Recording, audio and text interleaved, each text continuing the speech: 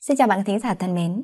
Ngày hôm nay Huyền Lucy sẽ gửi đến các bạn một bộ truyện mới với tựa đề Tháng 7 Thành phố Vũ oi bức giống như một chiếc lồng hấp. Mặt trời mang sức kêu gào, đường cốc lộ giống như một cái vỉ nướng mực cực nóng. Cô chung cư mới được xây dựng cũng không lớn lắm. Tổng cộng chưa đến 10 căn nhà. Nhưng việc phủ xanh ở bên trong được thực hiện công tệ. Có một cái trải nghỉ mát của hồ nước. Chỉ có một vài hộ soạn vào. Cho nên ngoài tiếng ve kêu chăm chăn, cả ngày hầu như chẳng thấy bóng người nào cả. Vào mùa xuân, gia đình của Lâm Lộc Linh mới tới. Căn lầu 7 7 tầng, có một nhà của bọn họ. Tuy rằng nhà mới này rất đẹp, nhưng buổi tối yên tĩnh thật đúng là đáng sợ. Cả một khu chung cư mà chỉ có 10 hộ gia đình, nên lên đèn vào ban đêm cũng làm cho người điên cuồng giống như Lâm Lộc Linh không dám xuống dưới lầu. Trọn vẹn hai tháng nghỉ hè, Lâm Lộc Linh bị nghẹn đến mức sốc không chịu nổi.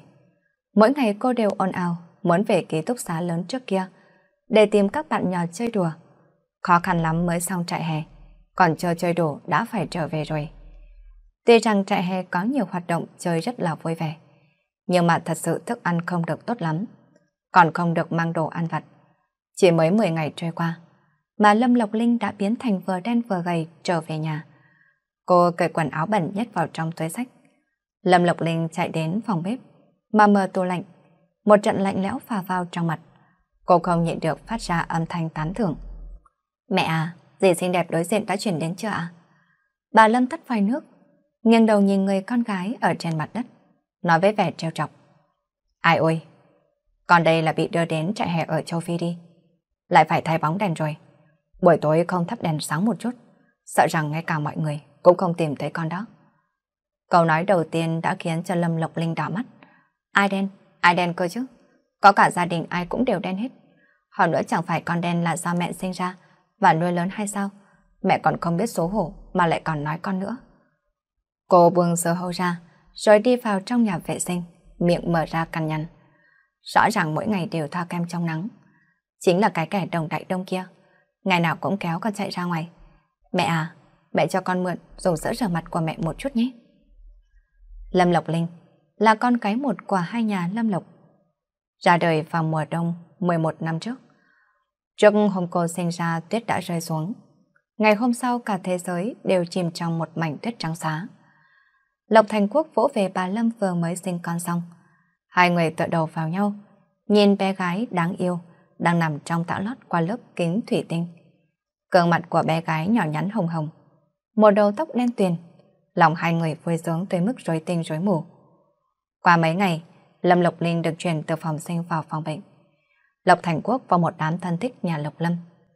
Vừa thấy chính là một búp bê nhỏ, mày rậm mắt to, đầu tóc đen nhuyễn, hai mắt vừa to vừa tròn lại đen lai láy. Còn có cả người đều đen. Mới đầu mẹ Lộc và Lộc Thành Quốc đều cho rằng đứa bé bị ngâm trong nước ối khi trưởng thành sẽ trắng ra. Nào biết đứa bé lớn lên thành một cô gái 10 tuổi. Tia màu da ban đầu đã phai nhạt nhưng vẫn còn đen. Mặc dù bà Lâm lúc còn trẻ không tính là đẹp, nhưng bà ấy ăn điểm ở chỗ có làn da rất trắng. Cho dù hiện tại đã hơn 30, nhưng trên mặt vẫn không hề có một chút tàn nhăn nào cả. Khi cô còn nhỏ, bà Lâm thường xuyên làm việc nhà, đồng đưa vỗ lưng cho Linh Linh bé nhỏ, kể chuyện cô thích công chúa Bạch Tuyết cho cô nghe. Đó là một mùa đông rất lạnh, ở bên ngoài rơi xuống rất là nhiều, rất là nhiều tuyết. Qua một tiếng, công chúa Bạch Tuyết đã đến với thế giới này. Hoàng hậu đón nhận đứa bé trong tã lót. Bà vừa cúi đầu thì nhìn thấy tại sao lại đen như vậy. Kết quả là từ nhỏ đến lớn, trong sự trầm biếm của bà Lâm, Lâm Lộc Linh trở nên thành một bạn nhỏ hơi đen, hoạt bát và khỏe mạnh. Sau khi rửa mặt xong, Lâm Lộc Linh cảm thấy bản thân đã ổn. Cô tiếp tục ăn sơ hấu rồi cất tiếng hỏi. Mẹ à, rốt cuộc đối diện có dọn đến không? Là nam hay nữ bao nhiêu tuổi vậy chứ? Dọn, hôm trước dọn đến rồi. Nhà họ có một đứa con. Sau khi khai giảng, cũng là vào học lớp 6. Chẳng qua là người ta nhảy một cấp. Hẳn là nhỏ hơn so với con. Có cảm thấy một chút áp lực nào hay không cơ chứ?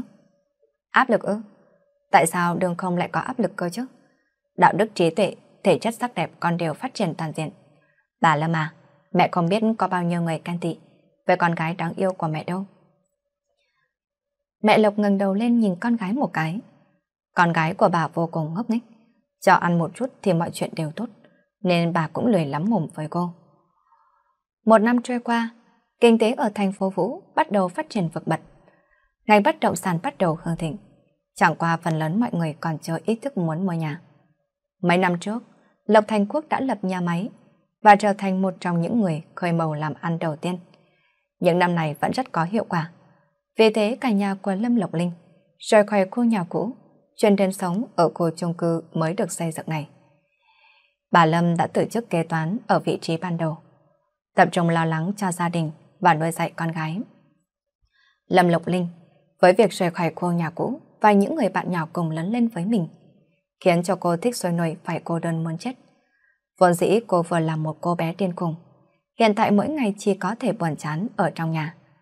Tháng trước ở bên kia đã bắt đầu trang trí, nhưng cô không ngừng hưng phấn, mỗi ngày đều đứng ở cửa nhà mình, ngóng trông người bạn nhỏ đó sẽ đến để chơi đùa cùng với cô. Trong vài năm gần đây, công ty của Lộc Thành Quốc càng ngày càng lớn mạnh. Ông thường xuyên đi công tác, đi đến rất là nhiều nơi, mỗi lần đều mang theo những đặc sản khác nhau.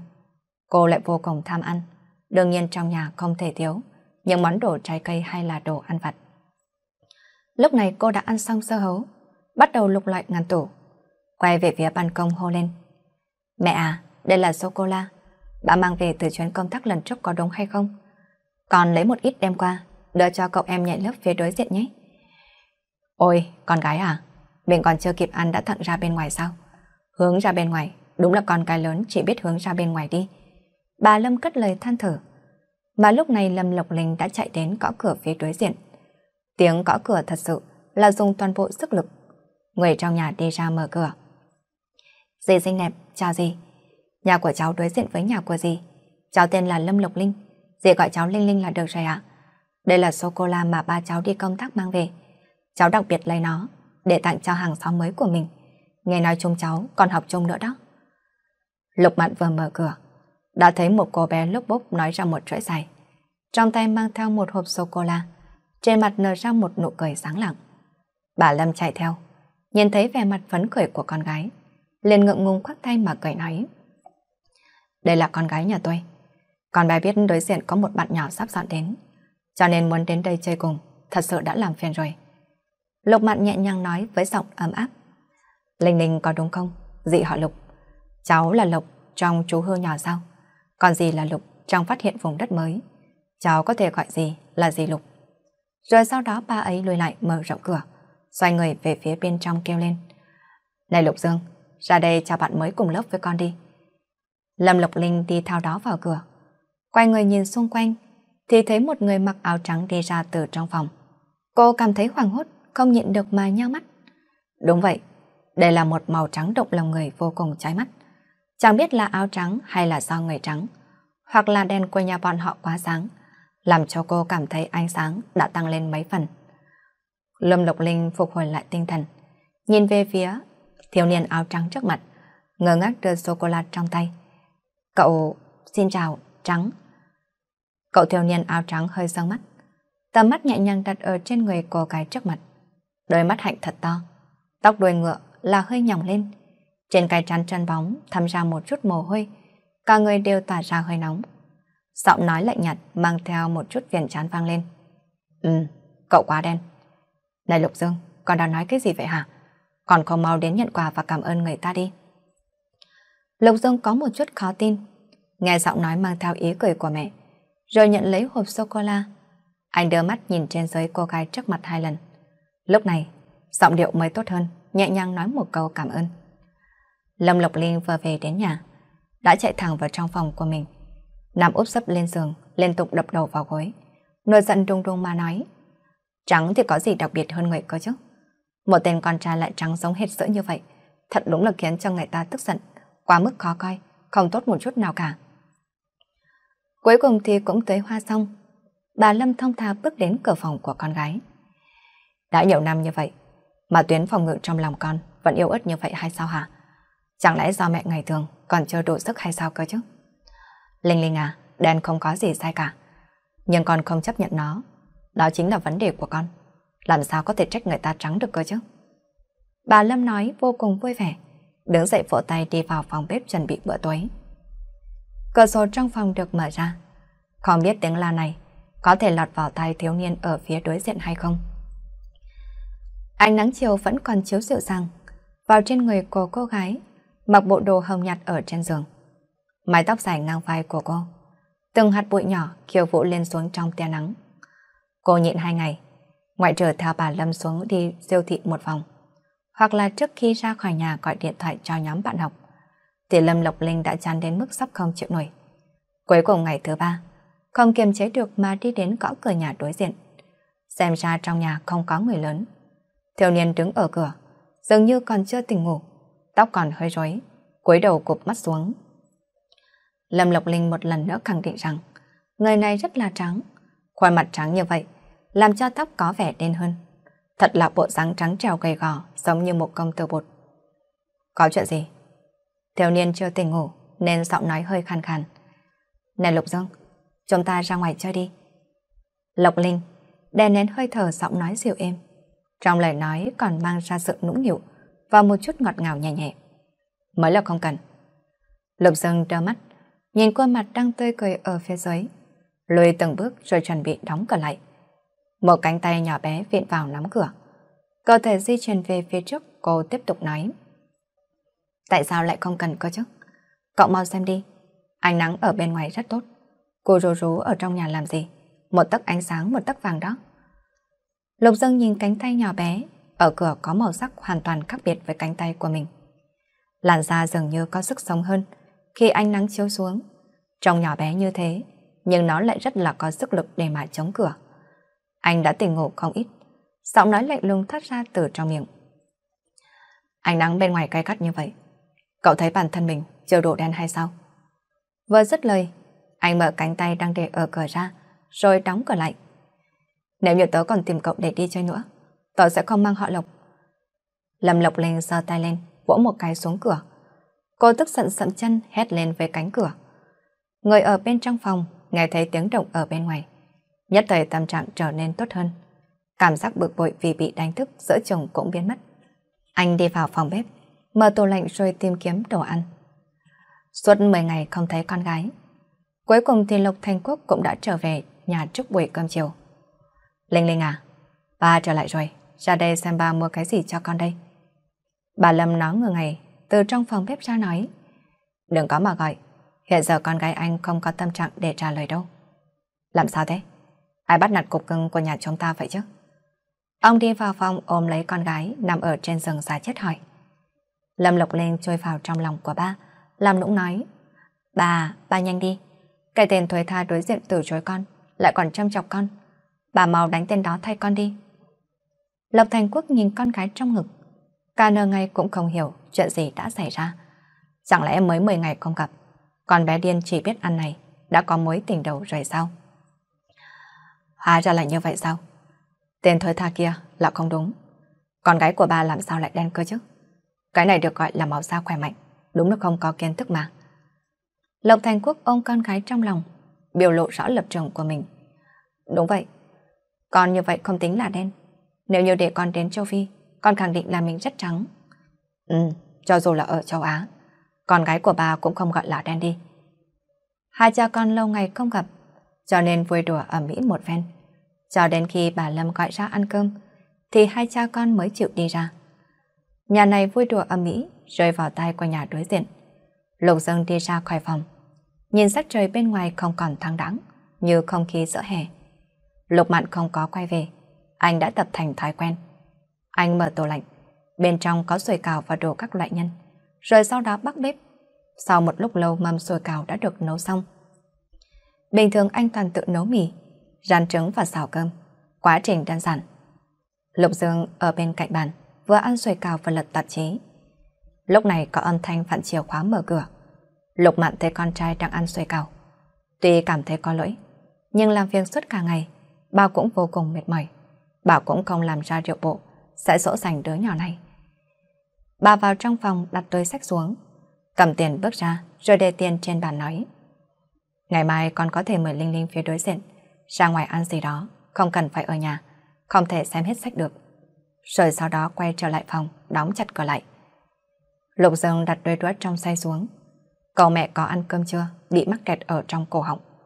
Điều này khiến anh không còn cảm thấy ngon miệng nữa. Có gì đáng để mong chờ đâu. Từ thành phố này đến thành phố khác, từ căn nhà này sang căn nhà khác, cho tới tận bây giờ, anh vẫn chỉ có một mình. Khi anh ăn xong mấy cái rồi cào, đứng dậy dọn dẹp rồi trở về phòng đóng cửa lại.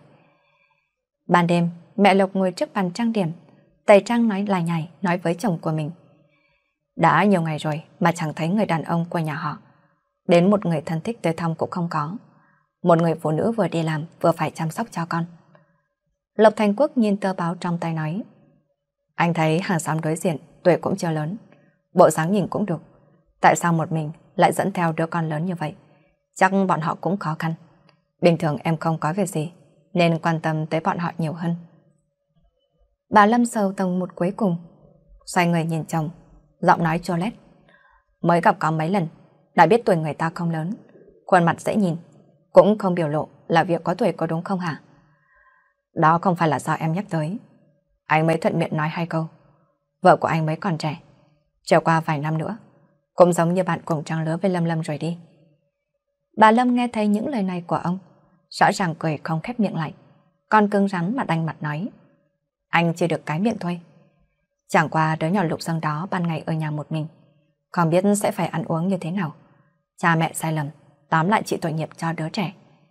Bà đi đến bên giường mà mở chăn ra. Ừ, thật đúng là một đứa bé tội nghiệp. Linh Linh nhà chúng ta không thiếu bạn bè. Em nên qua lại nhiều hơn nữa. Không có chuyện gì để đứa trẻ đó qua nhà chúng ta ăn một bữa cơm.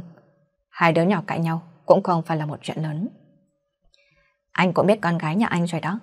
Có thể mắng nó ngốc nghếch đần độn, nhưng tuyệt đối không thể mắng nó đen nha. Không thể mắng, nhưng không phải ngày nào em cũng mắng con bé hay sao? Trái tim con gái anh rất là rộng lớn. Đi ngủ đi. Một ngày của vợ chồng nhà họ Lộc đã kết thúc. Lâm Lộc Linh đi ngang qua cửa phòng ba mẹ trộm lấy đồ ăn.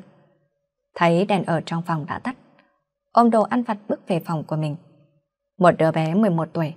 Nói không hiểu chuyện nhưng cũng đã hiểu. Nói hiểu chuyện thì mơ hồ còn chưa biết. Cô vừa ăn bánh bích quy, vừa nghĩ tới những lời mà mình vừa nghe. Trong lòng đột nhiên cảm thấy hơi ê ẩm. Lâm Lộc Linh ăn vụng xong, quét sạch sẽ, vụn bánh quy rơi ở trên giường, rồi thỏa mãn nằm xuống. Trong lòng của cô xác định một việc, ngày mai vẫn nên tặng xoài cho tên nhóc ở nhà đối diện, bởi vì xoài ngày hôm nay ba mang về thật sự rất là ngọt nha. 8 giờ sáng, Lộc Thành Quốc ngồi ở bên cạnh bàn ăn, nhìn khắp phòng ăn một lượt. Con gái tôi mới sáng sớm đã đi đâu mà không thấy người rồi chứ? Ai mà biết được. Mới sáng sớm em đã thấy cầm thấy một túi xoài cùng với hai cái bánh bao, chạy sang phía nhà đối diện rồi. Ở bên này, cuối cùng tỷ Lâm Lộc Linh cũng đã đột nhập thành công vào đại bàn xanh của kẻ địch. Cô đang rất là tò mò, hết nhìn trái rồi lại nhìn phải. Lục Dương quấy đầu, nhìn tuế sài với hai chiếc bánh bao trong tay. Hai mắt mở lớn, quay đầu lại, nhìn người đang đứng trong phòng khách nhà mình, đầu óc vẫn còn chưa hiểu chuyện gì xảy ra. Lục Dương vừa mới tỉnh ngủ, ở trên người mặc áo phải ngủ cốc tăng màu lam nhạt, trên mặt vẫn còn mang theo vẻ mờ mịt. Lâm Lộc Linh vừa ngắm nhìn nhà người ta, vừa lén lút đánh giá Lục Dương, đến mức là căng thẳng tay cũng run lên, lại còn làm bộ đứng đắn nói. Giải kia là do ba tớ mua về hôm qua, ngọt lắm đó. Còn bánh bao này rất là nhiều thịt, mau ăn đi. Cậu tới đây, để mà làm gì? Giọng nói của Lục Dương khàn khàn, kèm theo một chút không hài lòng. Thứ cậu cầm trong tay là không khí hả? Tôi không cần. Cậu cầm theo đồ của cậu, đi ra khỏi nhà đi. Giọng nói ngày càng một lạnh hơn. Từ nhỏ đến lớn Lâm Lộc Linh sợ vào cái miệng ngọt ngào, cùng với khuôn mặt tươi cười của mình, đi đến đâu là nổi tiếng đến đó. Lần này, có lẽ Lục Dương đã bị hoàng thật rồi. Còn buồn ngủ lập tức là đã bay sạch. Cái kia, tôi đi đánh răng trước đã. Đánh răng xong sẽ ra ăn bánh bao. Nói xong thì anh nhanh chóng thả đồ vật trong tay xuống, xoay người chạy về phía nhà vệ sinh, vội vã tới mức vấp cả vào dép lê trên chân mình. Nhìn bóng người hoàng hốt của anh rời đi, Lâm Lộc Linh vỗ ngực thở vào một hơi, rồi tiếp tục ngắm nhìn căn phòng. Lộc Linh thầm nghĩ, dì lộc này chắc hẳn là một người biết cách hưởng thụ cuộc sống. Nhìn chiếc bánh bao còn nóng hổi ở trên tay, cùng với quả xoài được cắt ra được ở trên đó, Lục Dương cảm thấy nơi nào đó trong lòng ngực tràn đầy sự chua xót. ngẩng đầu nhìn lên đồng hồ treo tường. Chưa tới 9 giờ mẹ anh không biết đã đi ra ngoài từ bao lâu rồi. Mà cũng chẳng sao, có ngày nào Lộc không như vậy cơ chứ. Lâm Lộc Linh đi đến trước mặt của Lục Dương, bàn tay nhẹ nhàng phất qua vắt lại. Ngốc cái gì thế? Ở trên tường có bánh bao à? Tớ vừa hâm nóng bánh bao giúp cho cậu rồi đó. Lục Dương ngồi vào bàn ăn đối diện cùng với cô. Cảm thấy giọng nói bên tai mình lúc này ồn ào hơn cả ve ngày hè. Anh thầm nghĩ, cô cứ nói mãi không ngừng như thế. Có biết khát nước hay không đây? Nghĩ như vậy anh lập tức đầy một ly nước về phía trước mặt của cô. Rồi sau đó mới cầm bánh bao lên bắt đầu ăn. Nhiệt độ của bánh bao vừa ấm, đúng là danh xứng với thực. Mày cắn một miếng đã thấy nhân thịt thơm ngon ở trong bánh. Một người cứ yên tĩnh thì cúi đầu ăn, còn một người thì nói mãi không ngừng. Rèm cửa sổ trong phòng khách bị gió sớm thổi lên, lay động không ngừng. Còn có giày nữa. Lục Dương chia vào túi giày, sắp không cánh mà bay ở trên bàn. Lộc Linh cảm thấy vô cùng là xấu hổ mà cười cười, rồi sau đó lập tức coi chuyện đó như là đương nhiên nói. Tớ là người bổ nó gọt nó, ăn một chút trái cây, mình gọt bổ thì có làm sao? Với lại tớ cũng để dành cho cậu đó thôi. Còn không phải là do bữa sáng cậu ăn hay sao? Trái tim thiên hậu của tôi đúng là thiên thần mà. Cái đó thì không cần đâu. Tớ ăn bánh bao là no đủ rồi. Không phải cậu muốn ra ngoài chơi sao? Xuống dưới chờ tớ một chút. Lục Dương đứng dậy, dành trước việc thu dọn mâm bàn. Lúc anh chuẩn bị về phòng thay quần áo, bước chân đột nhiên dừng lại. Không được tùy tiện dùng dao. Giọng nói của anh hơi khàn khàn, có một chút lạnh lùng. Tự như còn có chút gấp gáp và xấu hổ ở trong đó. Ừ, ra ngoài chơi chứ. Cậu nhanh đi thay quần áo đi. Chẳng qua là kỹ thuật dùng dao của tớ rất tốt. Cậu không cần phải lo lắng đâu. Lâm Lộc Linh rung đuôi đắc ý nói. Khuôn mặt còn đắc ý vanh lên. Lộc Dương xoay người lại thầm nghĩ. Chắc hẳn là vừa nãy anh ăn bánh bao no quá. Nên khiến cho đầu óc đã lũ lấn luôn rồi. Cô đại có đại vũ ba lần trị thủy khiến nước lũ không chảy vào nhà dân. Hiện đại có Lâm Lộc Linh ba lần đối mặt với cửa phòng nhà người ta mới có thể đi ra. Lần xuống lầu ra đường này làm cho tâm trạng của Lộc Đại Tiểu Thư rất là tốt đẹp. Lục Dương đi phía sau cô, càng nhìn bóng người lao đảo phía trước, lại còn có lại cảm giác đầu óc của bản thân, bị hai cái bánh bao kia lấp luôn rồi. Bước thứ nhất trong kế hoạch rút ngắn quan hệ tán ngẫu linh tinh. Trước đây cậu học ở trường nào thế? Còn ở thành phố Vũ. Vậy quê gốc của cậu ở thành phố Vũ nên mới chuyển về đây sao? Không phải vậy. Vậy trước là chồng của cậu cũng ở quê cậu luôn sao? Không phải. Nghe nói cậu nhảy lớp. Thần đồng thật đó. Không phải. Không phải, cậu không nhảy lớp ư? Không phải là thần đồng. Người đi ở phía trước đột nhiên dừng lại chạy đến. Lục Dương suýt chút nữa va phải cô. Hai mày khẽ nhíu lại, trong mắt có một chút không thoải mái. Cậu đùa nói sao? Nói sao thì nói, cậu nhảy lớp nhanh như vậy chắc chắn thi ngữ văn rất tốt. Thế nào mà càng ngày lại không thốt ra được vài chữ cơ chứ? Lúc Lâm Lộc Linh nói chuyện, thì con mắt trợn lên căng tròn. Lông mày chen trán của cô dày hơn nữ sinh bình thường một chút. Trên chóp mũi rịn ra một chút mồ hôi mỏng. Nhìn cô như vậy, Lục Dương đột nhiên nhớ đến con nai nhỏ Zika trong cuốn sách địa lý toàn cầu mà anh mới vừa đọc ngày hôm qua. Biết rồi.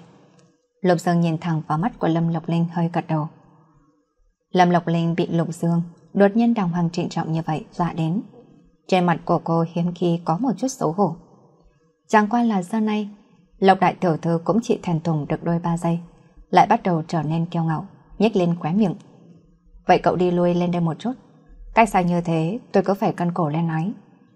Cô nói xong, thì thân thể thiếu niên dừng lại một bước, sau đó nhanh chóng bước lên hai bước, cùng đi về người phía trước, kể vai sát cánh với cô. Cậu có mang theo tiền không? Có. Lục Dơ sờ túi áo xác nhận, một lần nữa. Lâm Lộc Linh dừng bước, dùng tư thái mà chính bản thân cô cảm thấy tốt nhất nói. Này bạn học Lục, cậu nói xem tớ mời cậu nhiều lần như vậy. Sô-cô-la, xoài rồi bánh bao. Có phải bây giờ cậu cũng nên trả lễ hay không cơ chứ? Về trước có quầy bán đồ ăn vặt, chúng ta đi xem xem đi. Câu cuối cùng là một câu khẳng định, rồi sau đó nhanh chân đi về phía trước. Lục Dương nhìn người vội vã đi về phía trước. Trong lòng xác định thêm một lần nữa, đều là do cái hai bánh bao thịt gây họa cho anh mà. Sau lần đó bánh bao thịt thường xuyên tiến vào bụng của Lục Dương, còn tiền tiêu vật của Lục Dương cũng thường xuyên phải tiến cống cho Lộc Đại Tiểu Thư. Hai đứa bé vừa dựa trên cơ sở trao đổi vật chất, bước đầu thành lập mối quan hệ ngoại giao của hai bên. Vợ chồng nhà họ Lục liên tục cảm thán thủ đoạn của con gái, quả nhiên là cao cường. Thằng bé nhà đối diện lớn lên đẹp đẽ nhường kia, lúc nào cũng thấy sáng vẻ lạnh lùng, thực sự không làm cho người ta thích. Mà ở bên này về cơ bản, Lâm Lộc Linh đã quen thuộc với Lục Dương. Lúc ở cùng với anh, một đường đại đạo thông suốt cực kỳ. Cô nghĩ tới lúc mới bắt đầu, bản thân ăn không ít nỗi khổ của tên kia. Hiện tại đúng là có cảm giác vượt xa quá khứ. Này, Lục tiểu tử. Cánh cửa vừa mới mở ra, một dáng người nhanh chóng lách vào bên trong. Màu tránh ra, nóng chết tới rồi. Lâm Lộc Linh thả cái mâm trên tay xuống. Đây là cánh gà nướng hiệu bà Lâm đó. Mau tới nếm thử đi. Lục Dương nhìn con quỷ nhỏ đối diện, đang nắm lỗ tai keo nóng đến nỗi sậm chân. Thế nhưng lúc xoay người đi đến nhà bếp, khóe miệng của anh không khẽ mà cong lên. Nắm tài cũng không có tác dụng gì. Nhanh qua đây xuống nước lạnh đi. Lâm Lộc Linh xả tay xong, vẫy vẫy tay qua la vài cái, rồi sau đó cứ thế lao thẳng cái tay đang ướt lên trên quần áo của mình. Cô đi tới trước bàn ăn, hai tay đỡ lấy khuôn mặt của mình, nhìn Lục Dương cầm đũa, ngoan ngoãn biết điều mà ăn cánh gà. Thế nào? Tớ nói không sai chứ. Tớ còn muốn kêu vào Lâm nhà tớ, mở một sạp ăn vặt gần trường của chúng ta, chắc chắn sẽ làm ăn rất tốt. Lục Dương nhìn mấy cái cánh gà bong láng ở trên bàn, trong miệng nhai thịt non mềm, không khí, mùi thơm tứ phía. Thật ra lục mặn, ngoại trừ việc thiếu một chút dịu dàng nhỏ nhẹ, thiếu một chút tỉ mỉ quan tâm, thì trên mặt vật chất bà chưa bao giờ để cho Lục Dương thiệt thòi. Lục Dương rất thích nhiều loại sách, sách nghệ ngữ cũng có, ngay cả tạp chí địa lý mà anh thích, cho dù khó tìm đến đâu, cũng có thể xuất hiện trên bàn đọc sách của anh hàng tháng. Đa số các nam sinh đều thích máy chơi game mô hình các loại. Những thứ ấy nghiễm nhiên trở thành quà tặng ở nhà vào những ngày lễ khác. Tiền tiêu vặt càng không nhắc đến, nếu không làm sao sơ giả, nuôi nổi Lâm Lộc Linh ham ăn kia. Thế nhưng những thứ này cũng không sánh kịp những tiếng lải nhải đầy yêu thương hàng ngày của dì Lâm đối với Lâm Lộc Linh. Cũng chẳng sánh bằng là việc cả nhà quê quần cùng ngồi bên nhau, cùng ngồi xuống ăn một bữa cơm thật ngon. Sau khi ăn uống xong xuôi, Lâm Lộc Linh nhìn Lục Dương đang trở chắn rồi sau đó nói Ăn xong rồi, chúng ta xuống dưới cùng đi chơi đi.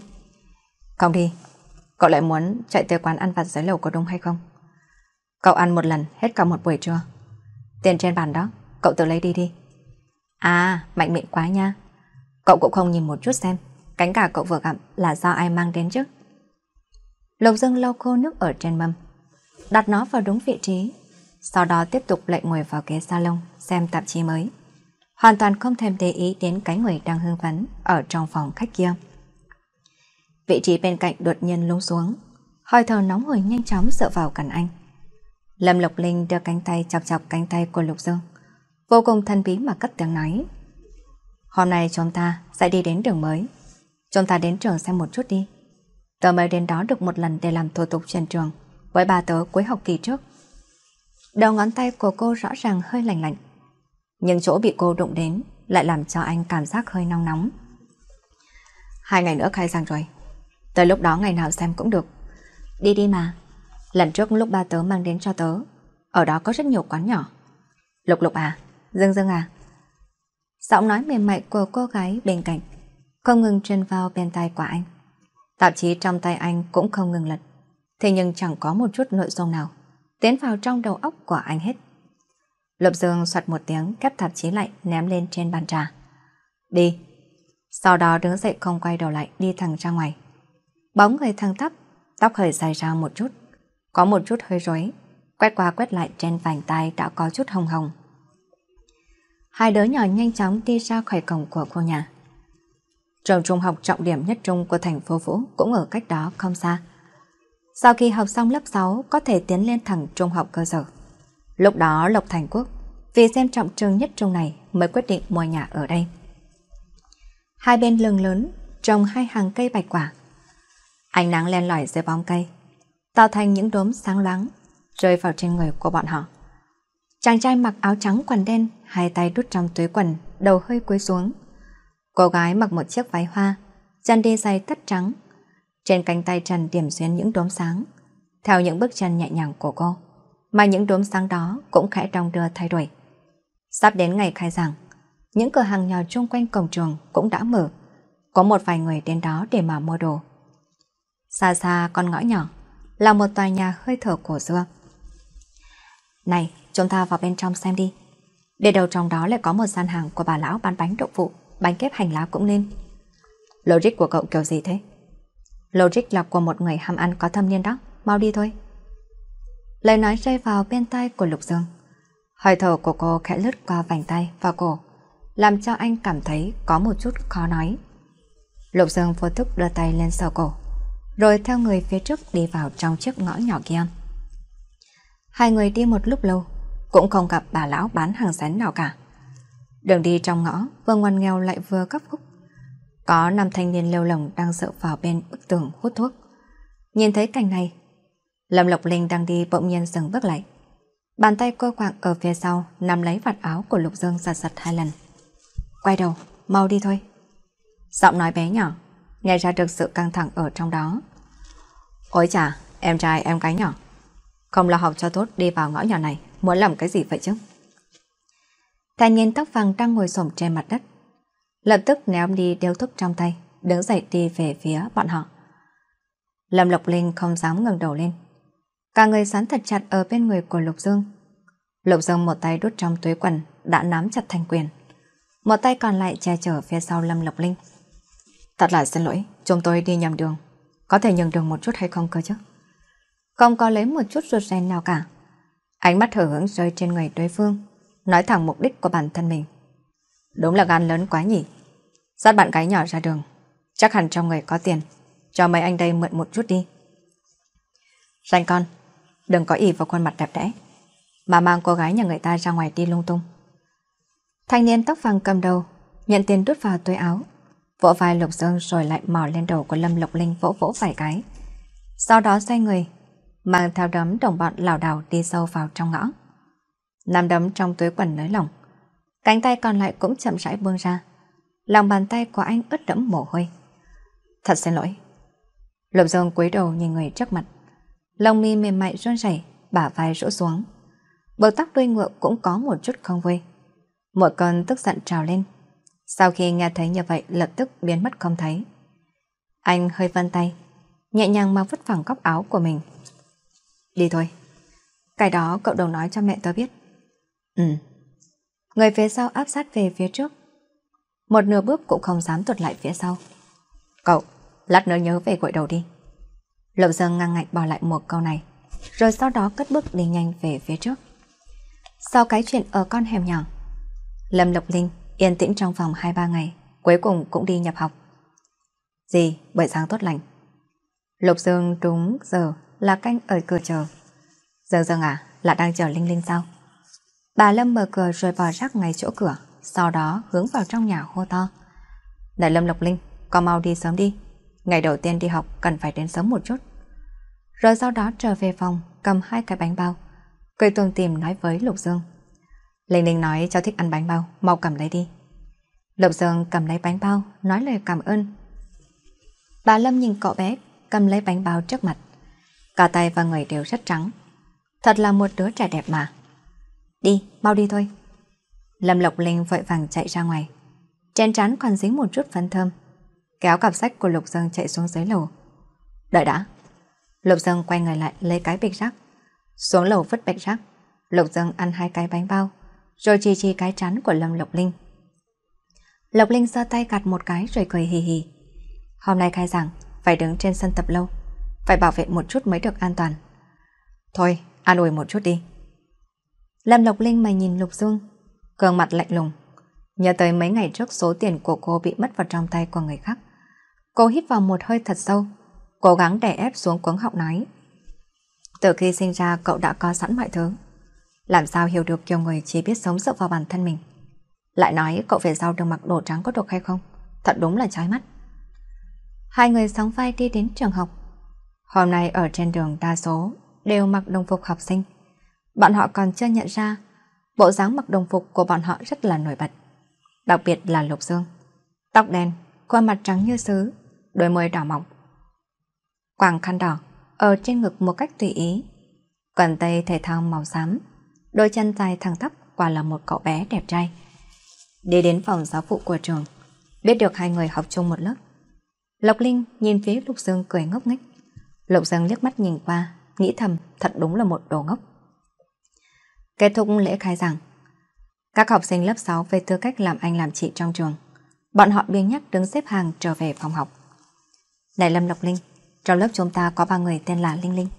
Cậu là sinh tháng mấy để bọn tớ sắp xếp thứ tự.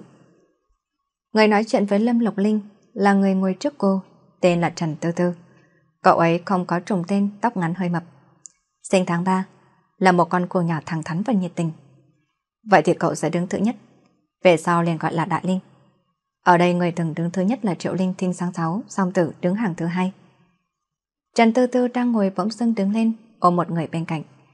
Còn người bên cạnh đây là Tiểu Linh Linh, là một chú cô nhỏ hiền lành và đáng yêu.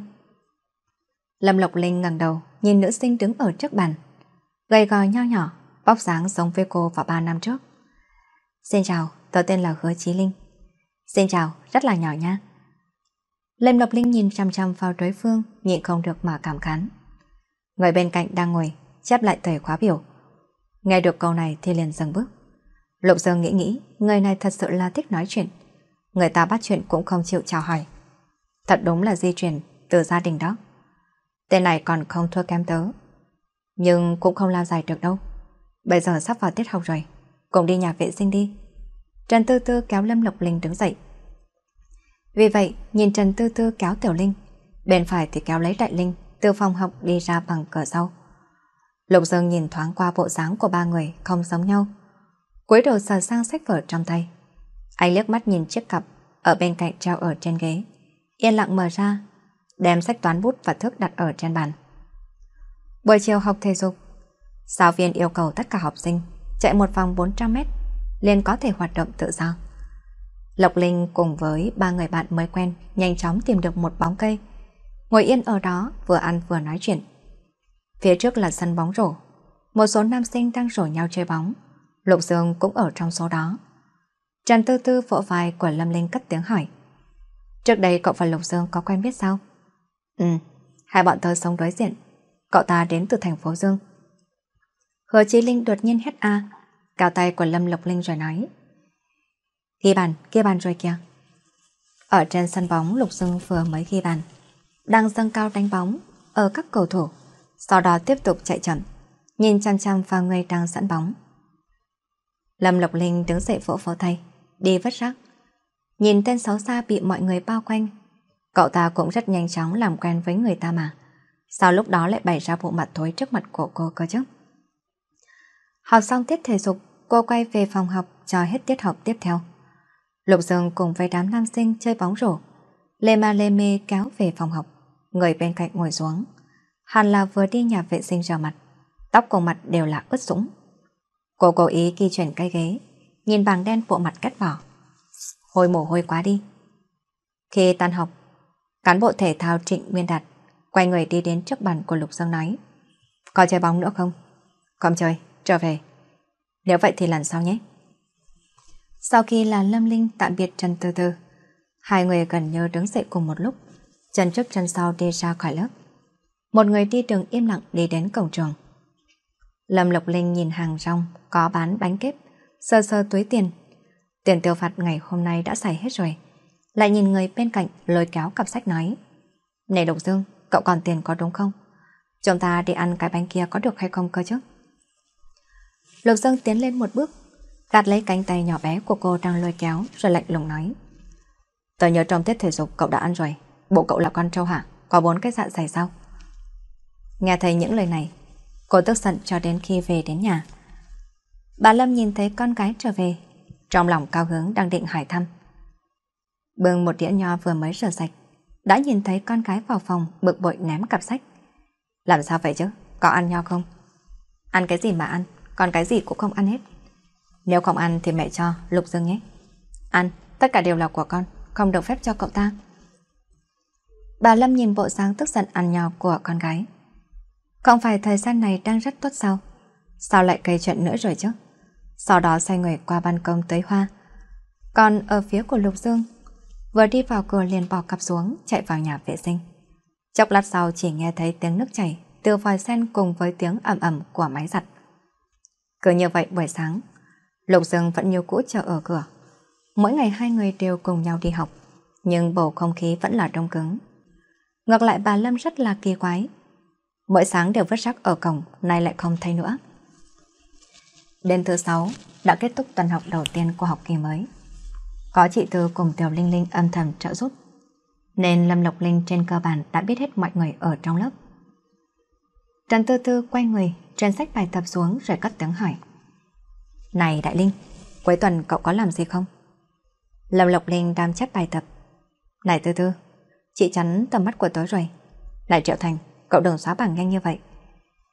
Triệu Thành là người có vóc sáng cao nhất lớp, ở trong đội bóng rổ. Trong một tuần cậu ấy và Lục Dương đã trở thành bạn trên sân đấu. Cậu mượn vờ, của Lục Dương ghi chép đi. Tớ trực nhật xong còn phải đi luyện tập nữa. Lâm Lộc Linh mở miệng định mượn vờ của Trần Tư Tư. Đã thấy người bên cạnh đưa vở qua. Các góc được ép rất là gọn gàng, nét chữ rất là đẹp. Giống như đã luyện qua thư pháp. Dù sao hoàn toàn cũng giống như chữ của con trai mà. Lâm Lộc Linh ở bên cạnh vừa chép vừa nói với Trần Tư Tư. Cuối tuần này mẹ tớ sẽ dẫn tớ đi xem lớp sáng tác. Vậy thì tớ sẽ cùng Tiểu Linh Linh đến nhà sách mua sách. Hẹn gặp tuần sau nhé, tạm biệt. Ừ, hẹn gặp lại. Cô chép xong bài tập, thua dọn sách vở đóng cặp. Người bên cạnh cũng đứng dậy. Hai người một trước một sau đi tới. Cô đi ở phía trước, con mắt nhìn xung quanh.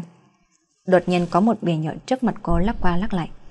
Bên trong chứa hai cái bánh kép còn đang bốc hơi. Tớ đã nói là ăn rất ngon mà, cậu có ăn không? Cô vừa thôi vừa nhai thức ăn trong miệng. có muốn, toàn là dầu. Giọng điệu kia tràn đầy sự ghét bỏ. Cô quay mắt, liếc mắt nhìn anh rồi sau đó ăn một cách vui vẻ. Lục Dương đốt hai tay vào trong túi quần. Nhìn cái đuôi ngựa lắc qua lắc lại theo từng bước chân vui mừng của cô. Cảm thấy đám mây buồn bực ở trong lòng mấy ngày qua cũng đã tan đi hết. Khi ngẩng đầu mà nhìn bầu trời, nghĩ thầm, bầu trời ngày hôm nay coi như không thể. Không khí mùa thu, trời nhẹ, mây nhẹ. Còn biết từ lúc nào cũng đã hết nửa học kỳ. Học sinh bắt đầu mặc đồng phục mùa thu. Một cơn mùa thu đi qua, thời tiết lại lạnh thêm một chút. Cô lại lau hết một bao khăn giấy. Này Lục Dương, cậu còn khăn giấy hay không? Đối với những người có nước da sẫm màu, khi họ đỏ mặt đều sẽ không nhìn thấy. Lúc này cơ mặt của cô bắt đầu trắng bệch, cái mũi đã ửng đỏ. Từ trong túi sách lấy ra hai khói khăn giấy. Dương Dương của chúng ta thật đúng là thiên sứ mà. Cầm lấy khăn giấy, cô vui vẻ nhìn anh, giọng khăn khăn nói. Cậu uống thuốc gì mà không thấy tốt lên một chút nào vậy chứ? Mẹ tớ cho tớ uống thuốc đông y. Nói là không hại thân thể, nhưng hiệu quả sẽ chậm. Nói xong lại rút ra một tờ khăn giấy, bắt đầu mà lau nước mũi. Thật đúng là bần mà. Cô cầm lấy khăn giấy, mềm mại thơm tho, vốn đang đắm chìm trong dòng cảm xúc. Lập tức nhét khăn giấy vào trong cặp một cước đá vào chân ghế bên cạnh. Cạch một tiếng, Trần Tư Tư quay đầu nhìn qua, nghiêm giọng nói. Mọi người nên cố gắng giữ trách nhiệm, tài sản công cộng chứ. Lục Dương chỉnh cái ghế cho ngay ngắn. Thầm nghĩ bình thường ăn những thứ kia thật sự là không vô ích. Khai giảng chưa bao lâu, bà Lâm thấy Lục Mạn thỉnh thoảng cũng về muộn. Mà Lục Dương lại không nghiêm túc ăn cơm. Thế là bà cùng Lục Mạn thương lượng để Lục Dương ăn cơm ở nhà bọn họ. Lục Mạn cũng không có chú ý đến. Cảm thấy làm kiểu này là quá tốt rồi. Thế nhưng hơi thấy xấu hổ. Bởi vì bà Lâm không chịu nhận tiền. Thế là lúc mua đồ cho Lục Dương, cũng sẽ mua cho Lâm Lộc Linh một phần. Cuối tuần, cô mặc chiếc áo khoác mới do Lục Mạn tặng. Không ngừng xoay gương, cảm thấy mình thật là xinh đẹp. Bà Lâm bưng đồ ăn bò ở trên bàn, nói với chồng đang ngồi trên sofa. Anh nhìn con gái của anh kìa, mặc một cái áo, có cần phải xoay gương lâu như vậy hay không cơ chứ? Nhưng con cái của chúng ta mặc vào rất đẹp. Chẳng phải chỉ là một cái áo thôi sao? Còn không phải là sao tôi ngày nào cũng mua thức ăn nấu cơm hay sao? Trong giọng nói có chút chua chát. Đúng vậy, là nhờ tay nghề của bà mà con bé mới chiếm được tiện nghi. Sau đó một nhà ba người cùng ăn ở trên bàn. Lộc Thành Quốc cấp một cái đùi bà cho bà Lâm, hỏi chuyện ở trường học của Lâm Lộc Linh. Cô cũng tranh thủ cấp một cái đùi gà khác, vừa gặm vừa kể tất cả những chuyện vui cô nghe được từ Trần Tư Tư. Đem hai vợ chồng chọc trao cười nghiêng ngả. Một bữa cơm thật là nhiều tiếng náo nhiệt. Cầm nước xong xuôi cô liền lén chạy đến tòa nhà đối diện. Qua nửa học kỳ, số điểm dần dần được tiết lộ. Lục Dương không hồ, là người nhảy cấp. Các bài kiểm tra của anh đều đạt điểm tối đa, trở thành học trò yêu quý của các giáo viên, đặc biệt là môn tiếng Anh. Tiếng Anh là chuyên ngành của Lục Mạn, mà dù bình thường cho tới giờ không cố ý dạy con trai, nhưng cũng có thể là mưa dầm thấm đất. Ở trong nhà của Lục Dương có rất nhiều tạp chí nước ngoài, lại còn có cả phim nước ngoài nữa. Vừa là bạn cùng bàn, vừa là hàng xóm. Lâm Linh luôn vừa buồn vừa vui. Vui là khi làm bài tập, luôn có mẫu để tham khảo. Buồn chính là bài thi của hai người trái ngược. Cũng may thi trung học cơ sở không sợ vào thành tích. Cô cũng không quan tâm ánh nhìn đồng tình của các bạn trong lớp. Cô cầm bài tập đi vào, chào hỏi Lục Mạn. Nhân tiện còn thể hiện biểu cảm mình rất thích chiếc áo khoác này, rồi bước vào phòng của Lục Dương. Lục Dương dựa vào đầu giường, đọc một cuốn tạp chí nước ngoài. Cậu có đọc hiểu không thế? Cô cất tiếng hỏi. Đối với đối phương ngẩng đầu lên nhàn nhạt đáp. Cậu chép bài tập chứng tỏ môn ngữ văn cậu không hiểu sao? Cô tức giận, cầm bút xóa trên bàn ném về phía người ở trên giường. Bút xóa vào vào vai rất đau. Lục Dương đứng dậy cầm bút xóa đặt ở trên bàn. Cánh cửa mở ra, Lục Mạn đem những quả lê đã sạch đưa cho Lục Dương. Ánh mắt nhìn vào trên người của hai đứa nhỏ rồi mỉm cười. Hai đứa mặc áo khoác này trông rất đẹp. Mỗi đứa ăn một quả lê đi. Mùa thu ăn lê rất là ngon đó. Nói xong đi ra liền đóng cửa lại. Lục Dương cúi đầu, nhìn xuống chiếc áo khoác đen của mình, lại nhìn áo khoác màu hồng của cô, cùng một nhãn hiệu thể thao. Không biết vì sao, Lục Dương đột nhiên nhớ tới những gì mà tên côn đồ tóc vàng đã từng nói vào đêm đó. Bạn gái nhỏ. cúi đầu xuống, rõ ràng là chỗ của mình, lại không biết nên động tay động chân ở đâu. Cô cắn một miếng lê lớn vừa ăn vừa lẩm bẩm. Về sau đây chính là đồng phục của song lộc. Nói một cách hứng khởi còn làm động tác. Lục Dương khôi phục tinh thần ngay lập tức, rồi sau đó đáp bằng một ánh mắt ngốc. Vào mùa thu, chỉ có đại hội thể dục thể thao là bận rộn nhất trong học kỳ. Mỗi lớp đều đang thảo luận về chuyện này. Trong khoảng thời gian này, biểu hiện của Lục Dương trên sân bóng giúp anh hòa nhập vào đám nam sinh, mà cố đánh của anh rất hào phóng, vì vậy trở thành thành viên cốt cõn trong lớp. Cho nên có rất nhiều người bu xung quanh anh. Đại hội thể dục thể thao khẳng định không thể thiếu anh. Nội dung cùng có chạy tiếp sức nam 400m, 100m tiếp sức nhảy xa. Riêng anh đã đăng ký mấy hạng mục. Kết thúc giờ giải lao, một đám con trai sau khi chơi bóng lên về phòng học. Lục Dương là người cuối cùng bước vào cửa, trong tay mang theo quần áo cùng với hai chai nước. Trên quần áo của bọn Trịnh Nguyên Đạt và Ngô Đồng đều có mấy dấu chân. Bởi vì vận động mạnh nên trên người đều là mồ hôi. Cảm giác vô cùng bẩn và có mùi. Ngược lại khuôn mặt của Lục Dương vẫn trắng nõn tuấn tú. Trông qua rất là sạch sẽ. Đi về chỗ ngồi, kéo ghế, nhét bộ quần áo đã thay vào trong cặp. Đặt chai trà đá chưa mở nắp xuống bàn bên cạnh. Cô vừa tỉnh lại, xoa ra cánh tay tê. Thấy quyển sách ở trên bàn thấm một mảng, chắc là nước bọt. Ở trên mặt còn in dấu vết hẳn, hoàn toàn là một bộ dáng ngốc nghếch. Cô mở nắp uống một ngụm trà đá rồi thở dài nói. Ai, sống lại rồi mà. Trong đại hội thể dục thể thao, cậu đăng ký hạng mục gì chứ? Lục Dương hỏi một cách hờ hững, sau đó uống một ngụm. Trần Tư Tư có ưu thế về ngoại hình, nên đăng ký ném tạ. Thậm chí Tiểu Linh Linh đã đăng ký chạy 800 mét. Cô suy nghĩ một chút nên đăng ký hạng mục nào. Cuối cùng đưa ra quyết định. Tớ sẽ làm hậu cần. Một tuần sau đại hội thể dục thể thao, cuối thu thời tiết rất là lạnh. Các thanh niên mặt quần đùi chạy ra sân tập vẫn còn rất là năng lượng. Trước đó nội dung chạy 100 mét tiếp sức. Lớp đầu tiên đã xuất sắc, giành lấy vị trí thứ nhất. Vậy cuối cùng là của Lục Dương, giành được vị trí thứ hai, làm cho cả lớp rất là phấn khích. Trận chung kết chạy tiếp sức 400 mét nam sắp bắt đầu. Lục Dương và Ngô Đồng đều ở đó. Những người hậu cần mau xuống vạch đích để lấy nước tiếp ứng đi. Cô ôm hai chai nước chạy đến điểm bắt đầu 400 mét. Thật là vất vả chạy đến trọng tài bắt đầu thổi còi. Lục Dương ở trên đường đua trong cùng. Bên cạnh là một thành viên của lớp 3. Người này lúc sinh ra dường như đã có năng khiếu về thể thao. Quả nhiên nhìn xem vừa đen lại vừa cao, không hề giống với một học sinh tiểu học. Qua đường rẽ thứ hai, Lục Dương bỗng nhiên xuất lực đuổi kịp thành viên lớp 3. Lục Dương của lớp 1 vậy mà đuổi kịp Cao thừa Cường của lớp 3. Không biết lúc nào bên cạnh lại có một nữ sinh kích động hét lên khiến lỗ tai của cô thật đau. Ở tới đường rẽ cuối cùng, chỉ có hai người chạy về phía trước. Các vận động viên của lớp 1 đều thống nhất đồng phục là áo thể thao màu đỏ. Nên các khoe áo đều nâng lên. Sắc mặt của thiếu niên ửng hồng, trong mắt hiện ra một tia dữ tợn. Trong lúc chạy nước rút là 50 mét cuối cùng, cả hai đều ngang tài ngang sức. Mọi người nín thở để xem ai là người chạy đến đích cuối. Lục Dương không biết vì sao nghiêng người lăn ra đường đua. Cao Thừa Cường chạy đến đích, trò chơi kết thúc. Hình nữ tớ nhìn thấy Cao Thừa Cường đụng trúng Lục Dương. Một nữ sinh hét lên, sau đó có nhiều giọng phụ họa, khiến cho cô vực vực đích rất là ẩm mỹ. Cô vừa lắc đầu, vớt chai nước trong tay xuống, vội vàng đi xem Lục Dương. Nhất định là rất nghiêm trọng. Vừa rồi chạy nhanh như vậy bị ngã xuống đất. Cô hoảng sợ hai tay run lên. Rất nhanh giáo viên thể dục chạy đến bên cạnh Lục Dương kiểm tra chấn thương. Áo đỏ của đội bị vấy bẩn, không biết có dính máu hay không. Thân thể bị uốn cong, tay nắm lấy cổ chân, mặt chôn ở đầu gối, tóc đã thấm ướt.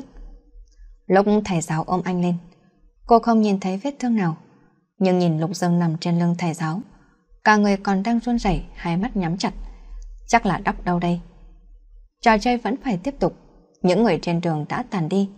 Cách đó không xa, Cao Thành Cường đang đứng ở khán đài nói gì đó với thầy giáo. Cô chạy lại, nhận chai nước ném vào người trên khán đài, quay người lại trốn vào trong đám đông. Chỉ nghe thấy tiếng mắng từ phía sau. Trong phòng y tế, giáo viên đang kiểm tra cho Lục Dương. Không có gãy xương nhưng bị chật chân rất nghiêm trọng. Đoán chừng sẽ sưng trong 10 ngày. Những vết sức trên người nhất định không dính nước. Nhớ phải thay băng mỗi ngày. Lấy quần sao vào vết thương. Lộc Linh xoay người không dám nhìn. Thao xuất xong, cô giáo và học sinh trong lớp vội vàng chạy đến. Cô giáo nói thông báo cho phụ huynh Lục Dương biết.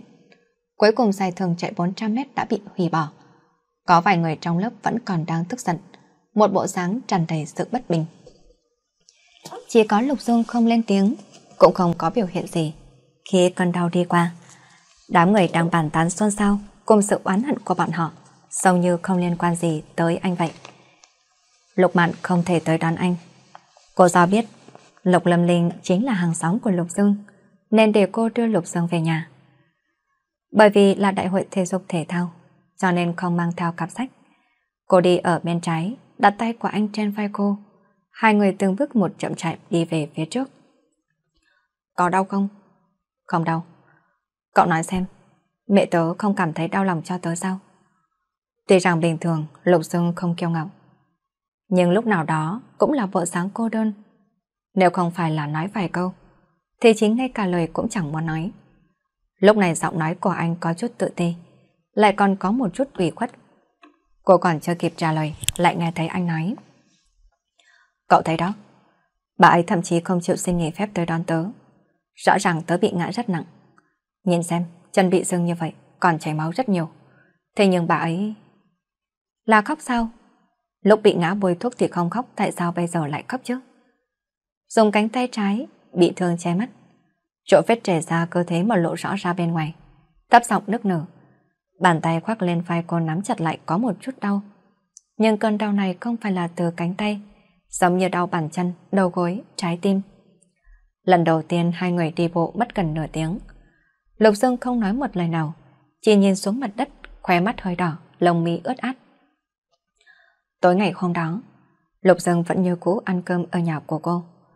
Bà Lâm nhìn vết thương trên người anh, thở dài một hơi cảm thấy rất xót xa. Lục Mạn trở về khi bản tin thời sự kết thúc. Bà tôi xách xuống đi vào phòng của Lục Dương. Thấy Lục Dương đã ngủ, lại nhẹ nhàng đóng cửa phòng đi ra ngoài. Ngồi trên giường như người, mở mắt nhìn chằm chằm bức tường tối âm, sau đó nhắm mắt lại. màn đêm chậm rãi đi qua, buổi sáng của mùa thu mới ló dạng. Từ tiểu khu của Lục Mạn đến công ty, mặc dù có chuyến xe đến thẳng công ty, nhưng một trạm xuất phát và trạm cuối. Công việc của Lục Mạn bắt đầu từ 8 giờ, nên phải đi từ lúc bây giờ. Đóng cửa lại, đã nhìn thấy cô đang đứng ở hành lang. Linh Linh à, sao hôm nay đi học sớm vậy chứ? Cô giật nảy mình một cái. Con chào gì? Chào con, dì đi làm đây. Chờ một chút đã dì Lục, con có chuyện muốn nói với dì. Ừ, dì biết rồi, thật sự cảm ơn con, Linh Linh ạ. Giọng của Lục Mận có chút nghẹn ngào, đưa tay lau nước mắt rồi quay người đi xuống dưới lầu. Giáo viên cho Lục Sơn nghỉ một ngày. Dù sao với điểm số của anh, có nghỉ mấy buổi học cũng không thành vấn đề. Ở bên này cô cả một ngày lơ đãng. lại Linh Linh, anh nghĩ cái gì vậy chứ? Không có gì, tôi đang nghĩ về kỳ thi giữa kỳ. Ai, quả nhân đầu óc ngập nước rồi. Thì giữa kỳ liên quan gì đến cậu? tôi cảm thấy sợi cây ở quầy bán đồ ăn vặt liên quan nhiều hơn đó.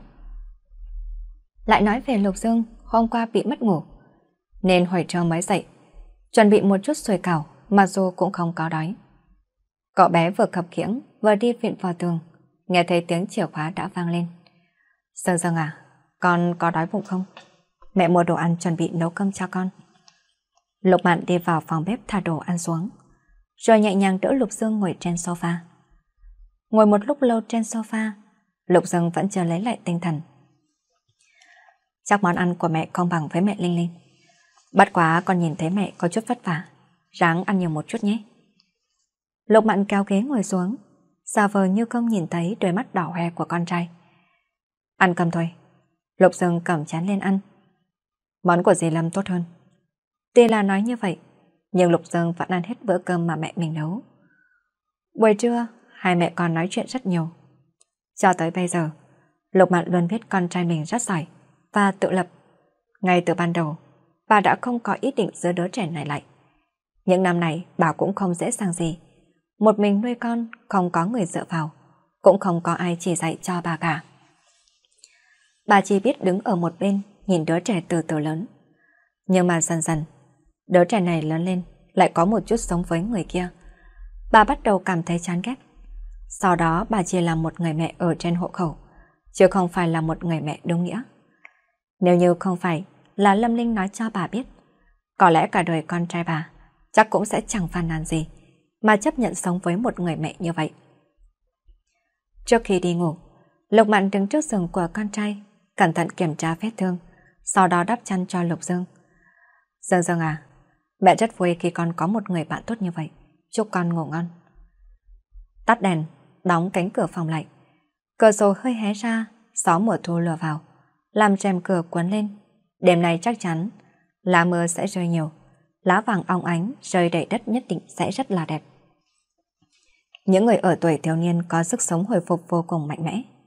Mới chỉ một tuần thôi mà chân của Lục Dương đã giảm sưng, vết thương cũng đã cần lành. Đúng là nhanh đó chứ, ngày mai nhóc không cần phải qua đây nữa đâu. Nhân viên y tế bôi thuốc xong bắt đầu đuổi người. Lục Dương ra khỏi phòng y tế. Định trở về phòng học, xong vừa đi được mấy bước thì đột nhiên xoay người chịu về phía ngược lại. Vừa rồi Lục Linh bị gọi lên phòng giáo viên vì điểm số bài thi giữa kỳ. Lúc này cô đang quấy đầu ủ rũ, trở về chỗ ngồi. Làm sao trong học bàn lại đầy bài thi như vậy cơ chứ? Cô cúi đầu nhìn xuống, toàn thấy là đồ ăn vặt. Cậu cứ từ từ mà ăn. Trong bài thi có chỗ nào không hiểu, đợi về rồi tớ sẽ giảng cho cậu. Lục Dương nói, người thì ra sáng vẻ nghiêm túc, nhìn về phía trước, nhưng mà lỗ tai thì đã đỏ ửng lên. Lộc Linh lập tức không còn cảm thấy chán nản nữa. Đôi mắt hành tròn trịa nhìn về phía cậu đám đuối.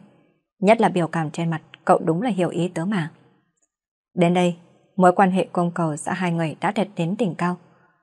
Trần Tư Tư cảm thán, Lâm Lộc Linh cần đây nhiều tiền mua đồ ăn vặt để nuôi ăn mãi không ngừng. Sau đó cô ấy cũng hí hai hí hửng mà ngóc đầu vào ăn trực. Lục Dương bắt đầu cảm thấy mình đã dùng sai phương pháp tán gái. Chẳng những công hiến tiền sai vặt mà còn phải phụ trách dọn dẹp một đống vỏ. Đặc biệt là sợi cây toàn là dầu mỡ. Sau khi tiết học thể dục xong, nhóm ba người thích ăn vặt tụ tập lại một chỗ. Vừa bơi trong đốn quả vặt, vừa tám chuyện xuyên lục địa. Lục Dương vừa mới ngồi xuống, thò tay vào trong hộp bàn để lấy nước thì đột nhiên trống lên. Này Lục Lâm Ninh, cậu mau dọn sạch sẽ cho tớ. Lúc này mọi người cũng đều đã trở về phòng học. Đây là lần đầu tiên mọi người thấy bạn học Lục Dương. Bình thường rất trầm tĩnh, luôn hờ hững, lại tức giận đến mức nổi đoá như thế này. Dì à, dì không biết đâu. Cháu chỉ bỏ tạm một cái vỏ bánh kẹo trong hộp bàn, cậu ấy đã bắt nạt, làm cả lớp đều sợ luôn đó. Cuối tuần này bà Lâm và Lộc Thành Quốc phải cùng nhau tham dự tiệc xã giao. Hai người vốn định gửi con gái cho ông bà nội trong giúp. Nhưng cô không muốn bỏ lỡ cơ hội này. Nên vỗ ngực nói rằng cô sẽ ở nhà một mình, ngủ một mình cũng là không sợ. Thế là trước khi đi, hai vợ chồng nhờ nhà Lục Dương nấu ba bữa thức ăn giúp cho con gái của mình. Ở trên bàn cơm, mọi người toàn nghe thấy tiếng của Lục Lâm Linh đang líu lo nói. Dì à, cả chấm tương đen này ăn ngon quá nha. Nếu thích thì ăn nhiều vào, Dương Dương cũng thích ăn món này lắm đó. Thế ư? Nhưng mà mẹ cháu nói nếu ăn nhiều tương thì da sẽ đen. Nhưng tại sao da hai người lại trắng như vậy cơ chứ? Lục Dương giống gì? Nếu cháu cũng giống mẹ cháu thì hay biết mấy. Da của cháu được gọi là khỏe mạnh. Bên nước ngoài thịnh hạnh màu da này lắm đó. Khi ở nhà, Lục Mạn cười mờ và thoải mái hơn rất nhiều. Và lại bao giờ bà ấy cũng nở nụ cười trên môi, trông thật là dịu dàng. Dì à, dì thật là đẹp quá nha. Cô làm vẻ mặt giống như trồng cây si thần tượng. Lục Mạn nghe vậy thì vô cùng vui vẻ. Có sự gia nhập của cô, bữa ăn này trở nên náo nhiệt hơn hết. Lục Dương ung dung ăn cơm. Ngoài mặt thì không để ý, nhưng trong mắt đã đồng đầy ý cười. Sau khi cơm nước xong, Lục Mạn đi làm, để lại không gian chơi đùa cho bọn nhỏ. Lục Dương đã làm xong đề thi được phát từ lâu. Lần này anh kiên quyết không lấy ra cho cô chép, mà dùng tình cảm qua phạt để quên nhủ. tớ có bánh cà tô bơ, cậu tự làm xong, tớ sẽ đưa cho cậu. Giữa một biển quà vặt bất tận, cô Lộc thích ăn nhất là bơ, và tất cả mọi thức ăn có bơ trong đó. Sau 2 giờ chiến đấu hăng hái, trong lúc Lục Dương cẩn thận kiểm tra bài, thì cô đang hưởng thụ bánh ngọt. Trên khuôn mặt là nụ cười ngốc nghếch, đôi mắt cong thành một cặp trăng lưỡi liềm. Thật ra cô không phải là học không tốt. Tất cả các môn học giới tiểu học cũng không mấy khó khăn. Chỉ cần cẩn thận một chút, nghiêm túc một chút thì kết quả kiểm tra sẽ ổn. Lục Dương nhìn người hang say ăn mà cất tiếng thở dài. Chấp nhận cầm ra sửa đổi dịch, sửa lại những chỗ sai nhỏ, thu dọn đống linh tinh trên bàn. Cô sở hữu ba đặc điểm nhận dạng. Da đen, ham ăn và đáng trí. Đặc điểm đầu thì không cần nói nhiều, vừa nhìn đã thấy. Đó cũng là điểm chết của cô, sờ một cái liền nổ. Về đặc điểm ham ăn, thì qua nửa ngày bạn đã biết. Mỗi khi có thời gian rảnh, cô luôn có đồ trong miệng để nhai. Cuối cùng là đáng trí. Lục Dương đã qua quen với thói xấu này của cô. Mỗi lần tới nhà của Lục Dương, cô luôn cần phải xác nhận có cần làm cái gì hay không rồi mới an tâm về nhà. Sau đó không tới 5 phút sẽ vội vàng đi qua gõ cửa. Nếu như giáo viên dặn dò làm gì, sáng sớm hôm sau cô sẽ đi tới cửa tiểu khu, lên chạy về cầm. Ví dụ như loại này, đếm cũng không có đếm. Từ nhỏ, Lục Dương đã độc lập, luôn xử lý ổn thỏa mọi chuyện của mình. Bây giờ có được cô, mọi thói quen tốt đều đã được phát huy tác dụng, hơn nữa còn phát huy đến cấp độ tối đa. Hai cô cậu đã hoàn thành nhiệm vụ của mình xong, lên quyết định xem phim. Bởi vì Lục Mạn có lòng nhiệt tình với nghề nghiệp, nên trong nhà có rất nhiều phim hành động nước ngoài. Mùa hè năm đó có một bộ phim rất nổi tiếng là Quá nhanh quá nguy hiểm. Khi màn hình xuất hiện nam nữ chính từ từ đến gần, mắt thấy hai người đó hôn nhau. Lục Dương đứng bật dậy xoay người che mắt của cô. Nếu là mọi khi, cô cũng đã bắt đầu âm sầm rồi. Nhưng bây giờ cô cũng đỏ mặt cúi đầu không lên tiếng. Không thấy hình ảnh không có nghĩa là không nghe thấy âm thanh. Hai đứa trẻ nhìn nhau rồi đồng loạt ngoảnh đầu sang một bên. Sau khi phim kết thúc, Lục Dương đứng dậy tắt tivi, lấy ra hộp đựng đĩa bỏ vào chỗ cũ. Cô hết ngồi rồi lại nằm ở trên sofa, nói với vẻ vô cùng thích thú. Dì nói đúng, mấy cô gái trong phim kia da đen như tớ, mà các cô ấy cũng rất đẹp, đúng hay không? Lục Dương nhìn thoáng qua cái người đang nằm ở chỗ này, tay thì đặt chỗ kia trên sofa, lại nhớ đến hình ảnh ở trong phim. Hiếm khi nào mà anh khen ngợi một cách nghiêm túc như vậy. Đúng đó, rất là đẹp. Nhưng cậu đừng áp dụng trên người của cậu. Sợ sao mặt cũng đâu có giống. Một cái gối bay về phía anh. Đúng là đồ miệng bơ thúi. Đang nói ai đó chứ? Ai nhảy dựng lên thì là nói người đó. Cậu tự soi lại mình đi, mặt trắng hiếu, người thì gầy nhom. Vai không thể vươn, tay không thể dơ. Nếu đổi nhóm, ai giúp cậu trần bàn ghế hả? Cậu không thấy tớ chạy nhanh như bay trên đại hội thể dục thể thao đó sao? Tớ chỉ thấy cậu lăn ba vòng ra ngoài thôi. Là do người khác va vào tớ. Xem kìa, cậu tự nói cậu bị người ta va một phát là bay ra, đúng là đồ yếu đuối. Trong căn phòng không lớn, vang vẳng tiếng cái phá của cả hai người. Đến buổi tối Lục Mạn về nhà, cầm nước xong xuôi, cô nói cảm ơn rồi chạy về nhà của mình. Lục Dương liếc ra cửa, xem cô đã cầm cặp về chưa, rồi xoay người trở về phòng học bài. Lục mạn đào thu dọn chăn đũa, thấy vậy thì không hiểu sao mà nghĩ. Mới một buổi chiều mà hai đứa này đã làm sao vậy chứ? Khi cô trở về nhà thì đóng sầm cửa lại. Đầu của cô đang nóng sôi lên bởi vì tức giận. Nhưng khi nhìn thấy căn nhà trống rỗng, thì tức khắc cảm thấy lạnh cả sống lưng. Cô bèn trở mặt rồi về phòng. Chuyển hết đồ vặt lên giường rồi vừa ăn vừa xem tạp chí. Gió đung đưa vô cùng yên tĩnh. Cô nhanh chóng nằm ở trên giường, đắp chăn kín, không dám tắt đèn. Đột nhiên tiếng gõ cửa dồn dập vang lên. Lục Mạn đang chuẩn bị ngủ, thì đi ra mở cửa. Thấy cô ôm gối nhìn mình bằng ánh mắt bi thảm. Dì à, cháu ở nhà một mình rất sợ. Mấy năm qua, Lục Mạn luôn ngủ một mình, thật sự không quen ngủ cùng với ai, ngay cả là con hít. Vậy nên Lâm Lộc Linh qua ngủ cùng phòng với Lục Dương, mỗi người một chăn, mỗi người một bên. Sau khi sắp xếp cho hai người xong, Lập Linh đã an tâm hơn rất nhiều, bởi vì biết bên cạnh mình có một người bạn. Này Lục Dương, lúc nãy tớ ở nhà một mình rất là khủng khiếp. Trước kia dì tăng ca cậu không sợ sao? Sợ chứ. Vậy sau này dì về muộn cậu qua nhà ngủ cùng với tớ nhé. Được. Dường như nhiệt độ cơ thể của con gái cao hơn con trai. Lục Dương cảm thấy bên cạnh mình luôn có hơi ấm. Trong lòng của anh cũng cảm thấy ấm áp theo. Trong lúc hít thở, anh còn có thể ngửi thấy mùi thơm thang thẳng. Nó giống như mùi thơm của lục mặn, mà ngọt nhẹ nhẹ, làm anh ngủ rất là yên giấc. và mùa đông, đêm càng dài, năm nay cũng đã sắp hết rồi. Lúc cuối hè, anh đi theo mẹ tới thành phố xa lạ này. Nơi hai người sẽ ở rất mới, rất đẹp. Nhưng vẫn chỉ là nhà, không thể nào là gia đình được. Anh vẫn ăn cơm một mình, đọc sách một mình và ngủ một mình. Không có gì tốt, cũng không có gì không tốt. Cuộc sống vẫn trôi qua bình thường vô vị như vậy. Khi mùa thu sắp tới, có một bạn nữ đến gõ cửa nhà anh. Rồi từ đó về sau, thỉnh thoảng tiếng gõ cửa thân quen đó lại vang lên. Sau đó bắt đầu có người ăn cơm cùng anh, học bài cùng anh, bây giờ còn có người ngủ bên cạnh anh. Hình như có một người để làm bạn, là điều tuyệt vời nhất. Anh chưa từng biết, thì ra cuộc sống còn có màu sắc như thế này. Đêm dần khuya, cả thế giới yên lặng, tiếng hít thở trong phòng cũng lại càng thêm thong thả. Khi ở tuổi niên thiếu, con người dễ dàng cảm thấy hài lòng nhất. Số đó chỉ là một viên đường, một tập phim hoạt hình hay một câu hứa hẹn.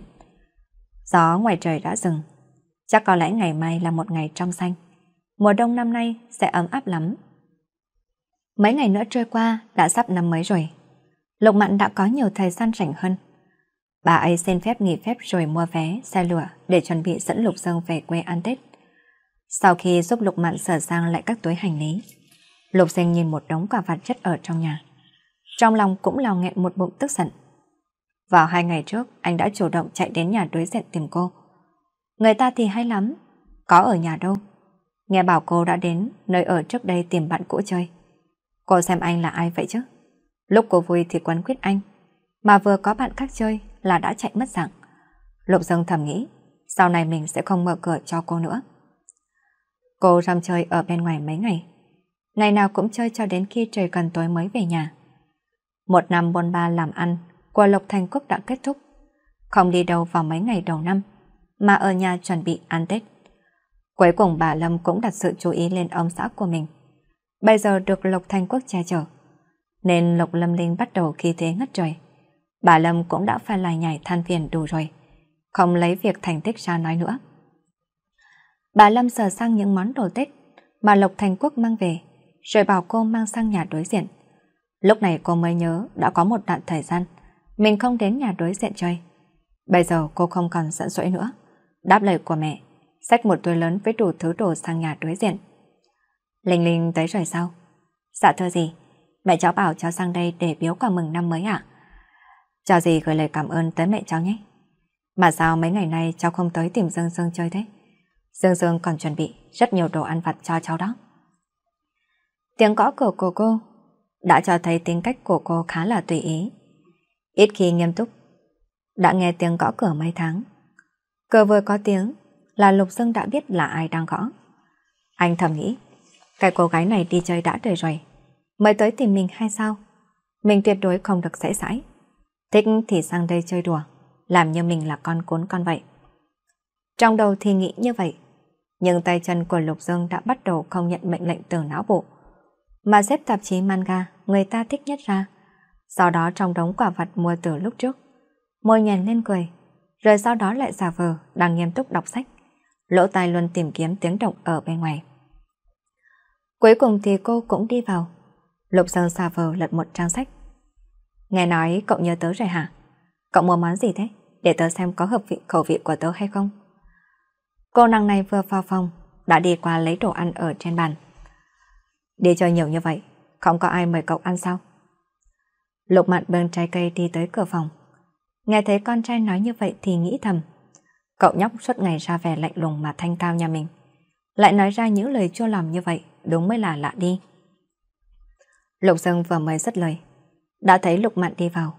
Ngượng ngùng quay mặt sang một bên. Lục Mạn chia cười mà không nói gì. Đặt đĩa trái cây xuống rồi đi ra ngoài. Dỗi rồi à? Đừng như vậy. Tớ vì cậu mà bị mắng rất nhiều đó. Cậu có biết mỗi ngày mẹ tớ đều rè la tớ hay không? Cô xé ra một bao sợi cây. Vừa ăn vừa bắt đầu than phiền. Tiếng nói chuyện liếng thoáng lập tức vang lên khắp căn phòng. Rõ ràng chỉ có một người nói, một người nghe, nhưng bầu không khí lại trở nên ấm áp đến lạ. Có biết gần đây tớ khổ lắm không hả? Tất cả đều là tại cậu hại tớ cả. Ăn nhiều đến mấy cũng không thể bù đắp cho những tổn thương trong lòng của tớ đâu. Ăn cây cuối cùng xong, cô liếm liếm đầu ngón tay. Người ở bên này lập tức nhận lấy túi đồ ăn không và đưa giấy mềm cho cô. Ông bà cụ nhà họ Lục biết rằng, mà dù con cái nhà mình được sinh ra trong gia đình nghèo khổ, nhưng từ trong xương lại rất kiêu ngạo. Bắt đầu từ khi học hành, Lục Mạn chưa từng vui chơi nuôi đùa cùng với các bạn trong trường, mà luôn vùi đầu vào học tập, hướng đến thế giới bên ngoài, hướng đến một cuộc sống càng đầy đủ tiện nghi hơn. Nhưng hai năm sau khi lên thành phố làm việc, Lục Mạn lại về quê một mình với chiếc bụng lớn, không chịu mở miệng nói chuyện, cũng không quan tâm tới hàng xóm xung quanh bàn tán hay hóng chuyện. Lục Mạn chỉ giấu nhẹ mọi thứ vào trong lòng mà sinh con ra. Qua giai đoạn ở cữ, Lục Mạn cười con cha ba mẹ mình rồi đi. Chỉ để lại một số tiền lớn cho hai ông bà nuôi cháu. Thỉnh thoảng Lục Mạn sẽ gửi về một vài thứ. Một năm thì thăm con và gửi hai ông bà một khoản tiền. Cho đến khi Lục Dương tới tuổi đi nhà trẻ, Lục Mạn mới đón con đi. Có lẽ là từ khi Lục Dương có thể tự đi. Cũng có lẽ là từ khi Lục Dương vẫn còn chập chững. Anh không hề nhớ gì về những cái ôm của mẹ. Khi còn mẹ, chính là một bóng lưng mơ hồ phía trước. Nhìn không rõ, theo không kịp. Thế là anh luôn nỗ lực, hy vọng mẹ có thể quay đầu, nhìn xem và phát hiện ra mình. Sau đó anh biết chuyện đó là không thể. Vậy thì cần phải cố gắng làm một đứa con để cho mẹ không bận tâm. Yên lặng mà làm tốt mọi thứ. Có lẽ như vậy, mẹ sẽ thích anh thêm một chút nữa. Sau khi chuyện lần trước xảy ra, mẹ đã cần quỹ với anh hơn rất nhiều. Anh không phải là một kẻ tham lam, mẹ như thế cũng tốt. Mặc dù không đùa dẫn vui vẻ với anh, nhưng là dì Lâm cùng với Lục Linh. Nhưng mẹ của anh như vậy đã là quá tốt rồi. Nhưng về còn người đó, người đó thì sao? Không phải anh không tò mò, chỉ là đã qua quá lâu, lòng hiếu kỳ đó cũng bị phai nhạt. Thỉnh thoảng khi sai gương, anh sẽ nhìn người có đôi mắt giống mình như thế nào. Nếu có thể xem ảnh của ông ấy thì thôi đi. Chỉ cần ảnh thôi cũng đã được rồi. Lục mạn nhẹ nhàng vỗ lưng của Lục Dương, như đang dỗ dành của một đứa trẻ. Chờ đến khi Lục Dương bình tĩnh, Lục mạn mới kể cho Lục Dương nghe. Mang thai anh là một chuyện hoàn toàn ngoan ý muốn đối với Lục mạn. Sinh ra anh cũng là quyết định gian nan đau khổ nhất trong cuộc đời của bà. Có lẽ những năm đó, bà chưa làm tốt bổn phận của một người mẹ, nhưng bà thương anh. Chỉ là cuộc sống sinh hoạt thay đổi đột ngột. Bà không biết nên thể hiện tình cảm của mình cho anh như thế nào. Nên cố gắng sống tốt, lao đầu vào công việc, tìm kiếm một mức sống tốt hơn. Khi anh lớn lên một chút nữa, Lục Mạn dẫn anh đi gặp người đó. Bà hy vọng anh sẽ cho bà thời gian. Sau này, cho dù muốn đưa ra quyết định gì, bà cũng sẽ thương lượng với anh. Hy vọng anh đừng không trông mong về mẹ của mình. Một năm mới bắt đầu báo hiệu cho một chuyến hành trình mới. Thời gian cũng tiến về phía trước không bao giờ lùi lại. Bệnh viện tắt đèn lúc 9 giờ. Bởi vì cô đã ngủ suốt cả một buổi chiều, nên không còn cảm thấy đau nữa. Dạ dày cũng trở nên ấm áp. Bài tập cũng đã xong. Vì vậy cô sung sướng, lôi kéo Lục Dương để mà nói chuyện. Tết về rồi, cậu nhận được bao nhiêu lì gì đó? Tớ nhận được rất là nhiều đó nha. Ông bà nội này, ông bà ngoại này, lại còn có gì dượng cô chú, còn có cả anh họ. Năm nay anh ấy vừa mới đi làm, đã lì xì cho tớ rồi. Tiếc là tớ phải đưa hết cho mẹ giữ rồi. Trong tối không có một đồng nào cả. Tớ đã 12 tuổi rồi. Đương nhiên là có việc cần phải dùng đến tiền. Làm sao lại không để chờ cho tớ một chút cơ chứ? Tớ cũng đâu thể ăn trực của người khoác hoài. Cậu xem như vậy có đúng hay không? Cậu là tấm cơn sáng trong lòng mẹ tớ. Có thể nói chuyện với bà ấy được hay không? Biết đâu bà ấy sẽ nghe lời của cậu. Với tư cách là một người chuyên môn bị ăn trực, Lục sơn nghĩ mình cũng có quyền lên tiếng về chuyện này. Cậu nghĩ đến ba chuyện ăn uống không đâu. Bác sĩ nói trong thời gian này, cậu không được ăn đồ ăn vặt. Không lẽ cậu lại muốn quay về bệnh viện thêm một lần nữa sao? Không phải mà, cậu đừng tức giận. Tớ chỉ là lấy đó làm ví dụ thôi. Tớ nhất định sẽ không tham ăn, cậu có thể giám sát mà.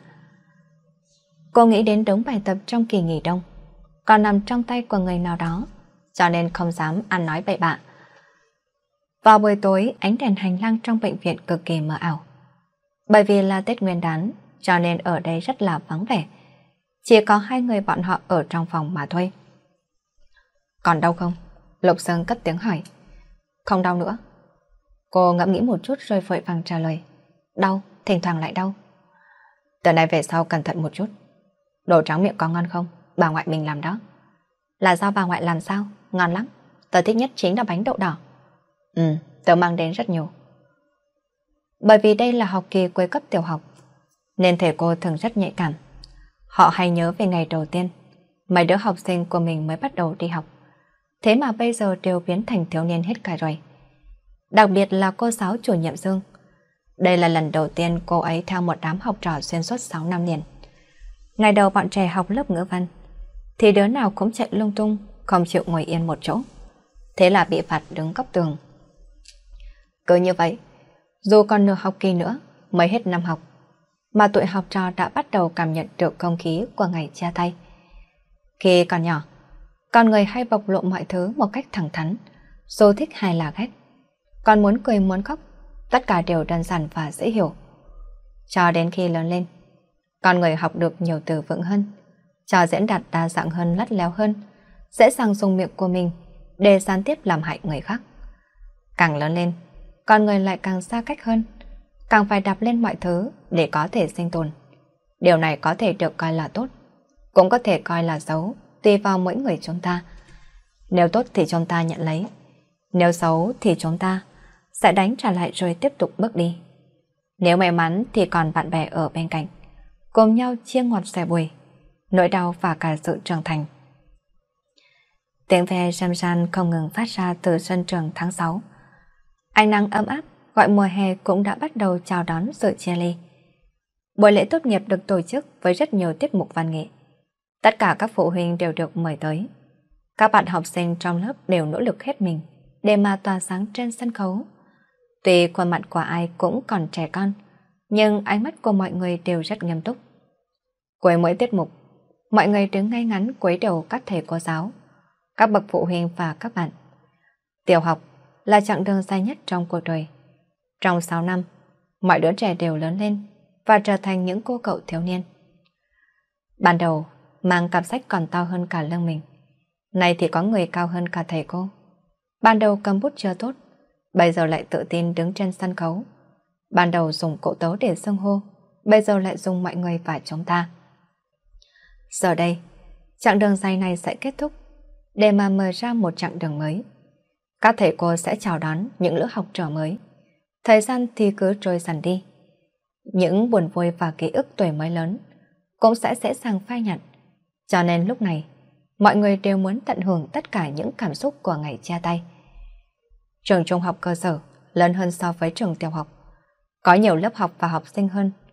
Trường trung học nhất trung là trường trọng điểm của cả thành phố. Nó phân thành cô trung học phổ thông và trung học cơ sở. Một khối trung học cơ sở sẽ có 8 lớp, được chia đều thành hai tầng. Lục Dương học lớp 1, chọn ở tầng 2.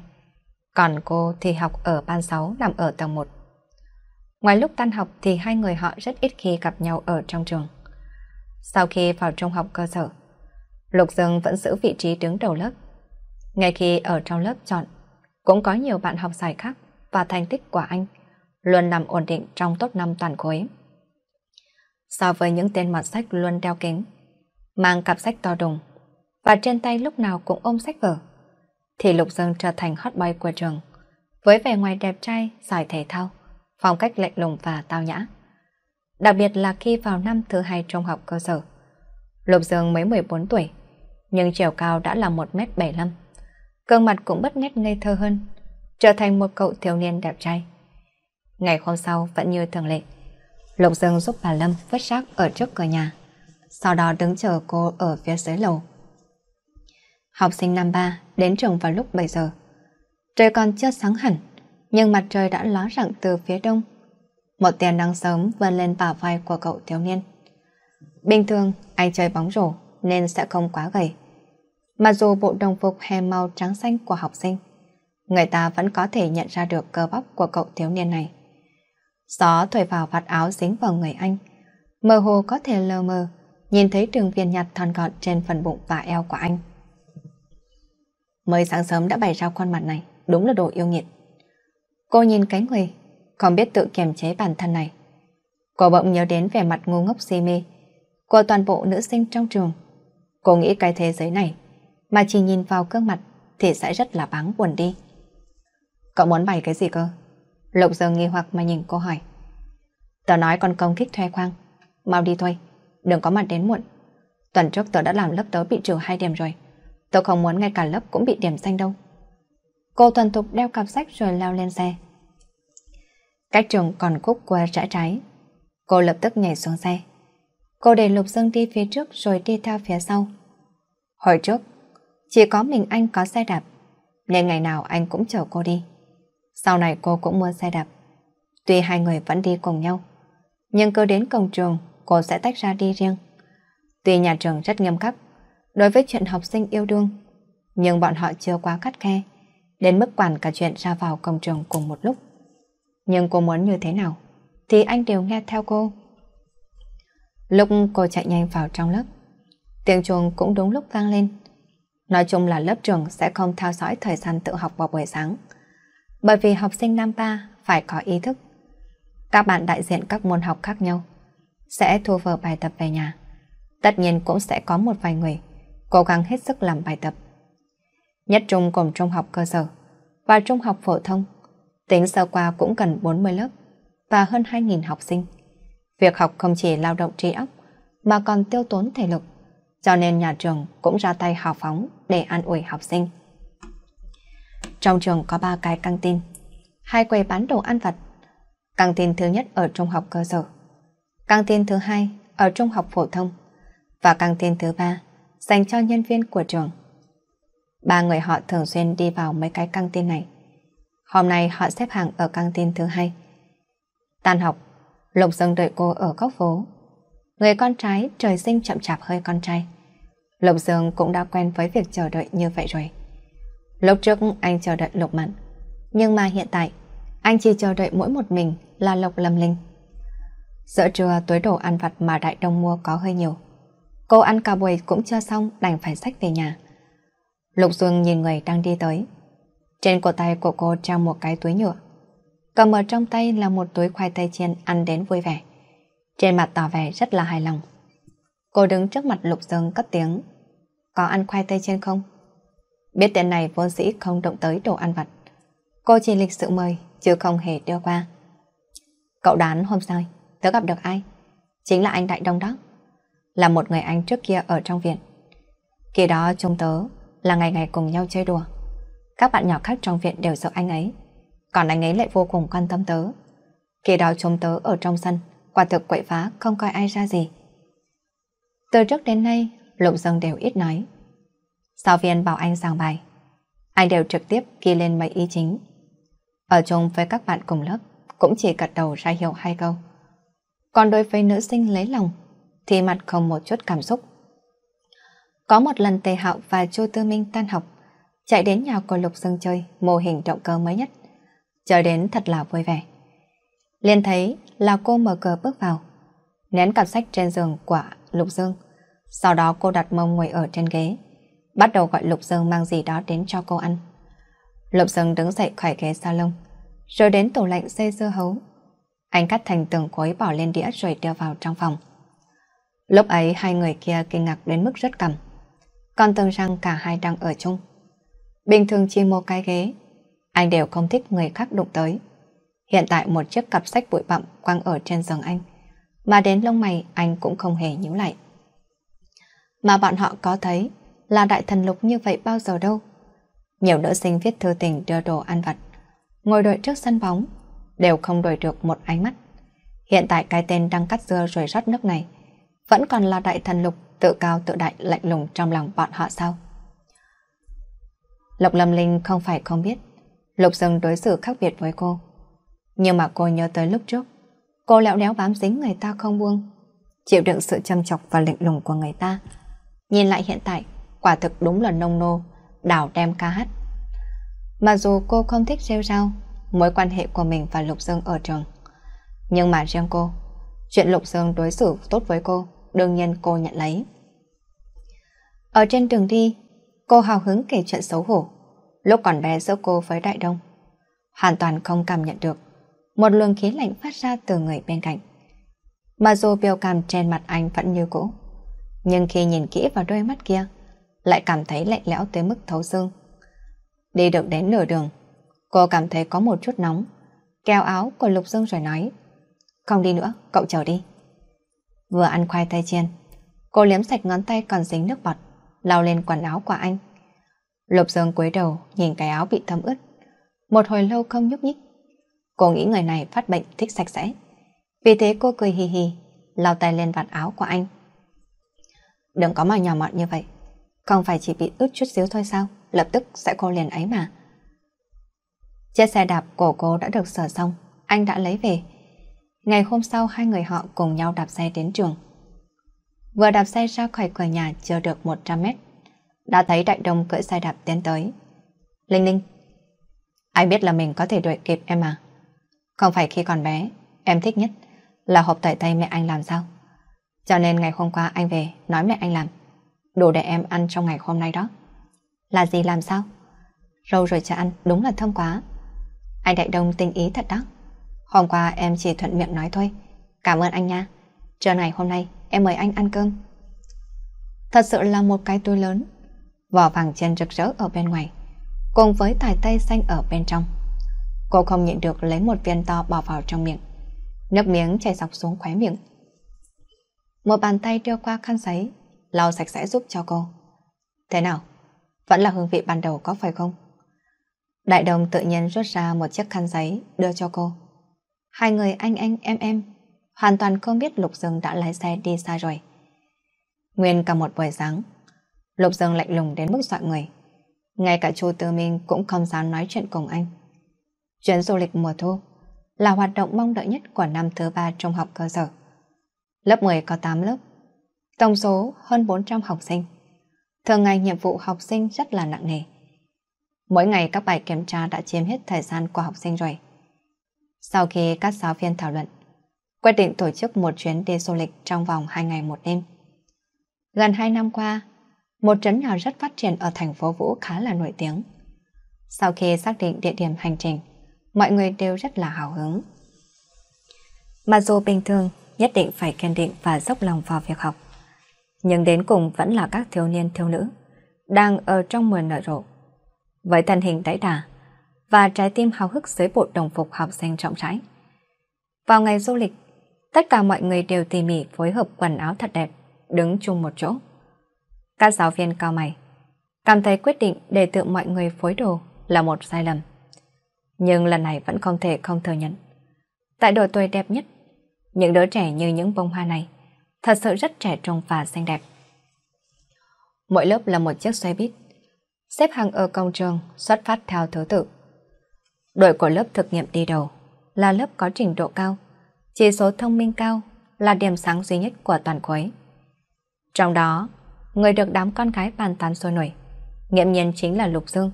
Ngoại hình tài trí đều thông minh xuất sắc. Con trai không có mặc quần áo giống như con gái. Váy ngắn, áo chân hoa, van, đồ lại kiểu dáng. chỉ 10% con trai, cơ bản sẽ thích kiểu dáng áo phông và quần thể thao. Lục Dương mặc một bộ quần áo thể thao màu đen, của hãng nổi tiếng nào đó.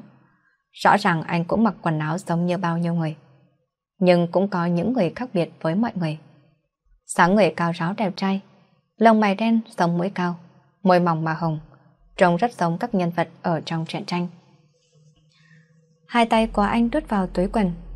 Những người bên cạnh anh nói chuyện rất là sôi nổi. Mà ánh mắt của anh nhìn vào chỗ khác cũng không biết là nhìn ở đâu. Chiếc váy kia, mùa hè năm ngoái mẹ anh mua cho cô. Chiếc váy liền áo, làm hình tròn làm bằng vải bông. Có vẻ thường ngày, cô không có mặc áo lót nhỏ. Bây giờ chỗ ngực bị phồng lên. Váy chỉ dài hơn đầu gối. Phía dưới là bắp chân cày và thẳng tắp. Trong giấc mơ của anh. Cậu làm sao thế? Sao mặt cậu đỏ bừng như vậy? Bộ bị nóng hả? Cậu đây chính là qua trắng, không thể phơi nắng mà. Tề hạo kéo anh lên xe. Đại Linh à, bình thường không nhìn ra cậu cũng có nha. Lê Đán nói xong đưa tay bóc ngực của cô một cái. Cậu thật đúng là lưu manh. Không phải cậu cũng có sao? Nhanh, để cho tớ dựa vào. Nói xong lại dựa đầu lên. Đúng là mềm, mềm hơn cả kẹo bông. Này này, hai người các cậu có thể bình thường được hay không hả? Hai năm nay, Hứa Chi Linh vẫn có vóc sáng nhỏ nhắn như vậy. Quanh năm học khiêu vũ, thân hình thon gọn mềm mại. Trên người mặc váy van nhã nhặn sang trọng. Ây gu, cô gái này từ đâu tới, cái eo thon này. Lê đán trận mắt kéo cái váy hồng. Hứa Chi Linh vội vàng lấy tay che váy hô to. Này Lê đán, cậu làm cái gì vậy hả? Tớ đã nói rằng cậu ta rất lưu manh mà. Rồi sau đó ba cô gái cười đùa đi lên xe. Lúc cô học mẫu giáo, ngày nào cô cũng đi sau theo Đại Đông, gọi Đại Đông Đại Đông. Sau đó được Đại Đông cho một viên kẹo liền không ngừng vui vẻ. Thường sẽ có mấy đứa nhỏ trong sân đánh nhau. Thì lúc đó cô sẽ đứng bên cạnh cổ vũ cho anh Đại Đông. Sau khi lên tiểu học, ngay khi nhận được kết quả thi, cô sẽ mở cửa chờ anh ấy, giúp anh ấy tranh thoát khỏi đòn roi của mẹ anh ấy. Lúc dọn nhà chuyển đi, cô kéo anh ra ngoài, nói với anh không được quen cô và phải thường xuyên đến chơi với cô. Lúc anh ấy đến chơi, đã mua rất nhiều đồ ăn cho cô, vừa sẽ dẫn cô đi chơi. Được rồi, cuối tuần để mẹ anh đưa chúng ta đi xem phim. Một tuần sau, Lục Dương cảm thấy mình đã cho cô có đủ thời gian suy nghĩ. Tuy rằng lần trước có chút bốc đồng, nhưng anh không hối hận một chút nào cả. Nếu không trực tiếp thì cho đến 10 năm sau, cô cũng sẽ không hiểu tình cảm của anh đối với cô đi. Sáng nào cũng lên lút đi ra ngoài, trốn trong lớp vào buổi trưa, và có thể ăn cặp bút đến nửa đêm. Anh cũng không có ăn thịt cô, sao cô cứ trốn tránh anh như thế cơ chứ? Nhưng mà đúng là anh thật sự muốn ăn cô. Ngày hôm nay, anh đã nhờ Lục Mạn nói với dì Lâm là sẽ đến nhà bọn họ ăn tối. Vừa vào cổng, đã nghe thấy tiếng cười đùa ở bên trong. Lục Dương đến rồi sao? Đó là anh của Linh Linh khi con ở nhà cũ. Tống Đại Đông, thằng bé cũng từng học cùng trường với con. Năm nay đã lên cấp 3. Con cũng vào chơi với hai đứa nó đi. Dì đi chuẩn bị đồ ăn đây. Nói xong rồi bà Lâm vội vã trở vào phòng bếp. Nên bà không nhìn thấy tự tức giận tới đáy mắt của Lục Dương. Để cho cậu ấy một tuần suy nghĩ. Chứ không phải cho cậu ấy đùa dẫn với người con trai khác. Cô nhìn thấy Lục Dương vào bếp thì lập tức xoay người. Em, em xuống bếp giúp mẹ. Vừa chạy vừa tránh. Hai người con trai chạm mắt nhau. Một người đang ngậm băng và một người đang ngậm lửa. Cậu đã làm gì vậy? Mà Linh Linh thấy cậu liền chạy trốn trước. Lần trước bị đánh trong lòng khó chịu, nên giọng điệu của Đại Đông có chút tức giận. Tôi đã làm gì? Chính là làm những việc xấu hổ. Anh ngồi xuống ghế sofa, lấy quyển tạp chí ra đọc. Câu trả lời đầy sức tưởng tượng. Khi Đại Đông còn chưa kịp nói gì, thì đồ ăn đã được dọn lên trên bàn. Lục Dương bày đồ ăn lên.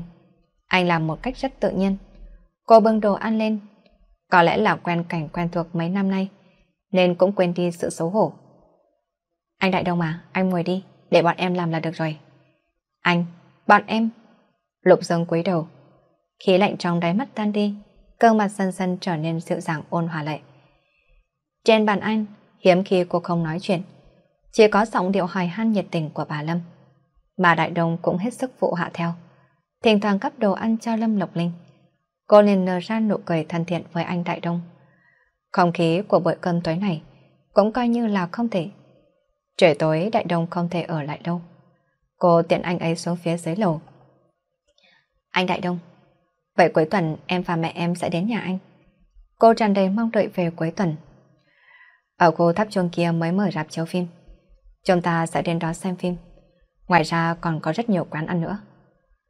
Mặc dù bữa tối nay bị phá hủy bởi tên nhóc thối kiêu ngạo lạnh lùng kia. Nhưng đêm nay Tống Đại Đông vẫn cảm thấy rất vui. Đưa tay sờ sau đầu của cô. Trong đầu của cô bất chợt lóe ra đoạn đối thoại với ai đó. Tôi không thích người khác sờ đầu của cậu. Sau đó cô quay đầu và né tránh bàn tay của Đại Đông. Bây giờ muộn rồi, anh Đại Đông mau trở về đi. Cuối tuần này gặp lại nhé. Sau đó cô xoay người bỏ chạy. Tại sao cô lại nghĩ đến mấy cái này cơ chứ? Cô vừa chạy vừa lắc đầu. Mà bàn tay của Đại Đông vẫn sơ lên giữa không trung. Thắng mỉm cười. Cô bé cũng đã biết thẹn thùng rồi. Vừa chạy đến cầu thang. Hứa với tớ, nhớ nhé.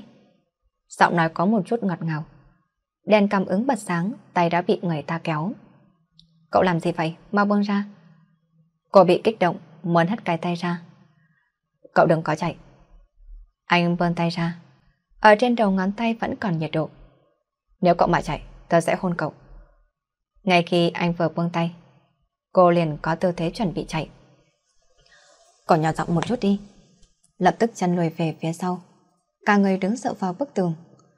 Cậu định nói cái gì? Mau nói nhanh lên. Tớ còn có rất nhiều bài tập đó. Không có ai trả lời. Cầu thang yên lặng ánh đèn truyền đến. Trời lại tối. Trong bóng tối tiếng thở và nhịp tim dường như khuếch đại vô hạn. Cô bị đè ép đến mức có một chút khó thở. Cậu đã suy nghĩ xong chưa? Suy nghĩ cái gì? Ở cùng một chỗ với tớ. Cậu đang nói cái gì vậy chứ? Chúng ta vẫn luôn ở cùng một chỗ với nhau mà. Nếu ở cùng với nhau giống như lần trước, có thể nắm tay, ôm hôn, có được hay không chứ? Giọng nói như bị kéo căng. Thật may bóng tối đã bị che đôi tay đang run rẩy của anh. Bầu không khí lại tiếp tục yên tĩnh. Lục Dương không đợi được câu trả lời của cô. Lo lắng bước về phía trước. Nhưng với một rung động nhẹ, ánh đèn bật sáng. Ánh đèn ấm áp. Cô bất lực nhìn ngón chân của mình. Cậu cũng thích tớ, có đúng hay không chứ? Không thể nào chờ đợi câu trả lời. Cậu có thích tớ? Có thích hay không ư? Sao lại không thích một người ưa nhìn như vậy cơ chứ? Đối với cô, lý do gì lại không thích chứ? Nhưng liệu thích của cô có giống như thích của anh không? Cô không biết. Cô không biết bao giờ có thể giả vờ những điều phức tạp trong tâm trí của mình. Bây giờ anh nắm lấy tay cô, nhẹ nhàng dùng ngón tay xoa vào lòng bàn tay của cô. Như thể anh vô cùng lưu luyến. Và cô chỉ có thể nghe thấy nhịp tim tiên cuồng của mình. Cuối tuần này, nhà họ Lộc hiếm khi được khôi phục lại bổ không khí sung sướng như ngày xưa. Trước khi đi ngủ, cô kéo lấy cánh tay của ba. Bà, nhà chúng ta cũng có xe. Có phải sau này bà sẽ về nhà nhanh hơn không? Vậy sau này bà sẽ về nhà nhiều hơn có đúng hay không? Giọng nói nũng nịu, ánh mắt tràn đầy sự mong đợi. Không phải là không có ai nấy. Cô con gái nhỏ này, ông vẫn thường ôm ở trong ngực. Nhưng bởi vì ông bận rộn bôn ba mà không để ý đến. Bây giờ đã lớn lên thành một thiếu nữ xinh đẹp. Ông đã không nhớ lần gần nhất ông ở cổng trường học đón cô là từ lúc nào. Cũng không nhớ đã bao lâu rồi. Ông cho ôm cô vào trong ngực. Ngày trước, ông có thể nhớ toàn bộ tên bạn học của cô. Khi cô kể với ông, mà đến bây giờ, đến cả cô chủ nhiệm của cô, ông cũng không biết là ai. Cuộc sống bôn ba đã mang đi thời gian thân mật của hai cha con, và cũng mang đi hạnh phúc của một người cha. Được, sau khi làm xong công việc, bà sẽ về nhà sớm. Linh Linh phải học tập thật giỏi, nghe lời của mẹ nói. Bà biết Linh Linh của nhà chúng ta là giỏi nhất. Ông nhẹ nhàng vỗ về bờ vai của cô, giống như khi còn bé, ban đêm không ngủ được. Mới đi học một tuần, đã phải chuẩn bị cho bài kiểm tra hàng đầu tháng đầu tiên. Tuần trước sự việc xảy ra ở cửa cầu thang tại lầu năm. Hai người đã tiến vào mối quan hệ vô cùng kỳ lạ. Nói là yêu đương, hai người sống chung cũng bình thường không gì khác biệt. Cùng đi học, buổi tối cùng làm bài tập, nhưng khi ở trường thì cơ bản hai người không gặp mặt nhau. Phải nói là so với ngày trước thì giống như đúc, nhưng ngược lại cũng không phải là giống toàn bộ. Dù sao đã biểu lộ cõi lòng, Lục Dương vẫn sống như trước chỉ có thể nhìn. Trong lòng suy nghĩ, không thể động, nên anh cũng không làm được gì. Vì vậy lúc ra khỏi cửa vào mỗi buổi sáng, anh luôn luôn véo máu của cô một cái. Buổi tối sau khi làm xong bài tập, anh luôn nắm lấy tay của cô, sao bắp bàn tay cho cô. Biết cô đối với khái niệm tình bạn trai gái rất là ít, lại còn rất là khờ khảo. Cộng thêm bây giờ, nhiệm vụ chủ yếu là tập trung cho việc học tập. Anh cũng không muốn để cho tâm tư của cô bị phân tán. Cố gắng khắc chế những tâm tư kia của chính mình. Chỉ là thông qua những cử chỉ rất nhỏ, nhẹ nhàng để thể hiện sự yêu thương của anh dành cho cô. Mà ở phương diện này, cô chính xác rất là ngốc. Trường một hai lần nói với anh là khi đụng chạm có một chút không được tự nhiên và xấu hổ. Sau đó, cô đều đem những hành vi này liên kết với vấn đề rửa tay và trước sau khi ăn. Có lúc nhìn anh có thể chơi đùa với tay mình thật lâu. Cô đều cảm thấy hiếu kỳ. Đều làm một cái lòng bàn tay, năm cái đầu ngón tay. Về phần tới tới lui lui sờ lâu như vậy được hay sao chứ? So với những biến hóa trong quan hệ của hai người, cô lại càng lo cho bài kiểm tra hàng tháng. Từ khi biết tầm quan trọng của thành tích học tập với một học sinh, đối với một gia đình hiếu học, cô học tập với một thái độ rất chăm chỉ và chịu khó. Bởi vì lý thuyết cơ bản quá kém, tốn rất nhiều công sức mới có thể nắm vững được những kiến thức này. Mà dù không thể so sánh với nhiều học sinh khác, thế nhưng cô đã rất thỏa mãn với thành tích học tập của chính mình. Chỉ cần duy trì tốt hiện trạng, thì lên cấp 3 cũng sẽ không khó. Lại có một thần đồng như Lục Dương ở bên cạnh. Anh giải thích so với giáo viên, còn đơn giản dễ hiểu hơn. Văn, vật lý, hóa học tất cả đều giỏi. Cô cảm thấy thật sự, thì lão sư cũng không bằng anh. Anh có thể một người đấu xấu. Ôi trời ạ, rốt cuộc cũng thi xong rồi. Một tuần lễ vừa rồi tố ngủ không được một giấc thoải mái nha. Lê đán khoác tay của Lâm Lộc Linh đi ra trường thi. Không được, tớ phải tổ chức ăn mừng. Này Đại Linh, cậu gọi cho Lục Dương còn có cả Tiểu Linh.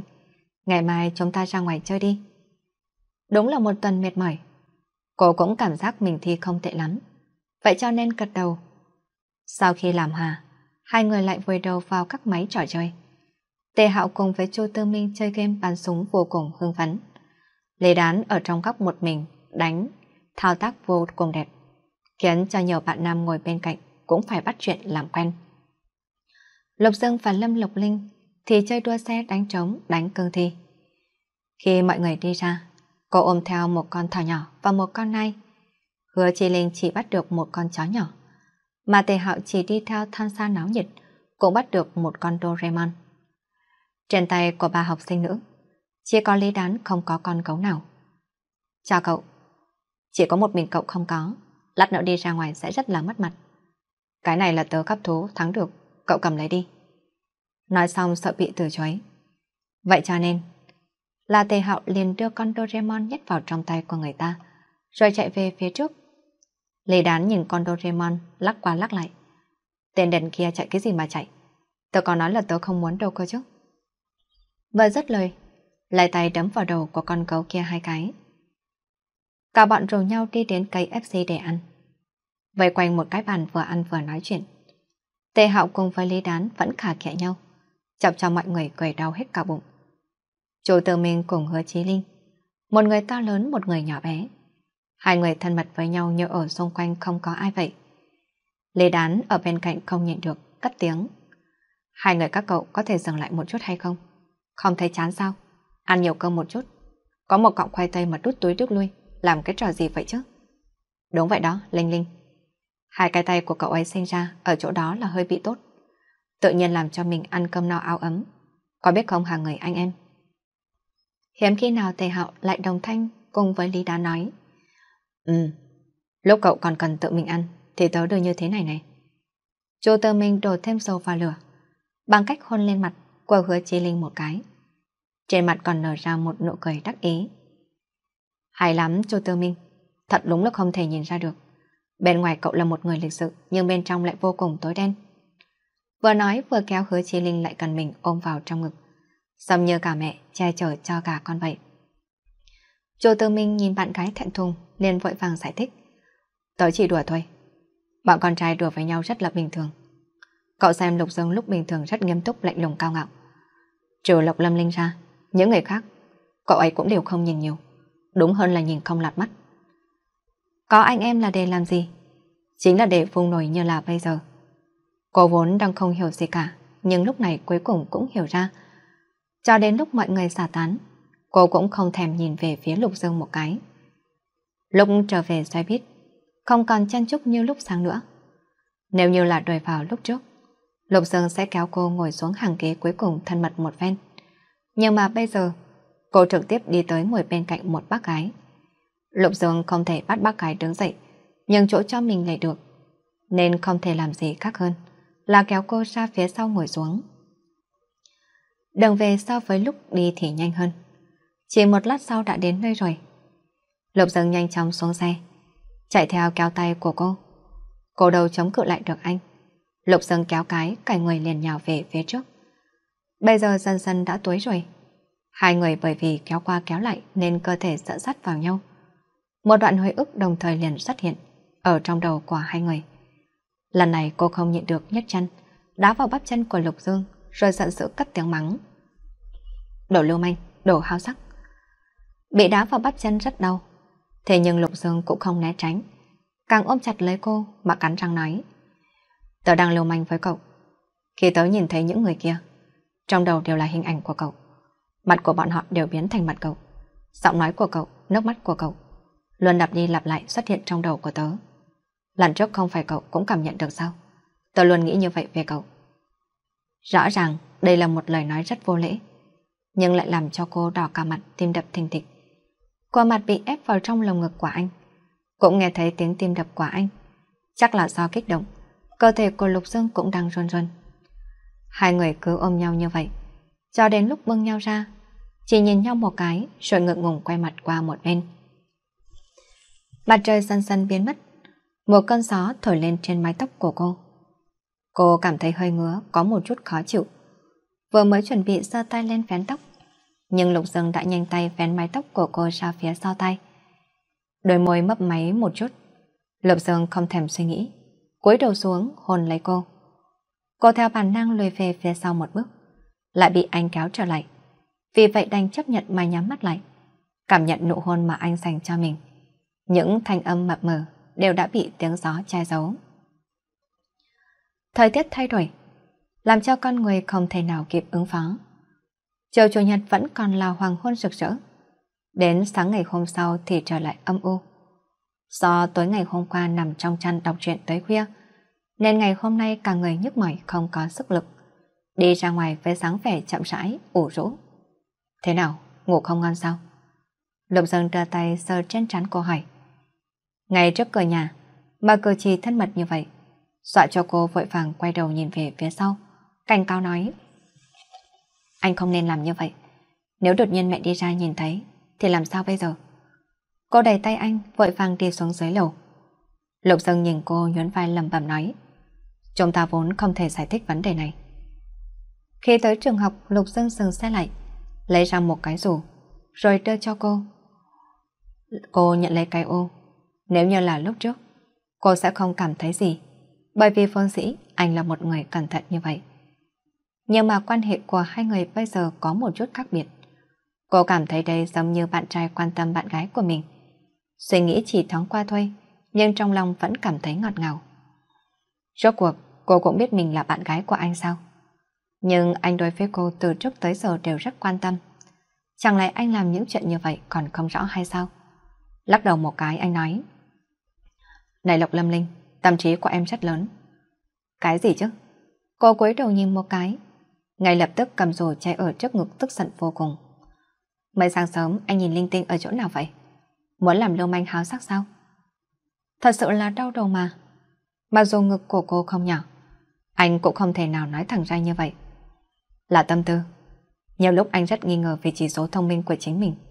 Thế bây giờ em có đi hay không hả? Phát hiện mình hiểu sai vấn đề. Cô lúng túng cười một tiếng, cất ô đi rồi ngồi lên chiếc xe đạp. Sau khi đi được một đoạn, cô luôn cảm thấy có chỗ nào đó không đúng. Bạn gái, tâm tư rất lớn, lại còn có chỉ số thông minh của anh. Những cái này có quan hệ gì? Lại nói, chính anh còn nghi ngờ về chỉ số thông minh của mình, thì hóa ra toàn trường đều là người ngu có phải hay không? Này Lục Dương, có phải anh đang ám chỉ bằng em ngu xuẩn? Anh mau dừng xe lại cho em. Nghe giọng nói ở phía sau lưng mình. Khóe miệng của Lục Dương hơi cong lên. Ở trong đầu nghĩ cô ấy còn không quá ngu. Nếu không thì cả đời này, chắc cô không thể nào phát hiện ra được ý đồ của mình khi mình quan tâm tới cô như vậy. Lúc đến trường thì trời đã đen thui như sắp tối. Mỗi một lớp học vừa xếp hàng ngay ngắn trong sân trường, thì trời lên đã đổ cơn mưa. Hiệu trưởng đang đứng trên sân, cầm lấy mic chuẩn bị đọc diễn văn, cũng bị giáo viên khác che mưa cho chạy vào bên trong. Mưa không hề nhỏ một chút nào. Toàn bộ giáo viên đều chạy đi trú mưa. Không biết có phải lối vào dãy phòng học bị trơn trượt, nên có người bị ngã. Lớp trọng điểm, đứng gần dãy phòng học nhất cũng chạy về phía phòng học nhanh nhất. Có người đứng hành lang lầu ba kêu lên. Ôi trời ơi, có người bị ngã, một đám người cũng ngã theo. Có người bị thương, rất nhiều người bị dẫm đạp lên. Lục Dương vốn đã về đến phòng học. Nghe thấy tiếng hô hoán, Lai cũng không để ý ở phía bên ngoài. Nhưng mà lúc này Tề Hạo lại xông vào hô to. Này Lục Dương, phía dưới xảy ra tình trạng dẫm đạp. Tôi nhìn thấy mấy người của Lâm Lộc Linh cũng ở trong đó. Loang xoang một tiếng, khi nhìn qua thấy cái bàn đã bị đụng lệch và có một người nhanh chóng lao ra khỏi cửa phòng học.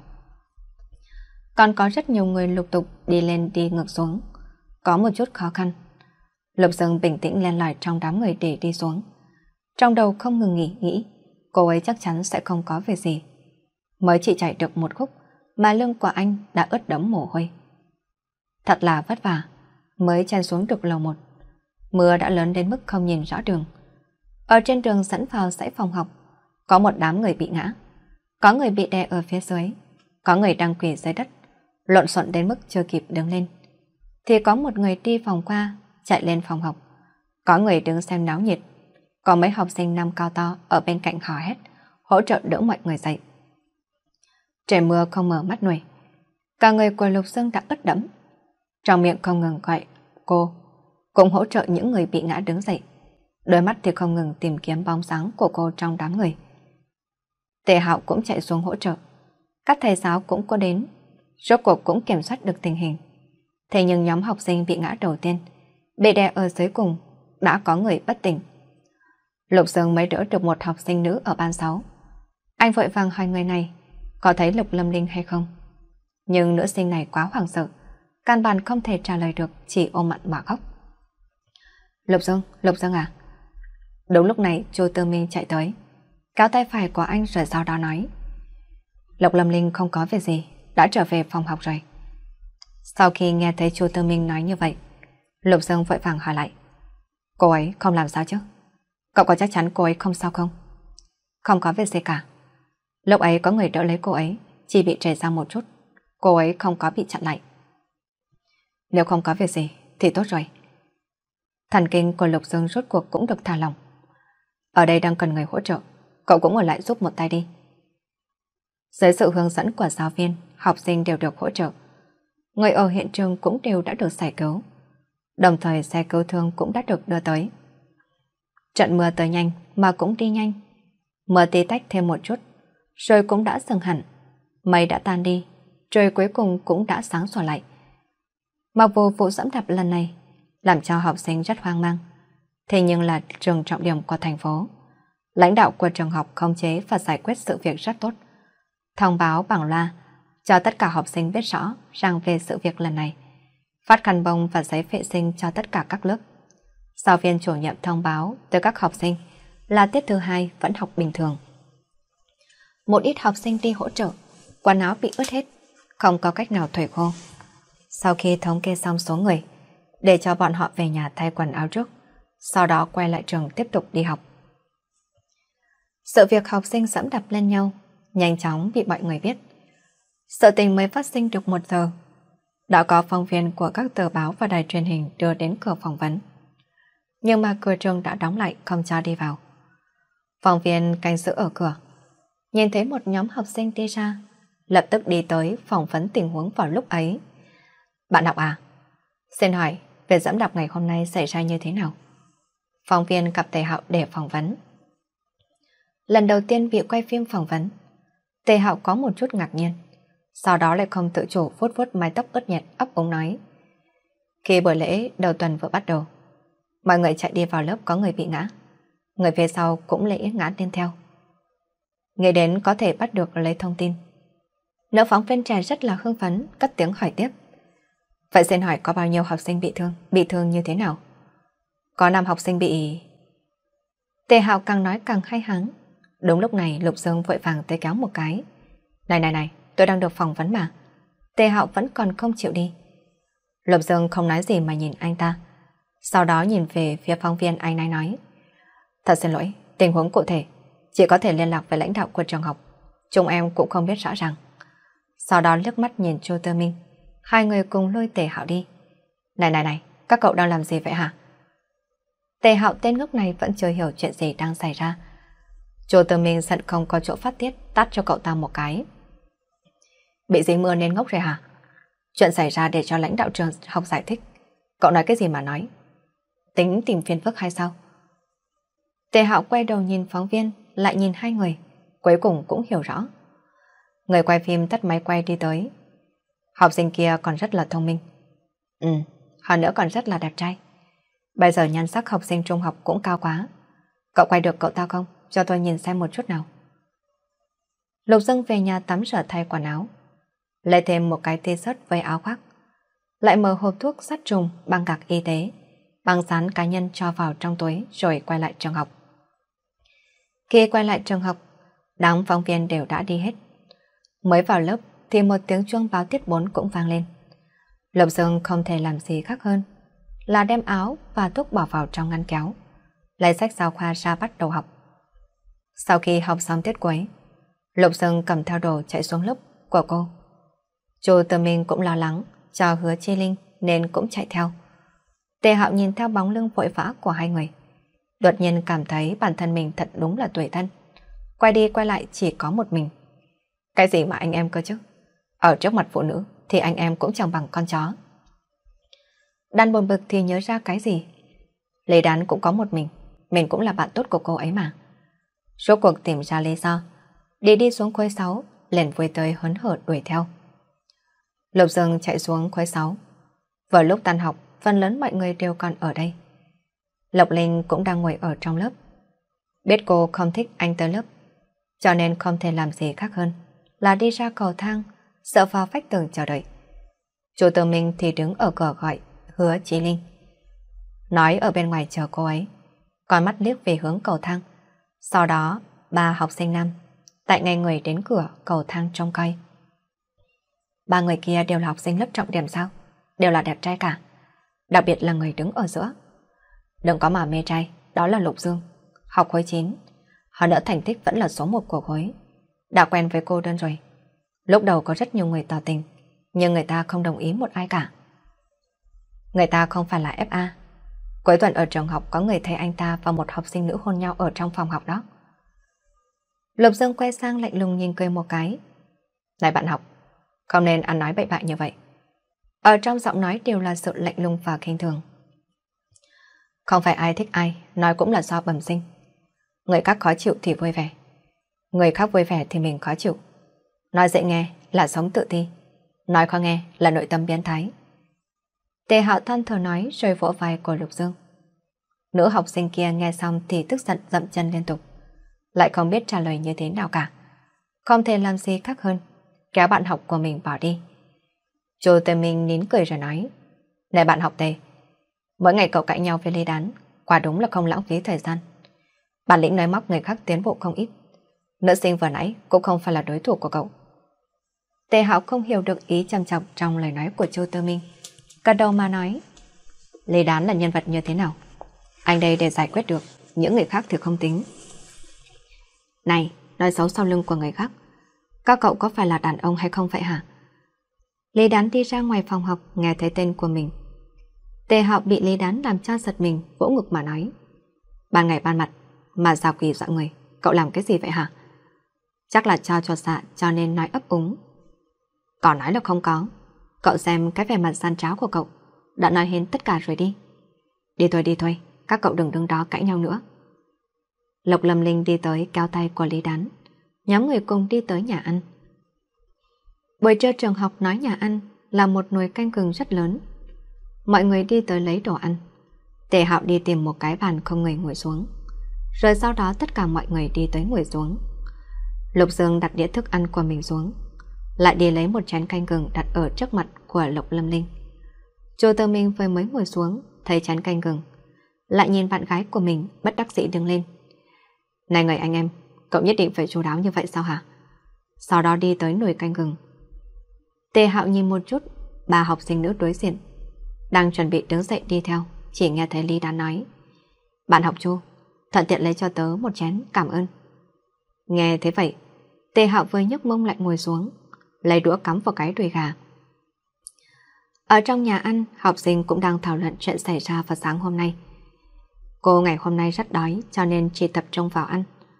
Lê Đán kể lại chuyện sáng nay là cả ba cùng chạy.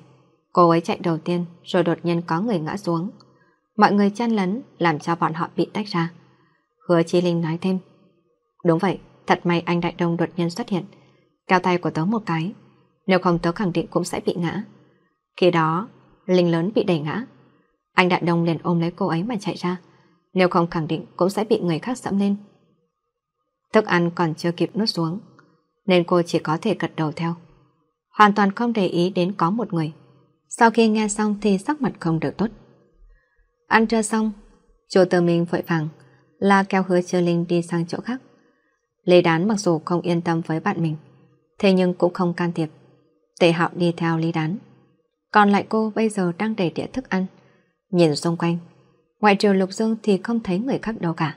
Nghi ngờ cất tiếng hỏi. Bọn họ đi đâu hết rồi chứ? Lục Dương cảm thấy cô là chẳng để ý gì cả.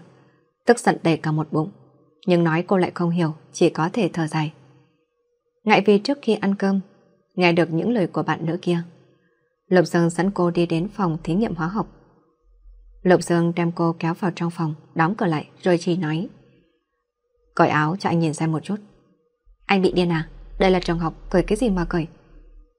Cô lấy tay che miệng của Lục Dương lại. Mà dù Lục Dương rất thích sáng vẻ đáng yêu của cô. Thế nhưng bịt miệng bịt mũi của anh như thế này, thì anh sẽ chết ngạt mắt.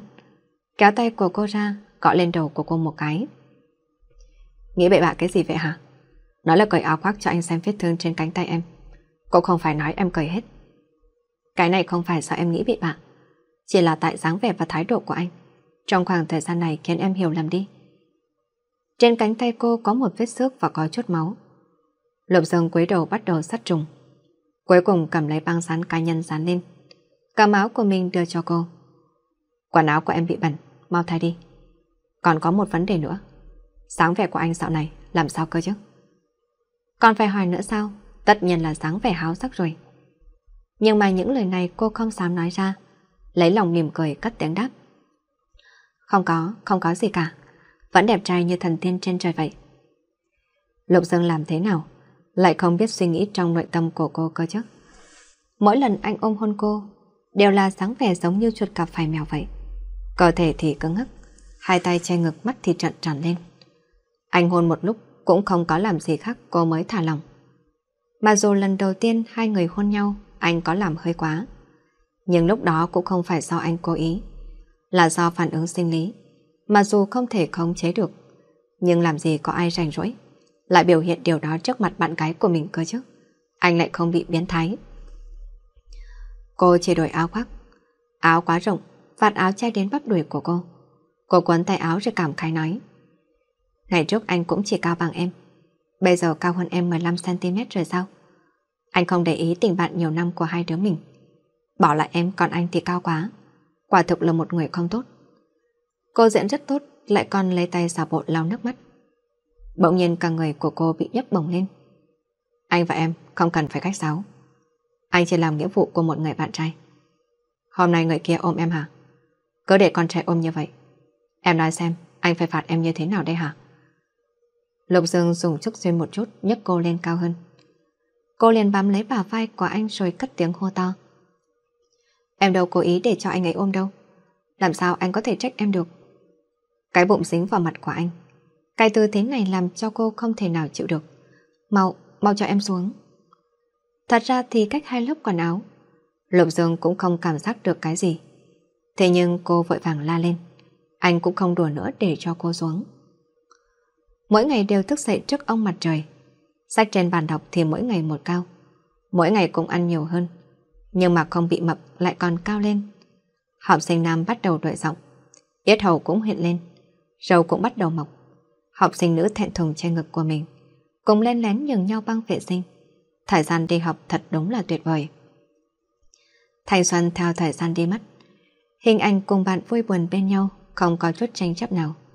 Những cái hôn ngượng ngùng, những cái ôm tràn đầy ấm áp vào mùa thu năm ấy.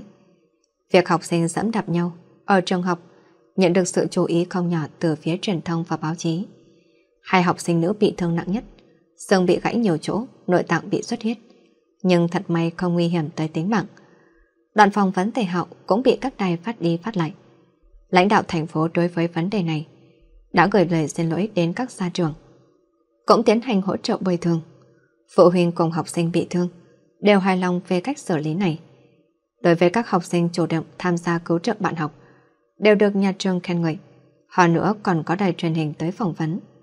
Hậu trường đã sắp xếp Lục Dương, đại biểu cho những học sinh được khen ngợi trả lời phỏng vấn. Phỏng vấn chính là lúc đang chuẩn bị vào học. Lục Dương cũng trả lời rất ngắn gọn.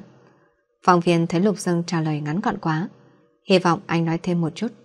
Nhưng Lục Dương nói đã đến giờ lên lớp nên từ chối. Lúc đó, vụ việc học sinh dẫm đạp nhau trên sân trường có một cái kết thúc. Ngày hôm sau, bởi vì cô không đến trường, nhìn bà Lâm gọi điện thoại xin phép giáo viên. Vừa mới tan học, Lục Dương liền đi thẳng đến bệnh viện. Tới cửa phòng bệnh, vừa chuẩn bị đẩy cửa. Lục Dương bất chợt nghe thấy âm thanh ngọt ngào của cô làm nũng vang lên. Bà, bà không biết con có chịu tới mức nào đâu. Vậy mà vẫn cố gắng lên lớp làm hết bài tập. Có phải con rất giỏi hay không chứ? Đúng đúng đúng, Linh Linh nhà chúng ta trưởng thành rồi. Con gái của bà hiểu chuyện hơn. Bà ở bên ngoài buôn ba cũng không thấy vất vả. Lục Dương tề cờ bước vào. Nhìn lướt qua cô đang làm nũng trong lòng của ba. Anh quấy người nói. Chào chào chú Lộc. Lộc Thành Quốc mỗi lần ở lại nhà đều không đến hai ngày. Hơn nữa, ông đi sống về muộn, rất lâu không gặp được anh. Ông quan sát đứa bé thuở nào. Bây giờ trở thành một chàng trai sắp cao bằng ông. Lục Dương lớn lên đã cao đến thế này rồi. Sau này nhất định là một chàng trai rất cao nha. Chú nghe dì Lâm nói, cháu là người phụ đạo Lâm Linh học. Chú và dì thật sự cảm ơn cháu. Ông đứng lên vỗ vai của Lục Dương. Lục Dương câu dơ vết, hơi nghiêng cơ thể, lễ phép trả lời. Sợ không có? Cũng bởi vì Lâm Linh bình thường học hành rất chăm chỉ, nên mới tiến bộ nhanh như vậy. Nếu chú về nhà xem, sẽ biết tình thường Lâm Linh học tập chăm chỉ như thế nào. Cô ấy muốn chú và dì Lâm cao hứng, tự hào vì cô ấy. Lời nói thì không có vấn đề gì, nhưng ông nghe ra được ý trách móc. Dù vậy, ông vẫn cảm thấy mấy đứa nhỏ mới lớn thì có suy nghĩ khác chứ. Vội nhìn về phía con gái, cười đầy yêu thương. Bà vẫn luôn tự hào về Linh Linh mà. Hai ngày này ở bệnh viện nghỉ ngơi cho tốt. Học thì học, nhưng cũng phải kết hợp với nghỉ ngơi. Đúng lúc này điện thoại di động vang lên. Ông nói xong lên ra ngoài nghe điện thoại. Lục Dương đi đến bên cạnh giường bệnh, xoa mua bàn tay của cô, bởi vì truyền nước biển mà bị sưng lên. Hôm nay đã khá hơn chưa? Tốt hơn nhiều rồi, đừng có sợ nữa, ngứa chết đi được. Tranh thủ nghỉ ngơi thật tốt, đợi tan học anh sẽ qua phụ đạo cho em. Sau khi nói xong, ánh mắt anh rơi vào bàn tay, từ từ chuyển sang xuống các ngón tay, vuốt ve từng ngón tay của cô.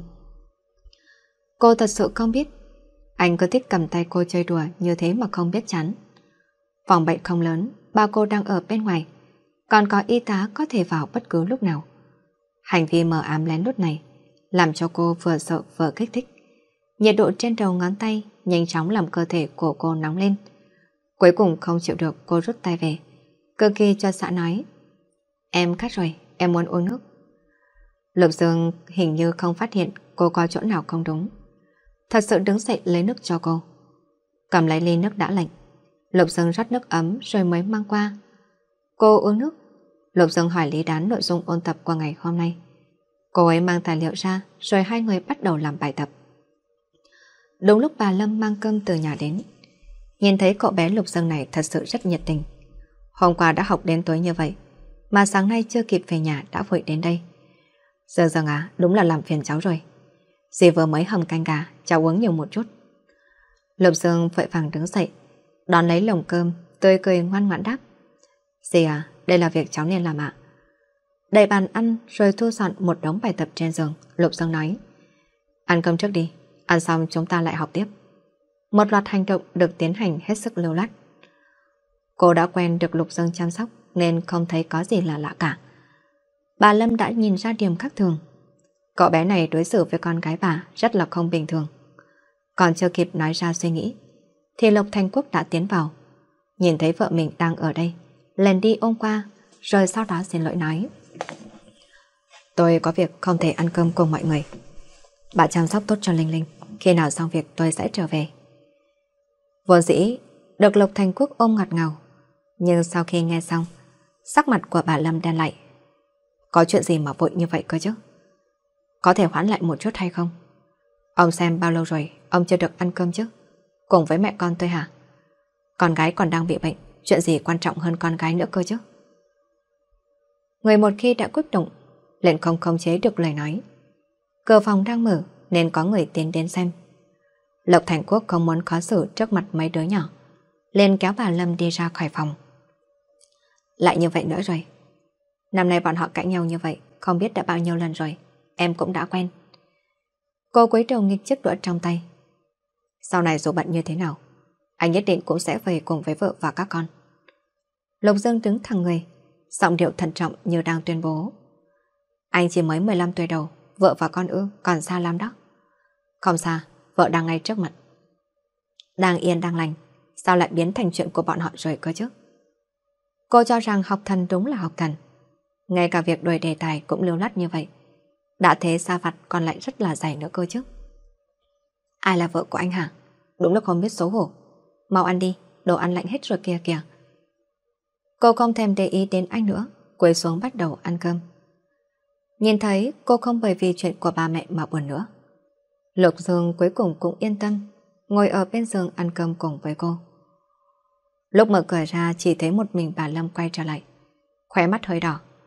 Bà bảo bọn hỏi ăn thêm rồi cầm ấm đi ra ngoài lấy nước. Cô ăn từng ngụm lớn nhưng trong đôi mắt tròn xe ánh lên hơi nước. Lục Dương vội vàng buông chén cơm xuống muốn ôm lấy cô nhưng trước mặt lại vướng một cái bàn. Cô vẫn nuốt cơm trong miệng nước mắt cũng rơi xuống khóc nức nở nói Lục Dương à em muốn về nhà em không còn suốt nữa. Không muốn làm mẹ buồn thêm. Cô đã cố gắng không chế nước mắt nhưng có lẽ sau cô nhẫn nhịn quá lâu nước mắt không ngừng rơi xuống. Mà Lục Dương ở bên cạnh, nhìn thấy vừa sát xa vừa căm hận. Anh hận sự yếu đuối của bản thân mình, cũng đau lòng cho người con gái mình yêu, lại càng căm giận sự phản bội của Lộc Thành Quốc. Anh không có cảm nhận được vai trò của người ba trong gia đình. Anh cũng không thể hiểu được tầm quan trọng của người ba trong lòng của một đứa trẻ. Bởi vì dù anh không có ba, nhưng vẫn lớn lên rất tốt. Chỉ đến khi lần đầu tiên nhìn thấy cô làm nũng trong lòng của ông. Anh mới biết được, người ba này, hai chữ tuy đơn giản, nhưng đại diện cho một người có thể dựa vào, có thể tùy hướng, có thể yêu thương và tin tưởng mình vô điều kiện. Cũng chính vì lẽ đó, mà sự phản bội do người mà mình tin tưởng nhất mang đến chính là nặng nề. Đêm đó, cô kiên quyết muốn xuất viện về nhà. Bà Lâm nhìn thấy con gái vẫn khóc, cũng chỉ có thể yên lặng lau nước mắt. Trên đường đi taxi về nhà, bởi vì đầu đông, ban đêm trong xe hơi mờ ảo. Lục Dương ngồi trên ghế phụ, qua kính chiếu hậu nhìn hai mẹ con nương tựa cúi đầu khóc nức nở. Nỗi buồn như vô bờ vô bến, đi xuyên qua đêm tối, khắc thật sâu vào trong lòng của anh. Đến ngày thứ ba, cô gần như đã hoàn toàn khỏi bệnh. Lục Dương phụ đạo cho cô hai ngày nay, nên kiến thức của cô không đi xuống một chút nào cả. Điểm thi giữa kỳ cũng tăng lên không ít. So với kỳ thi tháng trước tăng lên 5 hạng, tâm trạng của cô mới tốt lên một chút. Ban ngày càng ngày càng ngắn, ngày nào học sinh năm ba trung học cơ sở cũng đều đi học trước bình minh, đến trời tối vẫn chưa tan học. Tết cuối, Lý đán sầu não nằm ở trên bàn. Tớ mới có 15 tuổi, bọn họ muốn ép tớ học đến bạc trắng đầu, mới chịu hay sao cơ chứ? Cô xoa đầu của Lý đán nói, chắc là như vậy, cậu nhìn anh Đại Đông đi. Mới năm nhất trung học phổ thông, mà mỗi tối đều phải tham gia các lớp tự học. Đến năm ba trung học phổ thông, lại phải bù đầu vào tối thứ bảy. Chỉ như vậy thôi đã biết trung học phổ thông đáng sợ thế nào nào rồi. Nhưng mà tớ không muốn. ở cái trường trọng điểm trung học cơ sở số 1 thành phố quái quỷ này. Anh họ tớ đang học ở trường trung học cơ sở số 7. Tớ chưa từng nhìn thấy anh ấy phải đi học bù vào cuối tuần bao giờ. Nhất định, tớ sẽ không vào trường số 1. Tớ không muốn thanh xuân của tớ bị lãng phí tại đây đâu. Cô biết Lý Đán không phải là một người thích học tập. Cô ấy thích theo đuổi thần thường, chơi điện tử và đi du lịch cùng ba mẹ hơn. Tuy rằng không phải là chuyện tích cực gì cho lắm, nhưng cô ấy sống tự tại vui vẻ hơn cô rất nhiều. Cô hiện giờ ngoài học tập ra, thì vẫn là học tập. Sau này, nếu không có người bên cạnh cô, thì cuộc sống của cô chắc chắn chỉ còn lại sự nhàm chán. Nghĩ đến là cảm thấy khó khăn. Nếu cậu không đến trường số 1, vậy tớ phải làm sao đây? Cô không nhịn được mà quay đầu làm nũng với Lý Đán. Lý Đán thở dài đầy ẩn ý nói. Tuy tớ biết tớ rất hấp dẫn, nhưng dù sao, cậu của tớ cũng không phải là người tốt nhất. Cậu tốt nhất vẫn nên biết là hết lòng đi theo đại thần họ lục của cậu đi. Tớ cũng cần đi tìm opa hôn viên của tớ. Một khi tớ thành công quay về, nhất định sẽ đem theo bạch mã hoàng tử của tớ đến tìm cậu. Tụi tớ nhất định sẽ đẹp bẹp lục dân nhà cậu. Cô nghĩ thật sự không thể buôn vì lý đán nổi ba giây mà. Thật sự là quá mức đáng tiếc. Với vẻ ngoài đó, cô ấy có thể yên ổn là một nữ thần, lại cứ muốn đi làm diễn viên hài mới chịu. Bất giác đã đến Giáng sinh rồi. Những năm trước, Lục Dương lúc nào cũng nhận được một đấm thiệp và táo, nhưng anh chưa bao giờ mở chúng ra. Nhưng mà năm nay không giống vậy. Anh đã xác định quan hệ yêu đương cùng với cô, cho nên không muốn nhận táo như trước kia nữa. Từ một tuần trước, anh đã bắt đầu chuẩn bị quà Giáng sinh cho cô. Gần đây một buổi trưa, thường có giáo viên là ở tại trường trực, cho nên bọn họ sau khi ăn trưa xong, lên trở về phòng học. Hứa Chi Linh kéo ly đán và Lâm Lộc Linh, lại bàn bạc xem nên tặng cho Chu Tư Minh quà gì. Lê Đán đưa ra một loạt các ý kiến. Hứa Chi Linh nhìn qua Lâm Lộc Linh. Cô nghe xong ý kiến của hai người khác thì là nói Tặng cái thiệp hoặc táo gì đó là được rồi. Làm gì phải phiền phức như vậy cơ chứ? Cùng lắm thì ra cửa hàng trước cổng xem thử. Nhất định sẽ có cái gì đó để mà chọn đi. Vậy nên cậu tính viết một cái thiệp hay tặng một quả táo cho đại thần họ lục của cậu thôi sao? Hứa Chí Linh không nói nên lời mà nhìn về phía cô.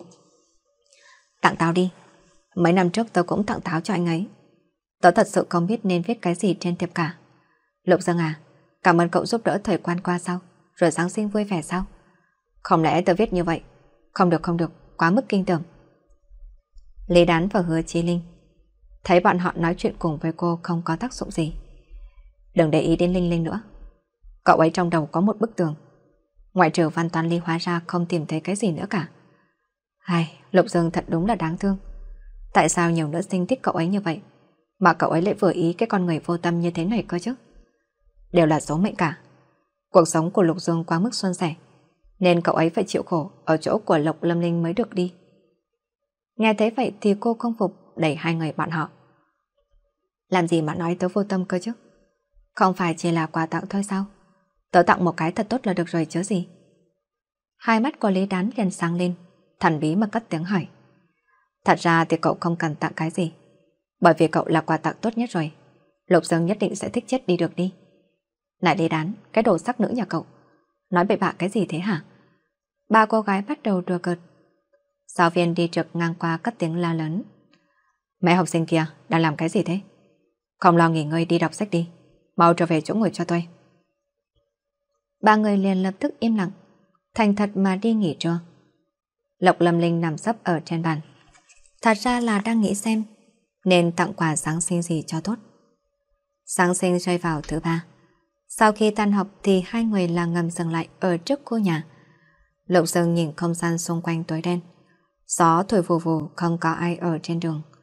Anh nắm tay của cô, sâu dưới lớp áo bông. Hai người bước đến vườn hoa của cô nhà. Nãy giờ cặp của cô cứ phình lên. Bên trong những chiếc bánh ngọt nhỏ nhỏ anh đã làm vào lúc ra ngoài giữa trưa. Bánh kem màu trắng, trang trí một trái sâu tây bên trên. Ở giữa có hình trái tim cực lớn Thời gian cấp cấp, lại thêm anh là con trai, nên loại chuyện thủ công này vẫn làm khá thô. Tuần này mỗi buổi trưa, Lục Dương đều đến tiệm bánh để luyện tập. Buổi trưa ngày hôm nay mới được xem là tương đối gọn gàng. Tuy rằng bánh kem không quá đẹp, Nhưng cô vẫn thật sự vô cùng kinh ngạc. Vốn tưởng rằng bản thân cô đã rất tốn công. Không ngờ anh lại lén lén lút lút chuẩn bị nhiều như vậy. Chẳng chắc mấy ngày hôm nay, anh thường bỏ bữa trưa mà chạy đi mất. Cô lấy tay quệt một chút kem đưa lên miệng. Hương vị ngọt ngào lan tỏa, xây ấm cõi lòng của cô. Lục Dương muốn thắp một ngọn nến, nhưng bởi vì gió quá lớn, ngọn nến nhỏ vừa thắp lên đã vụt tắt. Hiếm khi thấy được biểu cảm khó chịu của Lục Dương, nên cô không nhịn được, mà vân tay nhéo mặt của anh. Quả nhân ra mặt so với cô còn mềm mại hơn. Ngày hôm nay, anh chắc chắn nhận được rất là nhiều quà. Nhưng bàn nãy khi mở cặp ra, cô chỉ nhìn thấy mỗi sách cùng với bánh ngọt cho cô. Thật đúng, khó trách bọn Lý Đán và Hứa Chi Linh luôn nói rằng cô tốt số. Cô thật sự là may mắn biết bao, mới có thể làm hàng xóm cùng với Lục Dương, để rồi nhận được sự quan tâm và yêu thương của anh trước tất cả mọi người. Chàng trai cuối cùng thành công, thắp lên ngọn nến, cắm vào chiếc bánh ngọt, cẩn thận chắn gió rồi đưa đến trước mặt cho cô. Anh nến in vào đôi mắt anh, ngọt ngào giống như chưa nước trái cây. Miệng của anh cười dịu dàng, trên miên lại rõ ràng nói. Lục Lâm Linh, Giáng sinh vui vẻ. Cô ngây ngẩn cả người. Trong lòng cô cô có vô số bong bóng nhỏ nổ lung tung. Cô thổi nến, cúi đầu cắn một chút bánh, tay bám vào vai của Lục Dương, rồi kiễng chân, đỡ đôi môi ngọt ngào chạm lên môi anh.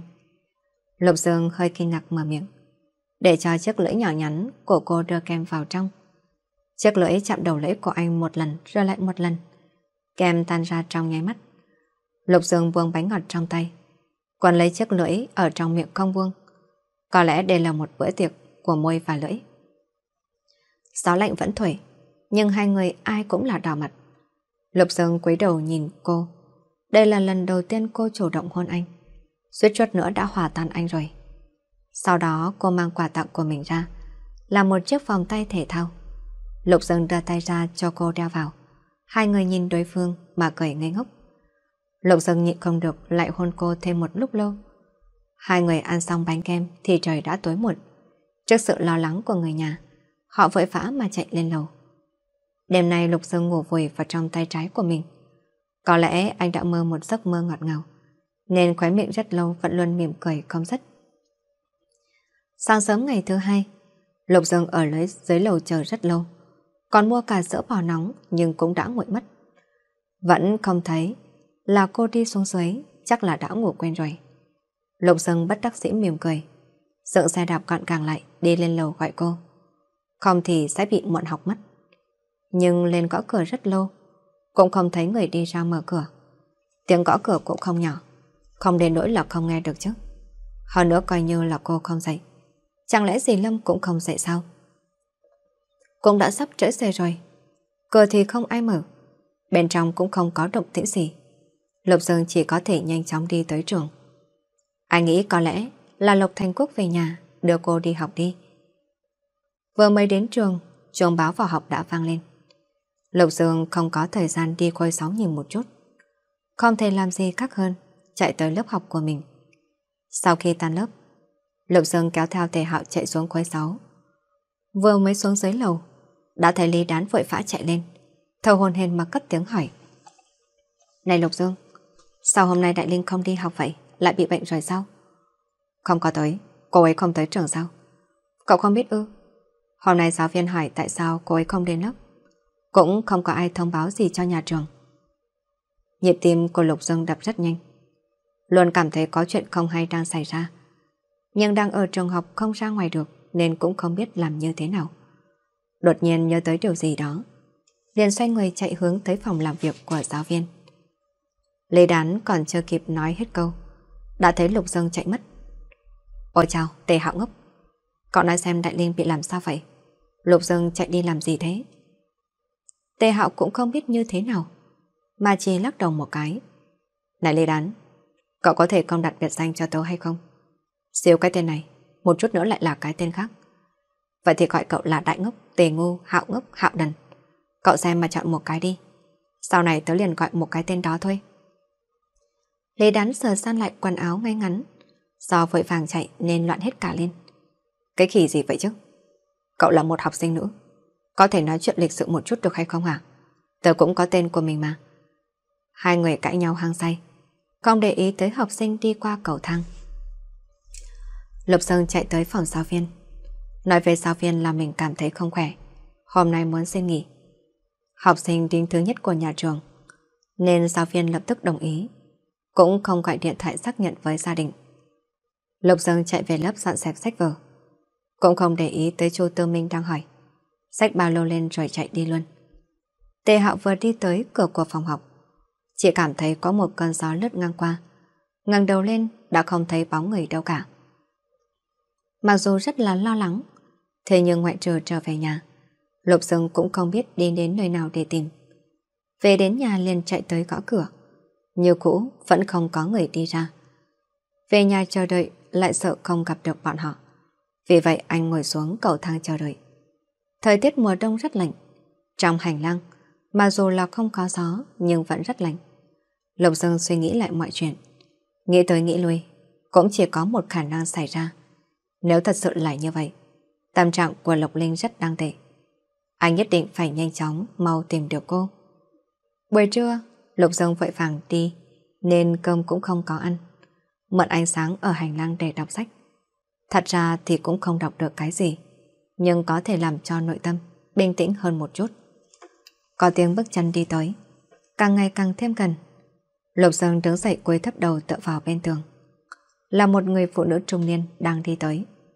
Lục Dương nhìn thấy bà ấy đi đến cửa nhà của cô, lấy chìa khóa ra mở cửa. Thì anh liền vội vàng chạy tới cất tiếng hỏi. Dì à, cháu là hàng xóm nhà bên cạnh, cũng là bạn học của Lộc Lâm Linh. Xin hỏi gì sao hôm nay cô ấy không đi học ạ? Lục Dương mặc đồng phục học sinh.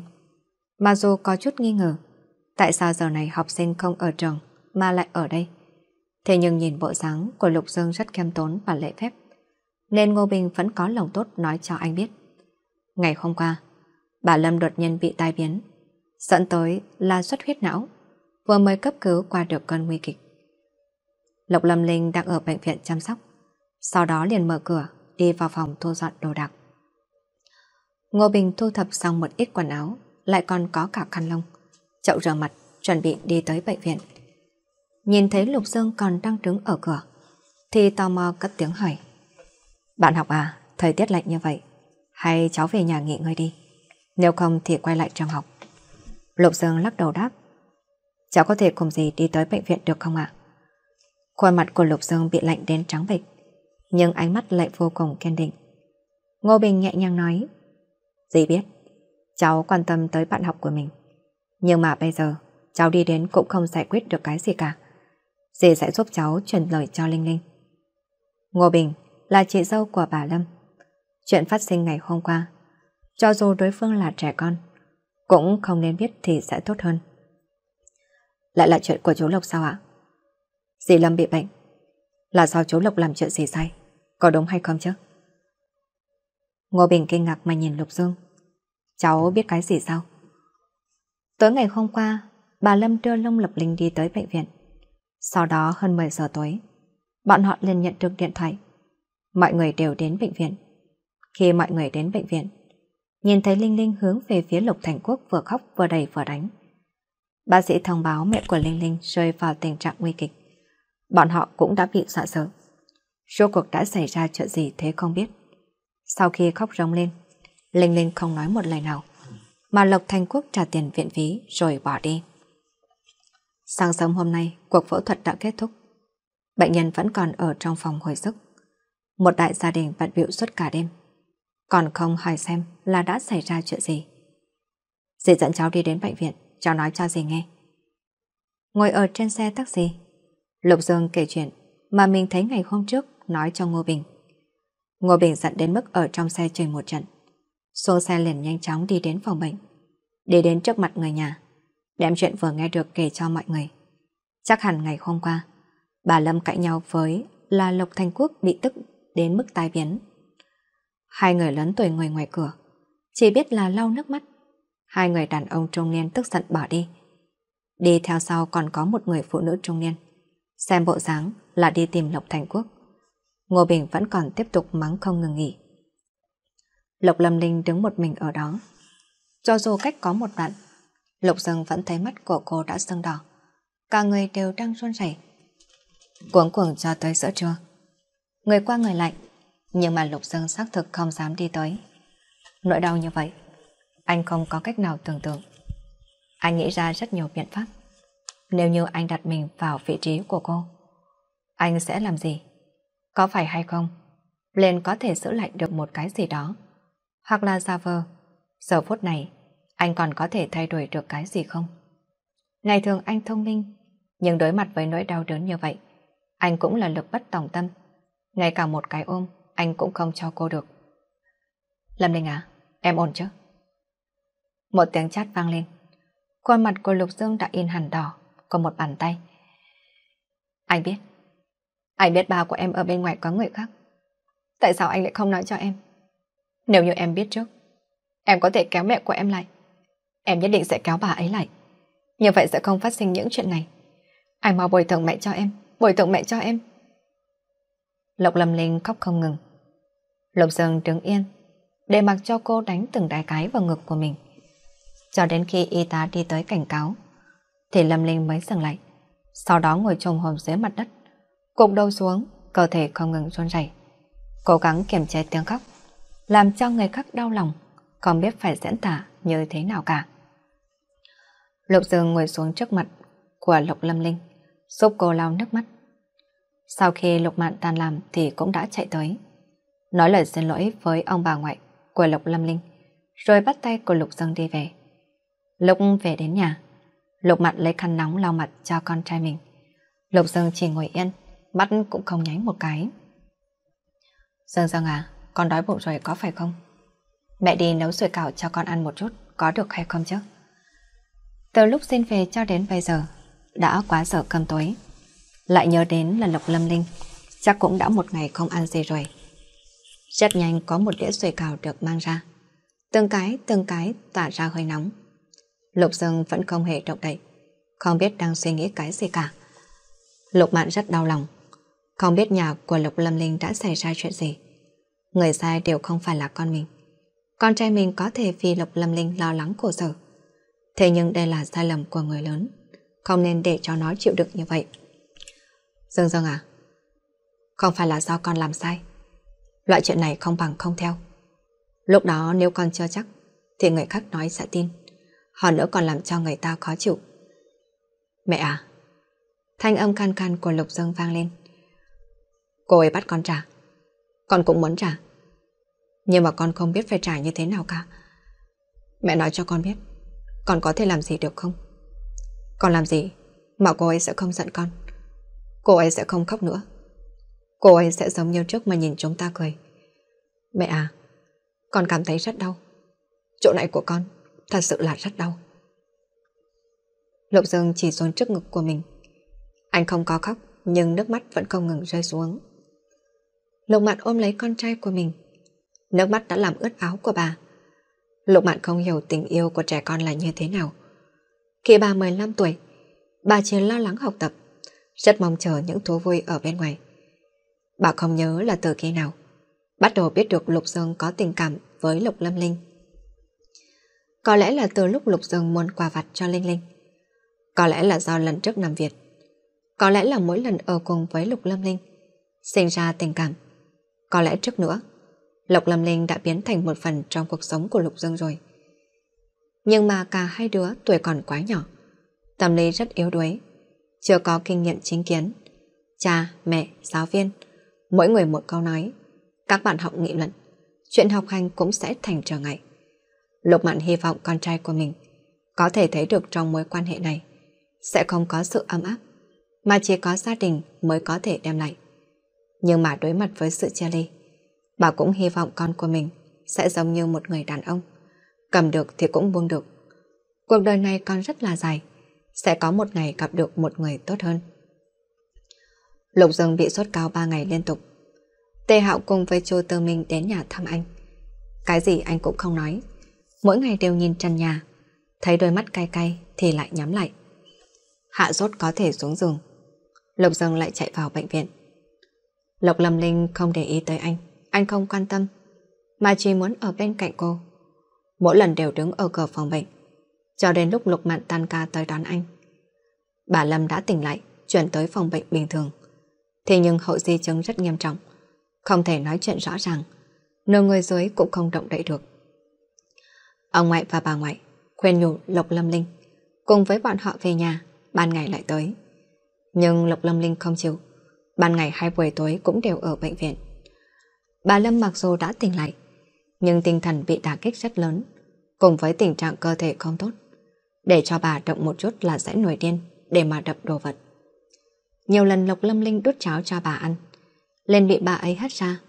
Chào nắng văng đầy quần áo và tay của cô. Cô dọn dẹp sạch sẽ, lại lấy một chén cháo mới, ăn ủi mẹ ăn tiếp. Hai mẹ con cố kìm nước mắt, lặng lẽ, người đút người ăn. Lục Dương canh lúc, Lộc Lâm Linh đi ra ngoài rửa chén, sẽ lấy khăn giấy lau sạch sẽ tay cô. Sau đó cẩn thận từng ly từng tí bôi thuốc lên, véo đắp lên từ, đem giật cao thả vào trong túi áo khoác của Lộc Lâm Linh, rồi bắt đầu rửa chén. Một chút cháo trắng thật ra thì rửa rất nhanh, nhưng Lục Dương miễn cưỡng rửa hơn 10 phút, có thể ở bên cạnh cô lâu hơn một chút.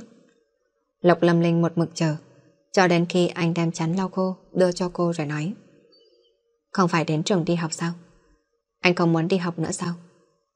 Lục Dương không nói gì, chỉ cầm chén đưa tới, đi theo cô trở lại phòng bệnh nhưng không có đi vào. Lộc Lâm Linh không để ý tới anh, trực tiếp đóng cửa lại. Lục Dương mỗi ngày đều đi đến bệnh viện. Lục Mạn khuyên mấy lần không có tác dụng gì cả. Lục Dương không trả lời một câu nào. Thời gian trôi qua lâu, thầy cô giáo bắt đầu nghi ngờ. Giáo viên chủ nhiệm lớp trọng điểm, còn tới tận nhà hỏi thăm. Lộc Lâm Linh cũng vậy. Từ từ lời đồn đãi ở trong trường học liền truyền ra. Càng thiếu niên thì càng không biết, gì mà càng tổn thương người. Chuyện nhà của Lộc Lâm Linh bị mọi người biết được. Hành vi di tình của Lục Dương càng làm cho Lộc Lâm Linh trở thành tâm điểm của mọi ánh mắt. Lý Đán cùng với Hứa Chí Linh vì vậy mà cùng với những người khác cãi nhau rất nhiều lần. Thỉnh thoảng tan học, các cô cũng sẽ đến bệnh viện gặp Lộc Long Linh. Không tới hai tuần lễ, thì Lộc Lâm Linh đã gầy đi rất nhiều. Cảm giác như cô có thể ngã xuống bất cứ lúc nào vậy. Bác sĩ nói, tình trạng của bà Lâm chỉ là tạm thời mà thôi. Chỉ cần là phối hợp điều trị, tập luyện vẫn có thể khôi phục lại bình thường như trước. Kết quả như vậy, rốt cuộc cũng làm cho mọi người có thể yên tâm một chút. Được mọi người khuyên nhủ, Lộc Lâm Linh đồng ý đi học trở lại. Hai tuần lễ không đi học, Lộc Lâm Linh đến phòng của giáo viên để làm giấy phép. Hơn nữa còn nói lời xin lỗi và cảm ơn với giáo viên. Giáo viên biết nhà cô xảy ra chuyện, vậy cho nên cũng khích lệ mấy câu, rồi cho cô trở về phòng học. Liên quan tới những lời đồn ở trong trường, khi Lê Đán tới bệnh viện đều kể cho cô nghe một ít. Thấy các bạn học là thì thầm to nhỏ, thỉnh thoảng nhìn cô với ánh mắt đáng thương khinh bỉ, khinh thường giễu cợt, lại ánh mắt nào cũng đều có cả. Trải qua việc cha mẹ của mình tranh cãi với nhau, nhìn bao của mình che chở cho một người phụ nữ khác, bỏ mặc hai mẹ con mình. Cô cảm thấy trên thế giới này không có việc gì đáng sợ hơn việc đó cả. Lật xem lại lịch, đã thấy chuẩn bị đến Tết Nguyên đán rồi. Thời gian trôi qua thật là quá nhanh. Tết Nguyên đán năm ngoái, cô cùng với Lục Dương đi theo hai người mẹ tới trung tâm thương mại mua đồ. Cuối cùng một mình Lục Dương phải xách 10 cái túi. Hai người mẹ đi dạo đến tận hứng, mà cô thì được ăn đến vô cùng thả thích. Năm ngoái cả nhà bọn họ đi đến Hồng Kông chơi. Ở Disneyland, cô nhìn thấy công chúa Bạch Tuyết vịt Donald cùng với Mickey. Những kỷ niệm năm ngoái rất là đẹp. Đẹp đến mức khiến cho cô hoài nghi. Có phải nó là thật nữa hay không? Cô đi đi học lại. Lục Dương cũng đi học lại. Lớp trọng điểm cũng ồn ào một trận. Thế nhưng học sinh chỉ có ngưỡng mộ và can tị. Lục Dương biết lúc này tìm Lục Lung Linh là không thích hợp. Chịu khó nhịn đến lúc tan học, đợi cô ở trường học, rồi lại đi theo cô tới bệnh viện. Trường học đi tới bệnh viện thì cần phải đi xoay buýt. Lục Dương đều đứng gần với cô, nhưng vẫn có một khoảng cách. Sau khi lên xe, là vào giờ trọng điểm. Lục Dương đứng ở phía sau lưng của cô che chở cho cô. Người càng ngày càng nhiều, hai người bị kẹp ở trong đám người. Cô vẫn một mực quấy đầu, thế nhưng cô vẫn có thể cảm giác được Lục Dương vẫn đang nhìn cô. Trong khoảng thời gian này, anh luôn đi theo sau cô. Hành như vậy vậy, sẽ để cho phụ huynh giáo viên và học sinh nghi ngờ. Cô đều biết, mặc dù cô từ chối rồi, nhưng trong nội tâm, cô biết anh vẫn luôn ở phía sau lưng cô. Chỉ cần cô xoay người, chỉ cần cô mở cửa, vậy thì anh nhất định sẽ đứng ở đó chờ. Cô biết tất cả mọi chuyện xảy ra đều không phải do anh. Nhưng nếu như anh nói chuyện của ba cô cho cô biết trước, cô cũng sẽ không tin. Còn có thể cãi nhau với anh. Nhưng khi đó cô không thể chịu đựng được.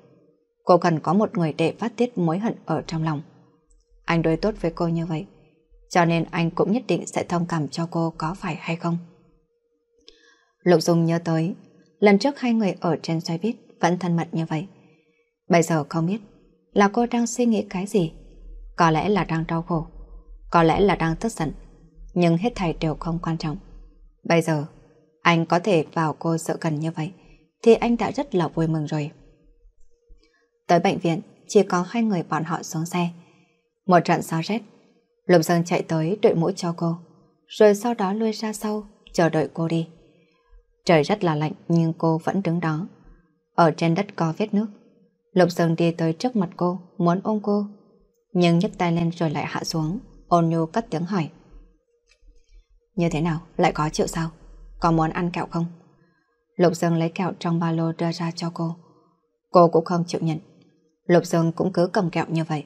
Gió thổi làm tay của anh lạnh đến mức đỏ bừng. Em đói bụng, em muốn ăn khoai nướng. Bàn tay bên trong áo khoác lộ ra. Chị quay bắn trong cách đó không xa. Lục Dương không nhịn được mỉm cười một cái. Sau đó chạy thật nhanh tới quầy hàng, rồi đem một bịch khoai lang nóng hổi chạy tới đây. Nóng, anh thổi cho em một chút đi. Một giọng nói buồn bực vang lên, rồi xoay người đi về phía trước. Lục Dương không cảm thấy nóng một chút nào cả, nhưng lại cảm thấy trong lòng vô cùng ấm áp. Cô đem khoai nướng chia thành hai nửa, đưa cho Lục Dương một hạng nửa. Hai người ngồi trong khu nội trú ăn khoai. Mùi thơm tràn ngập toàn bộ đại sảnh. Sau khi ăn xong, Lục Dương lấy khăn giấy lau tay cho cô. Vứt bỏ rác, hai người cùng đi lên lầu. Lục Dương sợ bà Lâm khó chịu, vẫn chỉ đứng ở cửa. Nhưng mà chưa đi đến cửa, đã nghe thấy trong phòng bệnh truyền lại tiếng cãi nhau. lộc Lâm Linh vội vàng đẩy cửa tiến vào. Trong nháy mắt, Lục Dương chạy tới từ phía sau, kéo cô vào trong ngực che chắn cho cô. Khi phục hồi tinh thần lại, Lục Dương chỉ cảm thấy cổ mình rất rát. Rất may là lúc này là mùa đông, cho nên mặc đồ rất dày. Quần áo có đủ, ướt đẫm. Trên cổ còn đỏ một mảng lớn, nhưng những chỗ khác thì không sao. lộc Lâm Linh dặn anh đi bôi thuốc. Bác sĩ nói sẽ không để lại dẹo. Hai người mới về phòng bệnh. Bên ngoài trời mưa rất lớn, trời đã đen như là buổi tối. Cả ngày nay, tim cô cô đều đập rất nhanh. Sau khi học xong, năm người ngay lập tức chạy tới nhà của Lục Dương. Trong nhà không có ai. Mấy người bọn họ chờ đến trời tối vẫn không có người nào trở về. Cho dù là truyền trường, cũng phải về nhà chứ. Bọn họ không nghĩ ra được nguyên nhân nào cả. Trời đã rất tối nên mọi người phải đi về nhà. Ngày hôm nay, Lộc Lâm Linh cảm thấy tâm trạng không được tốt. Luôn luôn cảm thấy có chuyện gì đó rất bất an. Lục Sơn sẽ đi nơi nào đây? Nhất định anh đã xảy ra chuyện gì đó. Đi tìm Lục Mặn. Dì Lục nhất định là biết. Vì vậy cô vội vàng chạy tới bệnh viện. Mẹ biết phương thức liên lạc của dì Lục. Vừa mới chạy lên tầng, có phòng bệnh của mẹ. Cô đã thấy trước cửa phòng bệnh, mẹ của cô với mấy một đám người. Trong phòng bệnh truyền đến tiếng khóc tỉ tê. Cô dừng lại, trong nội tâm không ngừng gọi mẹ. Cô chạy đến phòng bệnh. Cô nhìn thấy có một con dao đâm vào trái tim của mẹ mình. Dòng máu đỏ không ngừng chảy ra từ vết thương. Một cái tắt rơi xuống trên mặt của cô. Lâm Linh, cháu chạy đi đâu hả? Sao cháu không trở lại sớm một chút? Sao cháu không về sớm hơn một chút hả? Cháu xem đi, mẹ cháu chết rồi, mẹ cháu không còn nữa. Ở bên ngoài sáng chấp đánh đùng đùng. Mưa rất là to, lại bị ướt rồi lại bị lạnh. Kể từ ngày đó, Lộc Lâm Linh, mẹ của cô không còn nữa. Sau này cô không có mẹ. Rỗi một tay ra khỏi chăn bông. Vừa vươn khều tay rồi lại ruột trở lại, cảm giác thật là lạnh lẽo. Sau khi vận lột ở trong chăn thêm 10 phút, cô rời khỏi giường với vẻ mặt cô dở. Cô mặc vội chiếc áo len và áo khoác trần bông. chỉ thiếu chút là lấy chiếc khăn quàng trên cổ đeo vào. Cô đi vào nhà vệ sinh rửa mặt. Căn nhà được Lâm Lệ Bình mua cho cô khi cô trở về Trung Quốc vài năm trước. Đó là một căn phòng ngủ rộng khoảng 50 mét vuông ở đường vành đai 4. Khi đó chỉ hơn 100 tệ. Lâm Lệ Bình đổi từ đô la sang nhân dân tệ, rồi mua một cách nhanh chóng. Chờ đây hai tháng sau đó, Lộc Lâm Linh quyết định là trở về Trung Quốc, nên mới là không cho thuê nữa, mà sờ sang lại để cho cô ở. Công ty truyền thông mới mà cô đang làm việc, nằm trong top 3 công ty hàng đầu cả nước. Mở xuân năm đó cô đổi tên, cùng với dì lên máy bay, đi đến California. Lúc máy bay cất cánh, dì cô ôm cô vào trong lòng nói với cô rằng hãy quen đi mọi thứ, quen hết tất cả mọi thứ ở đây. Cuộc đời vẫn còn dài, bọn họ cùng nhau bắt đầu lại. Tổng giám đốc Lục còn trẻ có triển vọng. Ba của cậu thật đúng là có phúc. Hy vọng lần này chúng ta hợp tác vui vẻ. Lục Dương uống cạn sạch. Sau khi nói với một chút tinh thần cuối cùng, thì anh bắt đầu nôn khi lên xe. Cậu thật đúng là, sao cứ nhận rượu của ông ta liên tục làm gì? Loại cá già này ở công ty đã uống hơn 10 năm. Cậu mới vào có mấy năm, lại muốn liều mạng với ông ta. Cậu không muốn sống nữa rồi sao hả? Đã nói cậu nên để phải cô thư ký xinh đẹp ở bên cạnh tiếp rượu. Loại trường hợp như vậy, chỉ cần cậu để ý là đã được rồi đi. Lăng Phong ngày hôm nay bị Lục Sơn kéo đi cùng. Anh ta cũng phải uống không ít, nhưng so với anh còn tốt hơn. Nửa năm trước vừa mới nhập viện bởi vì bệnh dạ dày, bây giờ lại tự hành hạ như thế này. Thật sự không thể nào tin được. Nhà họ triệu lớn như vậy lại muốn anh bán mặc như vậy hay sao? Sau khi Lục Dương luôn xong, cuối cùng cũng cảm thấy thoải mái hơn. Thư ký lâu năng lấy túi rác rồi đưa thuốc dạ dày và trà giải rượu mà anh ta đã chuẩn bị. Lục Dương uống thuốc bằng trà. Tiểu Lưu còn muốn thuyết phục anh, nhưng Lăng Phong đã cầm lấy trà, rồi uống một hơi cạn sạch sau đó trêu chọc. Này anh Lưu, tầm giám đốc Lục lúc nhỏ luôn có ý định là chết vì sự nghiệp, nên không cần lo lắng cho cậu ấy đâu. Lục Dương nhắm mắt lại, anh không còn nghe được là mọi người đang nói cái gì. Trong lúc bàng hoàng, bóng sáng của một cô gái trẻ buộc tóc đuôi ngựa xinh xắn, đong đưa về phía trước. Anh muốn gọi cô, nhưng lại không thành tiếng. Chỉ có thể nhìn mọi người đi càng lúc càng xa, cuối cùng chẳng thấy gì cả. Khi mở mắt ra thì trần nhà xám xịt, căn phòng yên tĩnh. Chỉ còn làn gió nhẹ nhàng của máy điều hòa đang thổi tới. Nhớ lại chuyện phòng rượu ngày hôm qua. Có lẽ đối phương đã rất vui vẻ. Lúc sướng sừng thân thể có một chút trôn lên. Anh cũng đã quen với căn đau đầu sau khi say rượu. Nhưng không chịu nổi thân thể đầy mùi rượu này. Cho nên Lục Dương đi vào phòng tắm. Quen đi. Quá khứ, quá khứ đau khổ qua rồi. quên đi cũng được. Chỉ cần một mình anh nhớ là được rồi. Mọi thứ cứ để một mình anh nhớ thật kỹ. Sau một tuần, hệ thống sưởi cuối cùng cũng đến. Nhưng Lục Lâm Linh vẫn không thoát khỏi căn bệnh cảm cúm. Dù sao vẫn trong thời gian thực tập, không thích hợp để nghỉ phép, cho nên cô nhất định phải đến bệnh viện khám vào thứ bảy. Bệnh viện quân đội là bệnh viện cần cô nhất. Cô đăng ký khám bệnh trên mạng, rồi đúng thời gian mà đến là được. Cô nhớ khi còn ở cấp 3, trường có sự kiện lễ hội, nên cô đã dầm mưa cả ngày. Qua hôm sau cô bị viêm phổi. Đến bệnh viện tạm thời không nhận được số. Sau đó vất vả lắm mới có thể nhập viện. Chi phí lại khiến cho cô sợ tới nỗi là sau này không dám ngã bệnh nữa. Nước Mỹ chính là nơi ai cũng khao khát tự do. Nhưng theo quan điểm của cô, ngoại trừ môi trường thật sự tốt, mọi thứ khác đều không tốt. Khi đi siêu thị, cô phải mua đồ ăn trong một hai tuần. Khi đi ăn thì phải ăn hamburger hoặc thịt bò. Vào đại học, học phí một năm đắt hơn 4 năm ở Trung Quốc. Cắt tóc đi khám bệnh, mua sách đều là tiêu dùng xa xỉ. Lâm Lệ Bình ra nước ngoài từ sớm, nên đã hòa nhập rất tốt. Cuối cùng cũng có thể nuôi nổi cô. Nhưng Lục Lâm Linh cảm thấy mình nợ gì rất nhiều. Từ công ty về đến nhà, đi hai trạm xe buýt là tới. Cô còn muốn khi thời tiết mát mẻ, cô sẽ đạp xe đi làm, khẳng định sẽ rất là thoải mái. Số xe đi vào trong khu nhà, bởi vì trời tối nên đường cũng không có ai. Cô thấy mấy ngày nay luôn cảm thấy bất an nên nhanh chân đi về phía trước. Có tiếng bước chân đi ở phía sau. Cô không dám quay đầu lại. Mắt nhìn thấy bảo vệ ở phía xa. Thì bỗng nhiên có một cánh tay đặt ở trên bả vai của cô. Cả người của cô bị ôm chặt. Cô chỉ có thể động một tay, lấy sức để mà lấy túi sách đập về phía trước. Có một tiếng đàn ông kêu lên. Anh là Lục Dương. Lục Lâm Ninh, anh là Lục Dương. Sau đó, có cần đuổi giày không? Trong nhà không có dép đi, anh cứ đi như vậy vào cũng được. Không có việc gì cả, anh không cần dép cũng được. Lục Lâm Linh rót cho Lục Dương một cốc nước. Sau đó vội vàng đem quần áo đang để bừa bộn nhét vào trong tủ. Lục Dương nhìn cô chạy tới chạy lui trong căn phòng nhỏ. Cảm thấy thật là đẹp, giống như là một giấc mơ vậy. Anh phéo vào mô bàn tay của mình. Thật sự rất là đau. Xem ra tất cả mọi thứ đều là sự thật. Bây giờ cô ấy đang ở trước mặt của anh. Cô quay đầu lại, nhìn thấy Lục Dương đang cười ngây ngô. Căn phòng chỉ có một cái ghế nên nhường cho anh. Cô chỉ có thể ngồi ở trên giường.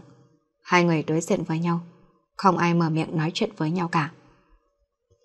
Ánh mắt của Lục Dương tràn đầy tham lam, nhìn chăm chăm Lục Lâm Linh rồi mở miệng nói. Em đã thay đổi tên. Cô rất là kinh ngạc. Làm sao anh biết? Anh gặp em ở Sa Thần, nên có đi tìm hiểu một chút. Anh cũng làm việc ở Sa Thần sao? Anh làm gì vậy chứ? Làm đầu tư. Sau thời gian đó em đi Mỹ sao? Ừ, không có thi tốt nghiệp, đi luôn vào lúc đó. Năm ấy sự tình Lục Dương sau đó cũng biết được một chút. Lục Lâm Linh cũng không muốn nói tới việc này. Lục Dương đưa mắt nhìn xung quanh, chuyển đề tài cất tiếng hỏi. Ngôi nhà này không thể. Là nhà của gì em? Em có trang trí lại một chút. Ừ, cảm giác rất là ấm áp. Lục Dương thấy trên tường có treo vài bức tranh. Có mấy cái kệ sách hoa khô và một con búp bê màu hồng. Trong góc còn có đồ chuyển phát nhanh vẫn chưa xem. Trong không khí đều là mùi hương của cô. Bụng xê xào vang lên. Lộc Lâm Linh mới nhớ tới mình về nhà để ăn cơm.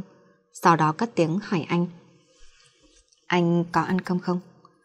Cô cột tóc lên, đeo tạp dề vào. Thao tác rất là thuần thục. Chẳng mấy chốc mà mùi đồ ăn đã thơm lên. Còn có may là đầy đủ chén đũa. Cô nấu cơm xong, Lục Dương cũng hỗ trợ dọn ra bàn. Hai người phảng phất như trở lại ngày xưa. Ước chừng, hai người bất chợt nhận ra có cái gì đó, nên không khí trong nhà có một chút không được tự nhiên. Lục Dương cầm đũa, cắp một miếng thịt bò ăn thử. Ánh mắt của Lục Lâm Linh nhìn anh đầy mong chờ. Cô đối với khả năng nấu nướng của mình rất là có lòng tin. Nhưng mà Lục Dương không nói gì cả. Hai người yên lặng ăn xong bữa cơm này. Lục Dương ăn hai chén cơm. Lúc đi học, bận đến mức là quen ăn quen uống. Công việc lại thường xuyên, uống nhiều hơn, nên ăn trong sinh hoạt của anh cũng ít, gần như là không có những bữa cơm như thế này.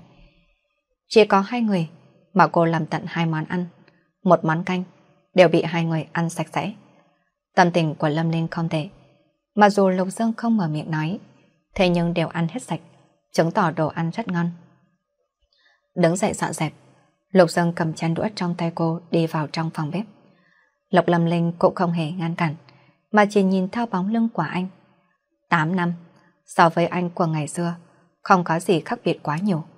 Vẫn là gương mặt đó, nhưng mà đã già dặn hơn, so với lúc trước thì đẹp trai hơn.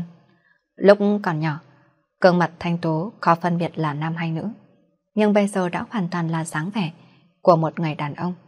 Màu đen của áo sơ mi cùng với quần tay đen càng làm tắt lên vẻ đẹp của anh. Này Lộc Lâm Linh, cái khăn này có thể dùng lau được hay không chứ? Cô vội vàng đem những suy nghĩ lung tung bỏ ra khỏi đầu rồi sau đó nói. Được, anh dùng đi. Rửa chén xong, lại lau dọn mặt bàn cùng với máy hút khói. Lục Dương mới buông tay áo xuống, đi ra phòng bếp, nhìn thấy cô đang ngồi ở trên chiếc ghế, vừa cười vừa nhìn điện thoại di động. Lâm Linh à, anh đi đây. Lục Dương cầm áo khoác lên nói. Lục Lâm Linh liền vội vàng đứng lên đi tới cửa. Nhìn Lục Dương như muốn nói điều gì đó nhưng rồi lại thôi. Chỉ gật đầu một cái. Lục Dương nhìn người con gái trước mắt. Nhịn không được đem cô ôm vào trong lòng. Lâm Linh, thật sự xin lỗi em. Ngày xưa anh đi cũng có nguyên nhân của nó. Anh sẽ từ từ nói cho em nghe. Còn anh vẫn không có thay đổi. Vẫn luôn luôn không thay đổi. Cô mong đợi cái ôm này từ bao lâu rồi. Từ cái đêm hôm đó nằm khóc cả đêm. Rồi những tuổi thân khi ở nước ngoài. Cô đã trải qua một quãng thời gian rất khó khăn. Những người mà cô cho rằng sẽ ở bên cạnh cô mãi mãi đều lần lượt rời khỏi cô. Thất vọng, đau lòng, buồn tuổi, cô đều phải trải qua một mình. Hiện tại anh nói cho cô biết, anh không thay đổi. Không thay đổi có tác dụng gì chứ? Không thay đổi thì có thể thay đổi được gì đây? Vào lúc cô cần anh nhất, thì anh không ở bên cạnh cô. Anh biến mất không nói một lời. Anh làm cô không thể nhìn mặt mẹ lần cuối cùng. Anh làm cho cô chỉ có một mình. Cái thế giới này chỉ có một mình cô. Không thay đổi thì có lợi ích gì đây? Cô đã thay đổi từ rất lâu rồi. Hai tuần liên tiếp, Lục Dương đều chờ ở dưới lầu nhà của Lục Lâm Linh để đợi khi cô về nhà, rồi sau đó đi theo cô lên lầu. Lục Lâm Linh không từ chối anh làm như vậy. Thật sự giống như là một đôi bạn cũ. Có đôi khi, hai người sẽ ăn bữa tối cùng nhau. Hoặc là cô nấu cơm, anh dọn dẹp. Có đôi khi trở về muộn, anh cũng chỉ đi lên uống một ly cà phê hoặc là một ly trà. Hai người ngay tại gian phòng như thế ở lại. Cô nghịch điện thoại, còn anh thì ngắm nhìn cô. Lộc Lâm Linh phân nói với mình. Chẳng qua là cô quá mức cô đơn. Ở thành phố này cô không có người thân, cũng không có bạn bè. Cho dù là anh, chỉ là tình cờ ở bên cạnh cô cũng tốt. Nhìn vào xe và quần áo của anh hẳn là sống không tệ.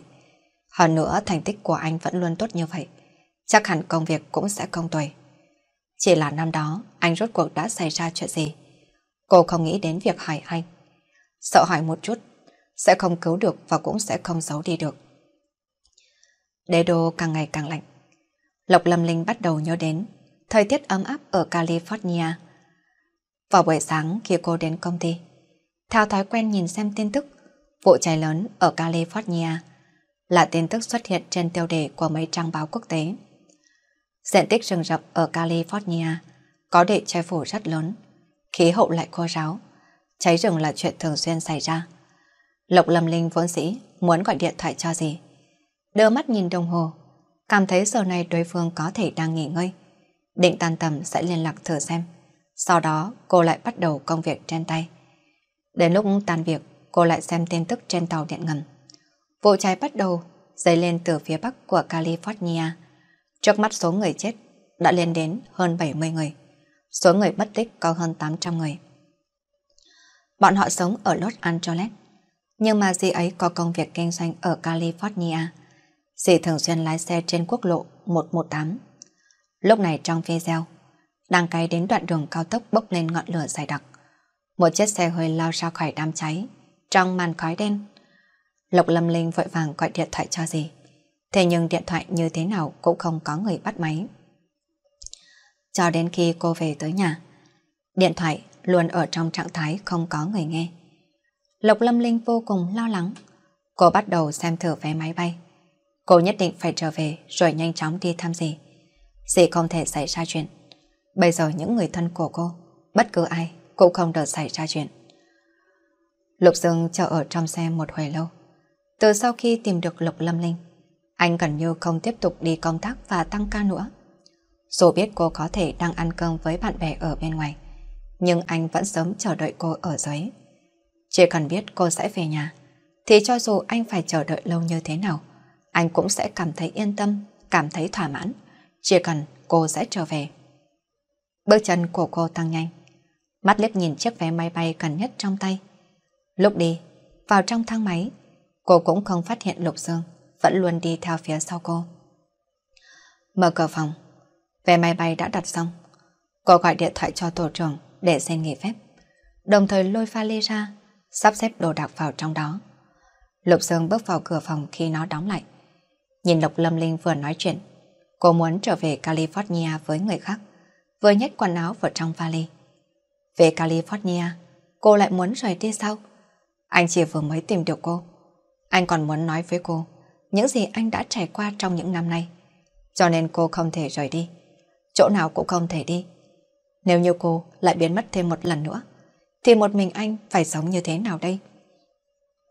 Không được, em không được rời đi. Anh cào thét, đặt lấy điện thoại của cô, ôm người vào trong ngực một cái. Lộc Lâm Ninh, anh nói cho em biết, em không được đi đâu cả. Lộc Lâm Ninh đột nhiên bị cướp đi điện thoại. Ở trong đầu đều là vụ cháy vừa mới xuất hiện trong video, và một loạt số liệu người mất tích. Sự bình tĩnh mà cô cố gắng gìn giữ, vào lúc này đã hoàn toàn sụp đổ. Anh mau buông em ra. Anh còn mẹ nó mau thả em ra. Em muốn quay về. Bây giờ em phải lập tức trở về nước Mỹ. Anh cho rằng anh là ai hả? Em đã sớm quên anh rồi. Đã sớm không còn thích anh nữa. Anh dựa vào cái gì mà đòi quản em? Anh là cái thá gì cơ chứ? Anh mau cút ra ngoài. Mau cút ra ngoài. Một người liều mạng tung ra những cú đá nắm đấm. Còn người kia chỉ ôm chặt người đó vào trong ngực. Một bước cũng không di chuyển. Lục Lâm Linh không biết mình đã điên bao lâu rồi. Cho đến khi mình đã không còn có một chút sức lực nào thì mới chịu dừng lại. Cả căn phòng trở nên yên tĩnh lại. Chỉ nghe thấy tiếng điện thoại đang đổ chuông không ngừng. Ở trong mắt của Lục Lâm Linh đều là nước mắt. Eyeliner và mascara chảy ra, khiến cho cô gần như không mở mắt ra được. Ở trên màn hình vỡ vụn là số điện thoại của Lâm Lệ Bình. Anh mau thả em ra. Anh sẽ không để cho em rời khỏi đây. Anh mau buông em ra. Em không đi nữa, em phải nghe điện thoại. Gì à? Ừ, tuần trước không phải gì nói là tuần lễ này xin nghỉ phép ở Úc hay sao? Cháu đó, cái đứa nhỏ này cái gì cũng không nhớ. Đừng có tự mình dọa mình nữa, dì không có việc gì cả. Dì cũng đã hỏi hàng xóm rồi, lỡ không lan tới nhà của dì. Chỉ là nói lừa lần này thật sự quá mức nghiêm trọng. Dạ vâng ạ. Vậy thì dì nhớ kỹ, mỗi ngày phải gọi điện thoại cho cháu. Hoặc là gửi tin tức. Nhất định phải chú ý an toàn. Cháu cúp máy đây ạ. Lộc Lâm Linh cúp điện thoại. Cô lập tức bình tĩnh lại. Hai chân mềm nhũn, đầu gối quỵ xuống. Thân thể rơi vào trong lồng một lồng ngực dày rộng. Một tay ôm eo cô. Còn một tay khác thì nắm lấy tay trái của cô. Ngón tay trắng nõn thon dài bao bọc bàn tay. Ngón tay cái nhẹ nhàng vuốt ve mua bàn tay. Có một cái đầu trôi vào trong cổ của cô. Hô hấp ấm áp, rơi vào bên trong say xanh của cô. Kích thích cô khiến cho cô nổi lên từng trận rùng mình. Nghe đến những lời nói tàn nhẫn mà mình vừa mới nói ra. Trên móng tay của mình còn có vết máu mơ hồ. Không biết là vừa rồi, cô đã cào trống chỗ nào trên người của anh. Chỉ biết mình thật sự là đã điên rồi. Hơi thở hung ác, động tác tay chân đều dùng lực, xuống tay độc ác. Đau quá. Người đàn ông vùi đầu vào cổ của cô, giọng nói khàn khàn rầu rĩ, tràn đầy tuổi thân. Lộc Lâm Linh đối lý cũng không dám động đậy. Giọng nói mang theo sự mềm mỏng mà cất tiếng hỏi. Anh buông tay em ra trước đi. Em giúp anh xem miệng vết thương. Không, em chán ghét anh như vậy. Anh sợ em nhìn thấy anh lại càng tức giận hơn. Chán ghét. Có lẽ cô đã từng rất chán ghét anh. Đó là bởi vì cô đã từng quá tốt. Thế nhưng thời gian trôi qua, lắng động ở trong ký ức, đều là hình ảnh của anh đối xử tốt với cô. Có lẽ còn có chán ghét, nhưng mà chuyện không thể che giấu được, chính là yêu thích đã càng nhiều hơn. Đúng vậy, ghét. Ghét anh không từ mà biệt. Ghét anh nói chuyện cũng không suy nghĩ. Ghét anh sẽ nói ở bên cạnh em. Thế nhưng cuối cùng vẫn không nói một tiếng nào mà biến mất. Anh kêu em phải làm sao để không ghét anh đây? Cánh tay đặt ngang hông càng siết chặt, khiến cho cơ thể của cô cảm thấy đau đớn. Nhưng trong lòng lại vô cùng sảng khoái. Những nghi ngờ đã dồn nén bao nhiêu năm tháng qua, hoài nghi đã trải dài, từ thời thiếu niên đến nay, cuối cùng cũng đều đã trút hết ra ngoài. Em có muốn nghe đầu đuôi câu chuyện không? Người trong ngực không nhúc nhích hồi lâu. Ngày đó khi anh về đến nhà, thì bị một đám người bắt đi. Là những người mặc đồ đen, giống như trong phim ảnh vậy. Lúc tỉnh lại, người ở đó cũng không biết là ai. Mà kệ anh ngầm ý cỡ nào, người ta cũng không cho anh biết là đã xảy ra chuyện gì cả. Khoảng 3 ngày sau, Lục Dương cứ không ăn không uống đến mức ngất đi. Có một bác sĩ đến truyền dịch cho anh. Đồng thời, anh vẫn chưa bao giờ gặp mặt ba mình. Khi anh mở mắt ra, nhìn người đàn ông kia, anh đã đoán ngay được người đó là ba của mình. Bởi vì đôi mắt của bọn họ trông rất giống nhau. Nếu như chỉ là nhận người thân, vậy thì tại sao lại bắt nhốt anh? Mẹ anh liệu có biết anh đang gặp chuyện gì hay không? Anh đã cạn kiệt sức lực nên không có cách nào để mà suy nghĩ.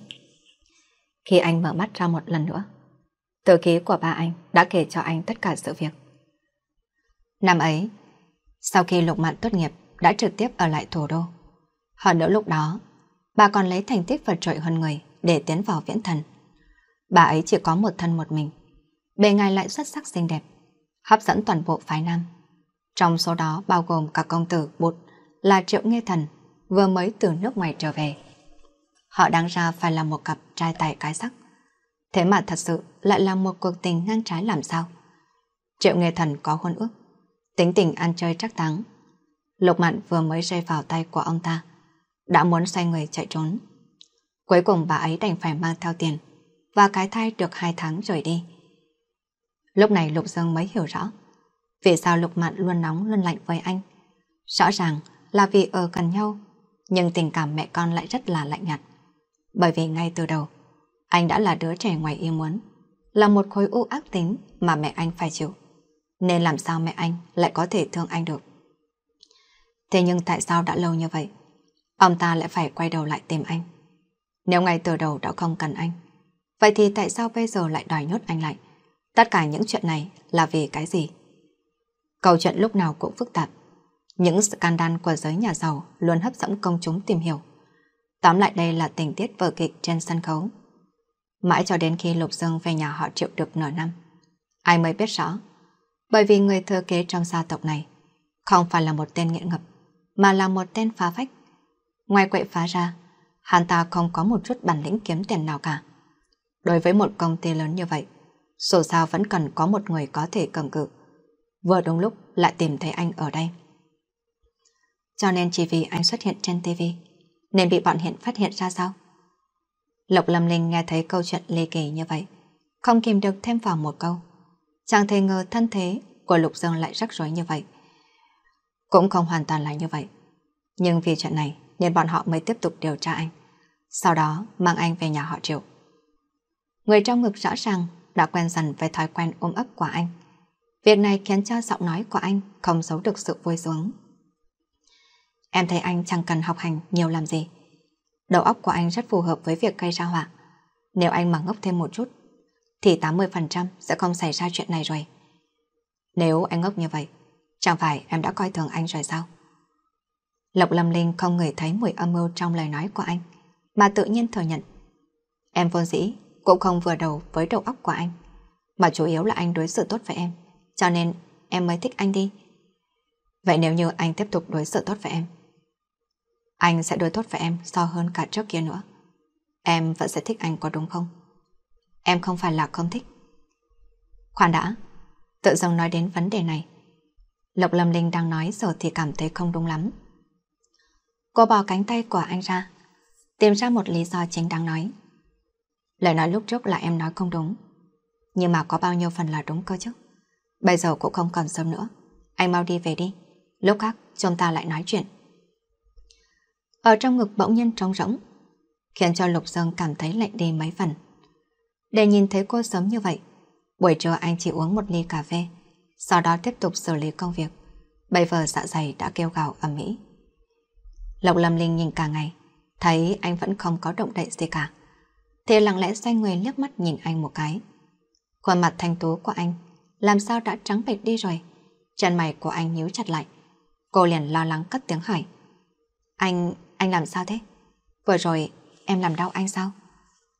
Cô gái xinh đẹp đang muốn tiến về phía trước thì một bóng người cao lớn liền ngã về phía của cô. Lúc Lưu Thành nhận được cuộc gọi cũng là lúc anh nằm vật xuống giường. Sau đó, bác sĩ gia đình nhanh chóng được điều đến địa chỉ này. Dịch đã được truyền suốt là 12 giờ. Bác sĩ bàn giao một số việc cần chú ý. Sau khi thua dọn đồ đạc, anh ta không ngừng lầm bẩm về việc phụ nữ có thể tiết chế một chút hay không. Đừng nghĩ đến là việc chỉ lấy người, đã có nhà có xe, tốt xấu gì cũng phải quan tâm tới sức khỏe của người ấy. Không nên cứ giải vò thân thể, người yêu của mình như vậy được. Lộc Dương bí mật kéo nhẹ tay áo của bác sĩ. Ánh mắt của bác sĩ lộ ra đầy vẻ xấu hổ. Cô không nói gì cả, chỉ gật đầu như đã hiểu, nhưng ánh mắt đều không rời khỏi người đã nằm ở trên giường. Khi mọi người đã đi hết, cô mới ngồi ở trên giường, ngắm nhìn qua mặt đang ngủ ở trước mắt. Tuy rằng cảm thấy nhà họ triệu kia không phải là nơi tốt đẹp gì, nhưng ít nhất cũng không cần phải lo lắng. Nhưng những ngày này, nhìn thấy anh, cô luôn cảm thấy phải phần tang thương. Giống như muốn đưa tay khẽ vuốt khuôn mặt của anh. Nhưng đưa đường thì rất lạnh, trong lòng cảm thấy bối rối. Nhìn cô dường như đã rất là bình tĩnh đối với sự xuất hiện của Lục Dương, nhưng thật ra đã là mất cảnh giác. Đêm nay, nghe anh giải thích rằng Khi đó anh cũng bất lực. Sau này cũng cố gắng tìm cô. Thế nhưng lại có rất nhiều chuyện xảy ra. Đã qua lâu như vậy. Nếu nói cho cô không buông tay thì cũng không đúng. Thật sự cô đã sớm từ bỏ. Nhưng nếu nói là cô hoàn toàn quen đi thì không phải. Đúng sai, nghĩ mãi cũng không thông. Cô đi đến phòng bếp, nhìn xem cháu đã nấu xong chưa. Bác sĩ nói sau khi truyền dịch xong thì nhất định phải ăn một chút gì đó. Nghe thấy tiếng động vang lên từ phòng bếp. Lục Dương mới dám mở mắt ra. Đúng là anh đau dạ dày, nhưng đau đến ngất đi thì chưa hẳn. Từ khi phát hiện ra mình có bệnh đau dạ dày, ngoại trừ việc là hơn nửa năm trước anh bị xuất huyết dạ dày, thì bình thường dù có đau đến thế nào, anh cũng có thể chống đỡ. Thậm chí có lúc anh cảm thấy thân thể đau đớn có thể làm cho lòng của anh thoải mái hơn một chút. Trong lúc chờ bác sĩ đến, Lộc Lâm Linh ôm anh vào lòng. Bên tai anh là giọng nói tràn đầy sự lo lắng của cô. Lục Dương, Lục Dương à? Muộn rồi đó. Lập Lâm Linh cảm thấy miệng hơi khô khốc, cô họng có một chút đau. Ngón tay cái của anh vẫn xoa mua bàn tay của cô như cũ. Cô cảm thấy không biết có phải nhiệt độ quá cao hay không, khiến cho cơ thể của cô cảm thấy nóng hay không. Vừa vội vàng đứng dậy, đã bị một lực kéo, hoàn toàn ngã ở trên giường. Hoặc là có thể nói, ngã vào trong vòng tay của Lục Dương. Anh không muốn về nhà. Anh sợ căn phòng trống trải tối tăm và đầy lạnh lẽo đó. Lúc trước em nói là nếu anh sợ có thể đến ngủ với em mà. Lâm Linh à, 8 năm qua anh chưa từng quen em một ngày nào cả. Anh đã nghĩ rằng cả đời này sẽ không bao giờ gặp lại em. Nhưng em lại xuất hiện. Nếu vậy thì trừ vì anh chết, anh sẽ không để em mất đi nữa. Em hãy chấp nhận số phận đi. Em chắc hẳn đã quên đi anh. Em đúng là một người không có lương tâm. Chắc hẳn đã sống rất là vui vẻ. Em bảo anh lại. Em chưa từng nghĩ đến sẽ đi tìm anh. Mỗi ngày anh đều cố gắng học tập, nỗ lực làm việc, vì muốn một ngày nào đó anh sẽ trở nên mạnh mẽ. Cho dù có xảy ra chuyện gì, anh cũng có thể bảo vệ em. Thế nhưng anh lại không biết em đang ở đâu cả. Anh rất là khó chịu. Mỗi ngày ở trong lòng đều rất là khó chịu. Anh dùng tư thế đoạt đoán, nhưng lại nói ra đều giống như một đứa trẻ bị bất ức vậy. Lộc Lâm Linh cố gắng chống đỡ cơ thể, trông thấy đôi mắt đẹp đẽ kia đã ngấn lệ. Cô đưa tay chạm nhẹ một cái, nó đã rơi lên đầu ngón tay của cô. Đêm nay, hai người ôm nhau sau 8 năm trời xa cách. Buổi sáng, Lâm Linh bị tiếng chuông điện thoại đánh thức. Ngô Vi hét lên trong điện thoại, hỏi cô vì sao bỗng nhiên lại muốn quay trở về Mỹ. Rồi sau đó là một chuỗi âm thanh lúc búp, rủ qua điện thoại, nhưng vẫn khiến cho tay của cô bị đau. Có chuyện gì vậy chứ? Giọng nói vừa mới tỉnh dậy, có một chút khăn khăn gợi cảm. Ôi trời ơi, cô muốn đi Mỹ mà vẫn còn đang ngủ với đàn ông sao? Lộc Lâm Linh giải thích lộn xộn, sau đó nhanh chóng tắt điện thoại. Chắc là bởi vì cô ngủ rất ngon, nên sắc mặt của cô đặc biệt hồng hào. Lục Dương không kìm lòng được, mà kéo cô vào trong lòng ôm cô. Môi của anh hôn lên trên trán của cô. Người ở trong lòng trầm mặc nửa phút, sau đó đột nhiên kêu lên. Em đặt vé máy bay. Em đặt vé máy bay ư, là bay vào sáng nay, ôi trời ạ. Cuối cùng Lục Dương nhìn cô, đấm ngực sậm chân trong phòng và gọi điện thoại cho bộ phận chăm sóc khách hàng để xem có thể hoàn tiền hay không. Cô nhấn vào hộp thoại quy chat.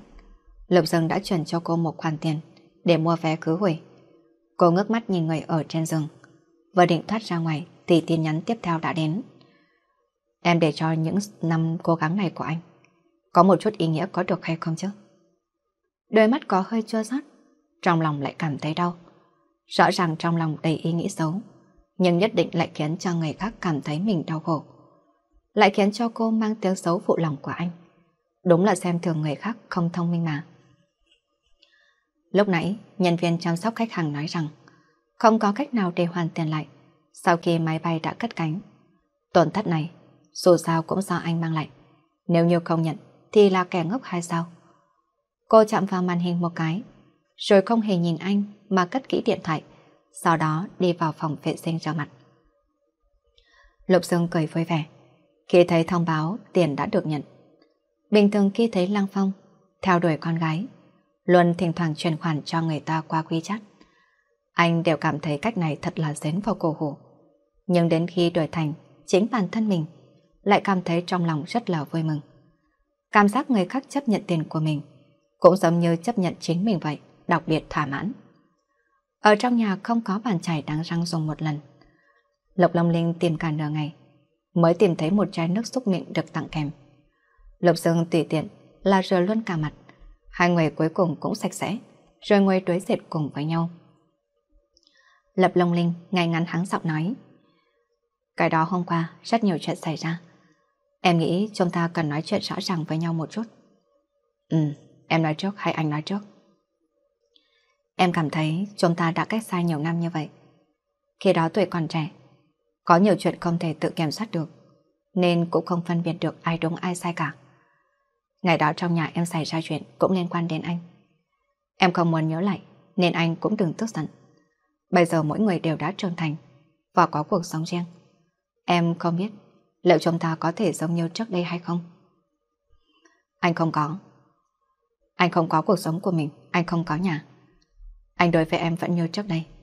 Mà không, là anh thích em hơn cả trước đây. Cho nên chúng ta chỉ có thể ở bên nhau. Như ngày hôm qua anh đã nói, trừ phi anh chết, anh nhất định sẽ không buông tay. Đôi mắt của Lục Dương nóng rực, giống như là có lửa ở bên trong, khiến cho toàn thân của cô nóng như là lửa đốt. Những ký ức lắng động bất chợt ùa về. Cho đến bây giờ, Lục Dương vẫn luôn thờ ơ với bạn học lẫn giáo viên. Điểm số và vật chất. Khi đó dì Lục thường mua rất nhiều đồ chơi mô hình mà những nam sinh yêu thích về. Lục Dương chỉ nhẹ nhàng gật đầu. Đôi khi sự lạnh lùng của anh khiến cho người khác thất vọng và đau khổ. Nhưng không biết từ khi nào, ánh mắt nhìn cô luôn nghiêm túc như vậy, thỉnh thoảng còn mang theo nụ cười dịu dàng. Hai người càng ngày càng thân thiết hơn, ánh mắt cũng không còn che giấu nữa. Đối mặt với Lục Dương như vậy, cô chưa bao giờ có thể suy nghĩ xấu đáo, mà chỉ biết ngây người gật đầu. Chuyện của gì là do xui xẻo. Hiện tại Lục Dương cũng là như vậy. Lục Lâm Linh buổi sáng vẫn vội vàng đi làm. Dù sao công việc là thiết thực nhất. Cô vẫn đang trong thời gian thực tập, nên không thể nào mất việc được. Ngược lại lãnh đạo rất thông cảm cho cô. Dù có trách, nhưng cũng vẫn để cô quay lại làm việc. Nhưng Ngô Phi sẽ không bỏ qua cho cô một cách dễ dàng như vậy. Sắp đến giờ tan sở, cô ấy vẫn gặng hỏi cô, giọng nam trầm âm đó là ai? Lộc Lâm Linh giải thích như thế nào, thì cô ấy cũng không tin. Không tin rằng tối ngày hôm qua, không xảy ra bất cứ chuyện gì cả. Cô không thể ăn tối cùng với họ được. Lộc Lâm Linh gửi email xong thì tắt máy tính rồi rời đi. Trên đường đi về, cô gọi điện thoại cho dì. Sau đó đi đến siêu thị, mua thêm một số nguyên liệu nấu ăn. Về đến nhà chuẩn bị dọn dẹp, thì nghe thấy tiếng chuông ở ngoài cửa. Không cần nghĩ đến, cũng biết người đến là ai. May mắn vừa đúng lúc cô đang nấu cơm, thêm một chén gạo vậy. Bên ngoài cửa là một người đàn ông với hai chiếc vali lịch sự mỉm cười nói. Cô Lộc à, đây là hành lý của Tổng Giám đốc Lục. Hôm nay anh ấy có cuộc họp, công việc cho nên sẽ về muộn. Nếu như cô đang nấu ăn, thì phiền cô để phần cho anh ấy một chút. Lúc đi xã giao, anh ấy chỉ uống rượu chưa không ăn. Khi về, cô có thể chuẩn bị cho anh ấy một bữa ăn nóng hổi. Nếu không bệnh dạ dày của anh ấy sẽ lại tái phát. Lâm Linh suy nghĩ vài giây, rồi nhớ ra lúc cô đang soạn phòng vào ngày hôm qua. Đây chắc chắn là người đã đưa bác sĩ đến khám cho Lục Dương. Trên điện thoại di động hiện lên là thư ký. Lộc Linh chưa kịp nói gì, thì Lưu Thành đã mỉm cười chào rồi đóng cửa, sau đó đi mất. Cuối cùng Lục Dương cũng bỏ lại tất cả rồi đi. Đồ đạc của anh đã soạn vào, thì không có lý gì người phải ra đi. Đối với chuyện của Lục Lâm Linh, anh bắt buộc phải chiến thắng, cho nên phải hòa hoãn chậm chậm cũng không sao cả. Nhưng từ những lời nói của dì cô, hóa ra trong lòng cô đã có người khác, thì đó lại là chuyện khác. Lục Dương đến nhà hàng, thống nhất từ trước gọi cơm trưa. Đó hỏi qua Lục Lâm Linh, nên trên bàn hầu hết đều là món ăn mà bà ấy thích. Lâm Lệ Bình quan sát người đối diện. Lục Dương ngồi thẳng người, ánh mắt lạnh lùng nhưng kiên định, mặc ở trên người bộ quần áo sang trọng, cùng với một khuôn mặt điển trai. Lần đầu tiên nhìn thấy người thanh niên này là 8 năm trước ở bệnh viện. Lúc đó bà đã thấy anh thật sự rất đẹp. Thậm chí bây giờ còn đẹp trai hơn trước. Khi ở Mỹ, bà cũng không hề phản đối việc Lâm Linh hẹn hò. Dù sao cuộc sống ở nơi đó cũng rất là cởi mở. Nhưng mà có một số điều cấm kỵ đã được giáo dục ăn sâu vào trong tâm trí khi còn nhỏ, không thể nào vượt qua được. Giờ đây bà mong rằng Lâm Linh sẽ có thể tìm được là tình yêu phù hợp với mình. Sau khi trải qua những sự việc trước kia, cô có thể tiếp tục lớn lên và trở thành người thân của bà, nên bà rất thận trọng và yêu quý cô. Sau khi món ăn cuối cùng là được mang ra, thì Lục Dương đứng dậy múc một bát súp, sau đó đặt về phía tay phải của Lâm Lệ Bình. Hai người không nói gì, rồi bắt đầu ăn. Lục Dương có đúng không? Hôm qua Linh Linh đã nói cho tôi biết về chuyện liên quan đến cậu và hai người. Tôi muốn nghe cậu nói như thế nào. Dì Lâm à, con gặp Linh Linh khi con 11 tuổi. Lúc đó con đến thành phố Vũ cùng với mẹ của mình. Cô ấy đã kể cho dì nghe. Chuyện về con thì chắc hẳn dì cũng biết. Quan hệ giữa hai con cùng với mẹ con rất là lạnh nhạt. Có thể mẹ con đã cố gắng hết sức để yêu thương con. Nhưng đối với một đứa trẻ như con, thì tình mẹ này thật sự là quá mức lạnh lùng. Con đã sớm hình thành thói quen sống một mình, thờ ơ với tất cả mọi người, cho đến khi cô ấy xuất hiện. Khi từ nhỏ, cô ấy không thông minh hay xinh đẹp. Cô ấy ngày nào cũng nói liên thuyên và chỉ biết ăn. Chỉ có như vậy thôi, nhưng con đã không thể nào rời mắt khỏi cô ấy được. Rồi bọn con chia tay. Con trở về với nỗi cô đơn. So với việc xa nhau, bọn con muốn ở cùng với nhau thật dài. Bao nhiêu năm qua, con đã học tập và làm việc rất chăm chỉ, nghiêm túc, khiến cho chính mình đứng trên đỉnh thành công. Thế nhưng mà con chẳng hề cảm thấy vui vẻ một chút nào cả. Đêm nào cũng trằn trọc không thể ngủ được. Cho dù đã ký được hàng chục triệu, thế nhưng con không thể nào cười vui. Khi con quay trở về, ngôi nhà rất lớn, nhưng cũng chỉ có một mình con thôi. Dì à, con muốn có được hạnh phúc. Con muốn được ăn cơm thật ngon. Mỗi khi nhắm mắt lại có thể ngủ. Con muốn mỗi khi trở về nhà thì trong nhà đều sẽ có một người cùng với ánh đèn ấm áp chờ đợi con. Mọi thứ con muốn và cầu xin chỉ liên quan đến một mình cô ấy mà thôi. Ở trong lòng của Lập Lâm Linh, thật sự rất ngưỡng mộ Lục Dương. Cuối cùng là hôm đó, anh đã cho dì ăn cái gì. Mà từ khi trở về đến giờ thì thoảng dì ấy lại nói tốt cho anh như vậy. Lời nói ám chỉ trách cô đã chia tay, cứ như cô là một người phụ nữ cặn bã điển hình vậy. Nói đến nỗi cô chỉ có thể yếu ớt phản bác, và cảm thấy mình thật sự là có lỗi với Lục Dương. Nhưng dù sao cô cũng cảm thấy chiều hướng của sự việc càng ngày càng có chiều hướng xấu đi đối với bản thân mình. Sau lễ Giáng sinh, Lâm Lệ Bình nhanh chóng quay trở về thành phố Vũ. tối ngày hôm đó, Lục Dương nhanh chóng quay trở về nhà của Lục Lâm Linh. Sau khi tắm xong, thì Lục Lâm Linh quấn khăn tắm đi ra. Đã thấy Lục Dương đang ngồi trên sofa để mà nói chuyện. Ban đêm hai người cùng nằm ở trên giường. Lục Dương mạnh mẽ ôm cô vào trong lòng. Người mùi hương trên tóc của cô. Rồi thi thoảng lại cắn cắn vào tay vào cổ của cô. Cô chỉ cảm thấy là vô cùng ngơ ngáy. Vừa mới nhích người một chút đã bị một vòng tay ôm lấy eo. Đừng có nhúc nhích. Lộc Lâm Linh, em phải nhớ kỹ rằng em có lỗi với anh nên sau này nhất định là phải đối xử với anh tốt, cực kỳ tốt. Cô rầu rĩ ở trong chăn đắp. Biết rồi, tất nhiên là em chắc chắn sẽ đối xử tốt với anh. Ngày làm việc đầu tiên sau kỳ tỷ nghệ tuyết lên đắn cũng là ngày làm việc đầu tiên sau năm mới. Lộc Lâm Linh phiên quang đến muộn. Trong phòng nhìn cô, thì chỉ tiếc là mai sắt cũng không thành thép. Nói với cô vừa mới Tết xong, thì đã chảnh mảng công việc như vậy. Lộc Lâm Linh cúi đầu xin lỗi. Làm xong các hạng mục đảm bảo thì mới được tha thứ. Ngày hôm nay, lên máy bay trở về thành phố Vũ. Đêm hôm trước hai người đã chơi đến mức điên cuồng. Sáng sớm lúc thức dậy, cả nhà vệ sinh và nhà bếp đều đã bừa bộn. Trên chăn còn dính tương hoa quả. Đợi đến lúc hai người thu dọn xong xuôi, suýt chút nữa đã không đuổi kịp máy bay.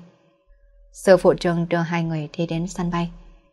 Trước khi đi, Lộc Lâm Linh còn cười hì hì, mà đưa bao lì xì cho anh. Chúc anh ta năm muối vui vẻ. Lục Dương để hành lý. Anh cảm thấy hơi kỳ lạ. Không biết vì sao cô đột nhiên lại làm ra trò này. Lộc Lâm Linh mân mê cái miệng nhỏ rồi lâm bầm nói. Còn không phải do gì của anh hay sao? Lần trước bà ấy đã dạy em phong thái của một bà chủ cần có. Lộc Dương nghe vậy không nhịn được mà bật cười. Cho nên khi nào thì bà chủ phát lì gì như vậy cơ chứ? Ở trước mặt của mọi người, Lộc Lâm Linh chỉ có thể âm thầm mà nhào anh một cái. Được được được, em không làm bà chủ nữa. Anh hãy thay người khác đi. Mới cách thời gian đăng ký không lâu, hai người bọn họ còn chưa kịp kiểm tra hành lý mang đi gửi. Thì Lục Dương bỗng nhiên đứng bất động ở nơi đó. Lâm Linh đang đi hai bước, mới quay người lại cất tiếng hỏi anh. Anh làm gì thế? Mau đi nhanh lên. Trên mặt của Lục Lâm Dương có một chút lạnh lùng. Trong đôi mắt lộ ra sát khí. Không cho phép em nói như vậy. Sau này, cho dù chúng ta cãi nhau như thế nào, giận nhau như thế nào đi chăng nữa, cho dù là bất cứ ai, hay bất cứ chuyện gì, cũng không thể lấy quan hệ của chúng ta ra để mà đùa giỡn. Đây chính là giới hạn cuối cùng của anh. Gần đến giờ bay, người trong sân cũng không nhiều lắm. Từng câu từng chữ mà Lục Dương nói ra khiến cho cô cảm thấy rất là đau lòng. Cô bước tới kéo lấy tay anh, ôm vào lòng xấu hổ đáp một tiếng đục. Cuối cùng hai người vẫn bị trễ nửa tiếng so với thời gian lên chuyến bay đã đặt trước đó. Thế nhưng nhờ vào quan hệ, hơn nữa vé của Lục Dương lại đặt ở khoang hạng nhất. Mọi thủ tục nhanh chóng được hoàn thiện. Hai người trở thành người đầu tiên lên máy bay. Hai giờ bay nhanh chóng đi qua. Hôm nay thời tiết ở thành phố Vũ rất là tốt. Lúc máy bay hạ cánh, Lâm Linh đột nhiên nắm chặt lấy tay của Lục Dương, nhưng lại bị anh cầm tay ngược trở lại. Anh ăn ủi cô. Đừng sợ. Ra khỏi sân bay, Lục Dương sắp xếp xe tới đón, cơ thể lái thẳng về nhà của bà ngoại. Lúc trước, khi cô đi vào thời tiết mùa xuân, bây giờ khi cô trở về cũng là như vậy. Lục Dương à, em có thay đổi quá nhiều hay không? Ở ngoài cửa xe đường phố đã không còn quen thuộc nữa. Lâm Linh à, chúng ta đều đã lớn như thế này rồi. Như thế, chúng ta vẫn là chúng ta. Nghe được giọng nói thận trọng của người đàn ông ở bên cạnh, thì cô dựa vào vai anh, trong lòng yên lặng nói thầm. Mẹ à, con đã trở về rồi. Cái sân nơi bà ngoại của cô ở vẫn như vậy. Ở trong tiểu khu vẫn còn cái ao xưa nay chưa bao giờ có nước. Cô lôi kéo Lục Dương nói, khi còn bé cô đã muốn đi bắt cá. Nhưng cái ao ở đây, ngay cả nước còn không có, thì lấy đâu ra cá cho cô bắt. Còn có cây hoa hòe già ở đằng kia. Khi còn bé cô đã từng leo lên đó. Chẳng qua là để leo lên được đó. Ông ngoại còn phải mang thang ra cho cô. Sau đó ông ngoại còn bị bà ngoại mắng một trận thật lâu. Từ lúc tiến vào tiểu cô, cô đã hưng phấn không thôi. Cô giới thiệu hết cái này đến cái khác cho Lục Dương nghe. Thật ra thì Lục Lâm Linh không biết. Năm nào Lục Dương cũng đến đây, thay cô thăm ông bà của mình. Chỉ là sau nay anh chưa từng lộ mặt ra mà thôi. Năm đó tuổi của anh còn nhỏ, không làm được chuyện gì hết cả. Sau khi đã lớn hơn rồi, chuyện anh muốn biết lộc Lâm Linh ở đâu cũng không khó. Nhưng ông ngoại của cô nói với anh rằng cháu gái của ông đã quá mức khổ sở. Cô đã quên hết tất cả những chuyện đã xảy ra ở nơi này. Sẽ rất tốt nếu cô có thể bắt đầu lại từ đầu. Những người khác cùng đứng tới để làm phiền cô nữa. Vậy thế nên, nếu như anh muốn để cho cô sống tốt, thì anh không nên đi tìm cô. Bà ngoại và các cậu của cô nhìn thấy Lục Dương cũng không xa lạ gì. Lộc Lâm Linh giới thiệu xong Lục Dương với mọi người, liền ôm lấy bà ngoại làm nũng. Một bữa cơm ăn vô cùng náo nhiệt. Hai người con trai của cậu Lộc Lâm Linh đều lớn tuổi hơn so với Lục Dương. Hiện tại cả hai người đều là đang làm việc ở thành phố Vũ. Chức vụ là không trên không dưới. Sau khi biết thân thế của anh, bọn họ lập tức vây quanh, ẩn ý trong giọng nói rất là rõ ràng. Hai mợ của cô cũng ở một bên chào trước đón sau. Cuối cùng bà ngoại không nhịn nổi nữa. Bảo mọi người tản đi.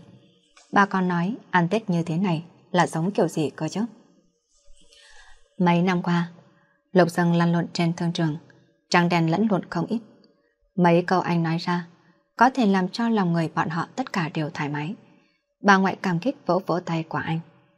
Đêm xuống, Lục Dương đi ra khách sạn. Thế nhưng bà ngoại không cho anh đi. Lục Dương vốn cũng không muốn tách khỏi Lục Lâm Linh, cho nên rất tự nhiên ở lại nhà bà ngoại của cô. Thành phố Vũ không thể so sánh với đế đô, không có lò sưởi, cho dù là đệm sạch sẽ cũng sẽ có cảm giác ấm ướt. Trong thời gian ngắn, cô có một chút không quen thuộc. Cô co lại trong chăn thành một cục. Lúc cô run rẩy vì lạnh, thì cánh cửa đột nhiên được mở ra. Lục Dương được sắp xếp ở ngay phòng bên cạnh cô. Người già ngủ sớm, nghe được tiếng gáy của bà. Lục Dương vội vã chạy qua đây. Nhìn thấy anh, cô vô cùng vui sướng, mở chăn lên vẫy vẫy về phía anh.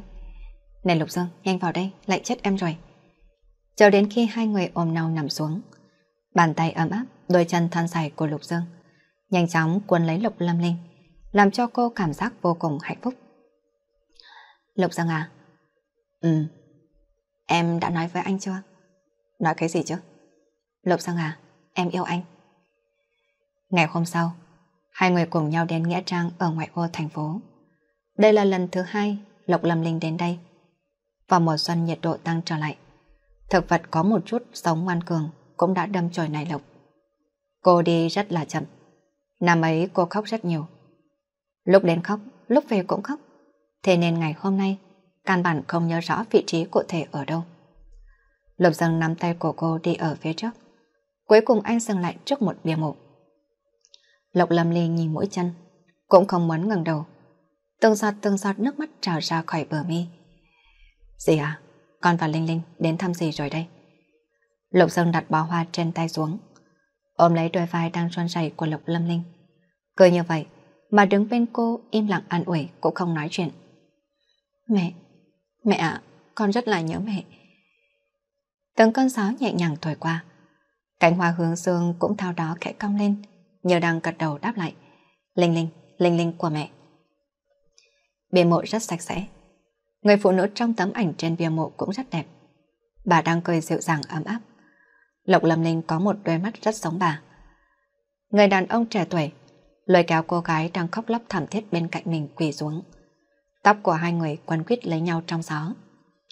Cảm ơn con, con của mẹ. Đứng ở Nghĩa Trang sững sờ một tiếng. Cả tay lẫn chân của Lộc Lâm Linh đều đã đông lạnh Khi trở lại trong xe, Lục Dương mở điều hòa ở mức lớn nhất, còn lấy bình sữa nhiệt buổi sáng mang theo, mở ra đưa vào trong tay của Lộc Lâm Linh. Bình nước nóng hầm hập, Lộc Lâm Linh uống hai ngụm rồi đưa trả lại cho Lục Dương. Lục Dương à, anh nói xem tại sao mẹ em lại tự sát. Lục Dương cũng uống hai ngụm, sau đó để nắp bình lại khởi động ô tô. Bà ấy đã quá mức khổ sở, em nên thông cảm cho bà. Vậy, anh sẽ tha thứ cho dì Lục chứ? Bà ấy sinh ra anh, nhưng lại không cho anh tình yêu thương. Lộc Lâm Linh nhìn Nghĩa Trang càng ngày càng xa bên trong kính chiếu hậu. Em rất biết ơn bà ấy, bởi vì bà ấy đã mang anh đến bên em. Dọc theo hai bên đường là hai hàng thông quanh năm xanh tươi, yên lặng không hề có tiếng động. Tựa như chúng đang thay chúng ta làm bạn với những người thân, rời nhân thế của chúng ta vậy. Sinh mệnh cũng không phải là trường tồn vô tận. Thời gian đột nhiên sẽ mang người bên cạnh đi, làm cho chúng ta không kịp chuẩn bị. Gió vào ngày nắng, mưa vào ngày mây. Tôi đã sớm buông bỏ. Những bất công, những lắt léo lo toan trong cuộc sống. Tôi tôi muốn thật nắm thật chặt, chỉ có đôi tay của người.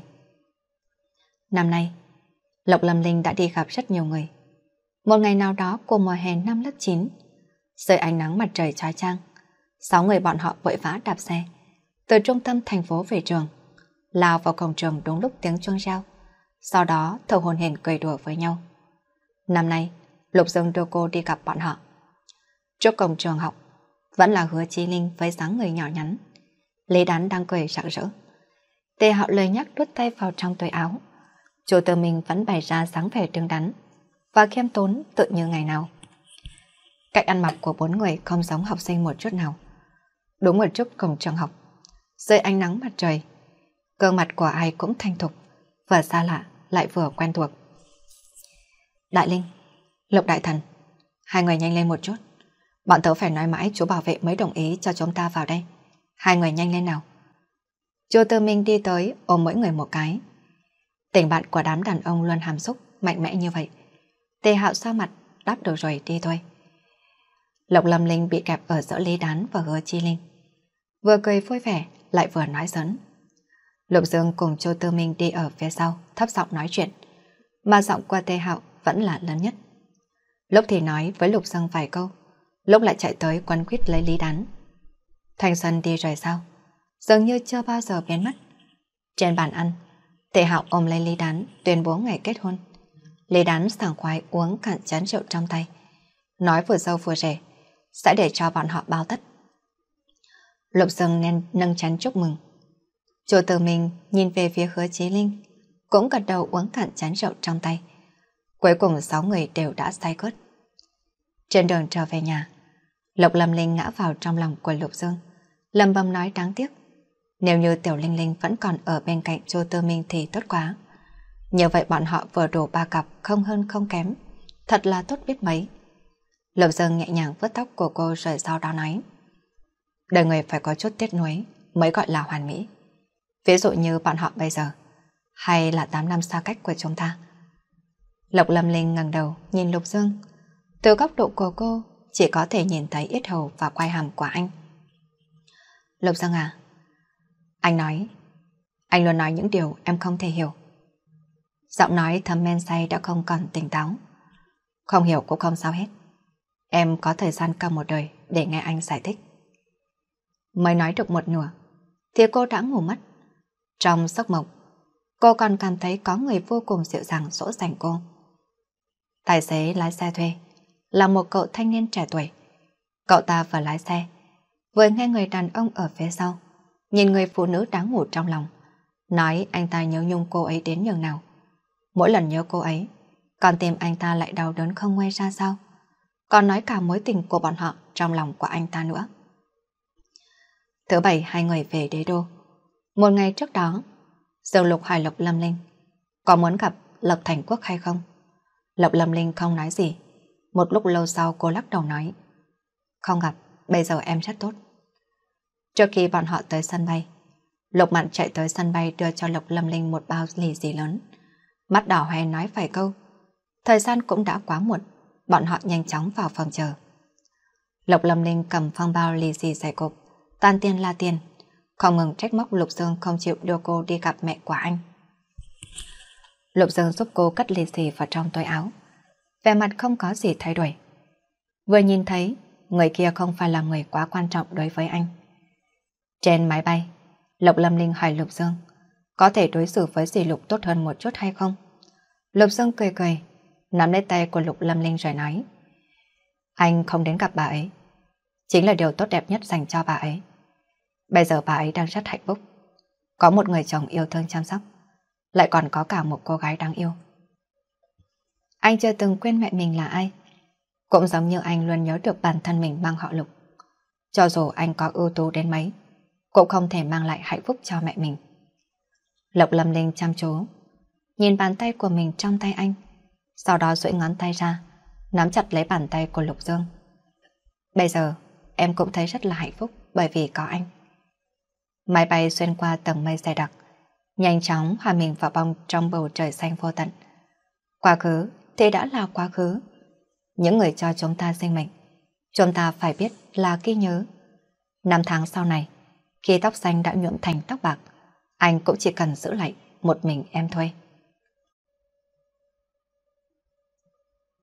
Vậy là vừa rồi các bạn vừa nghe xong bộ truyện. Cảm ơn các bạn đã chú ý lắng nghe. Các bạn nhớ like ủng hộ và subscribe kênh truyện để đón nghe thêm nhiều chuyện ngôn tình hay. Và nhớ để lại bình luận cảm xúc của các bạn sau khi nghe chuyện nhé. Chúc các bạn có một ngày làm việc thật vui vẻ và tràn đầy năng lượng. Và hẹn gặp lại các bạn trong những bộ truyện tiếp theo.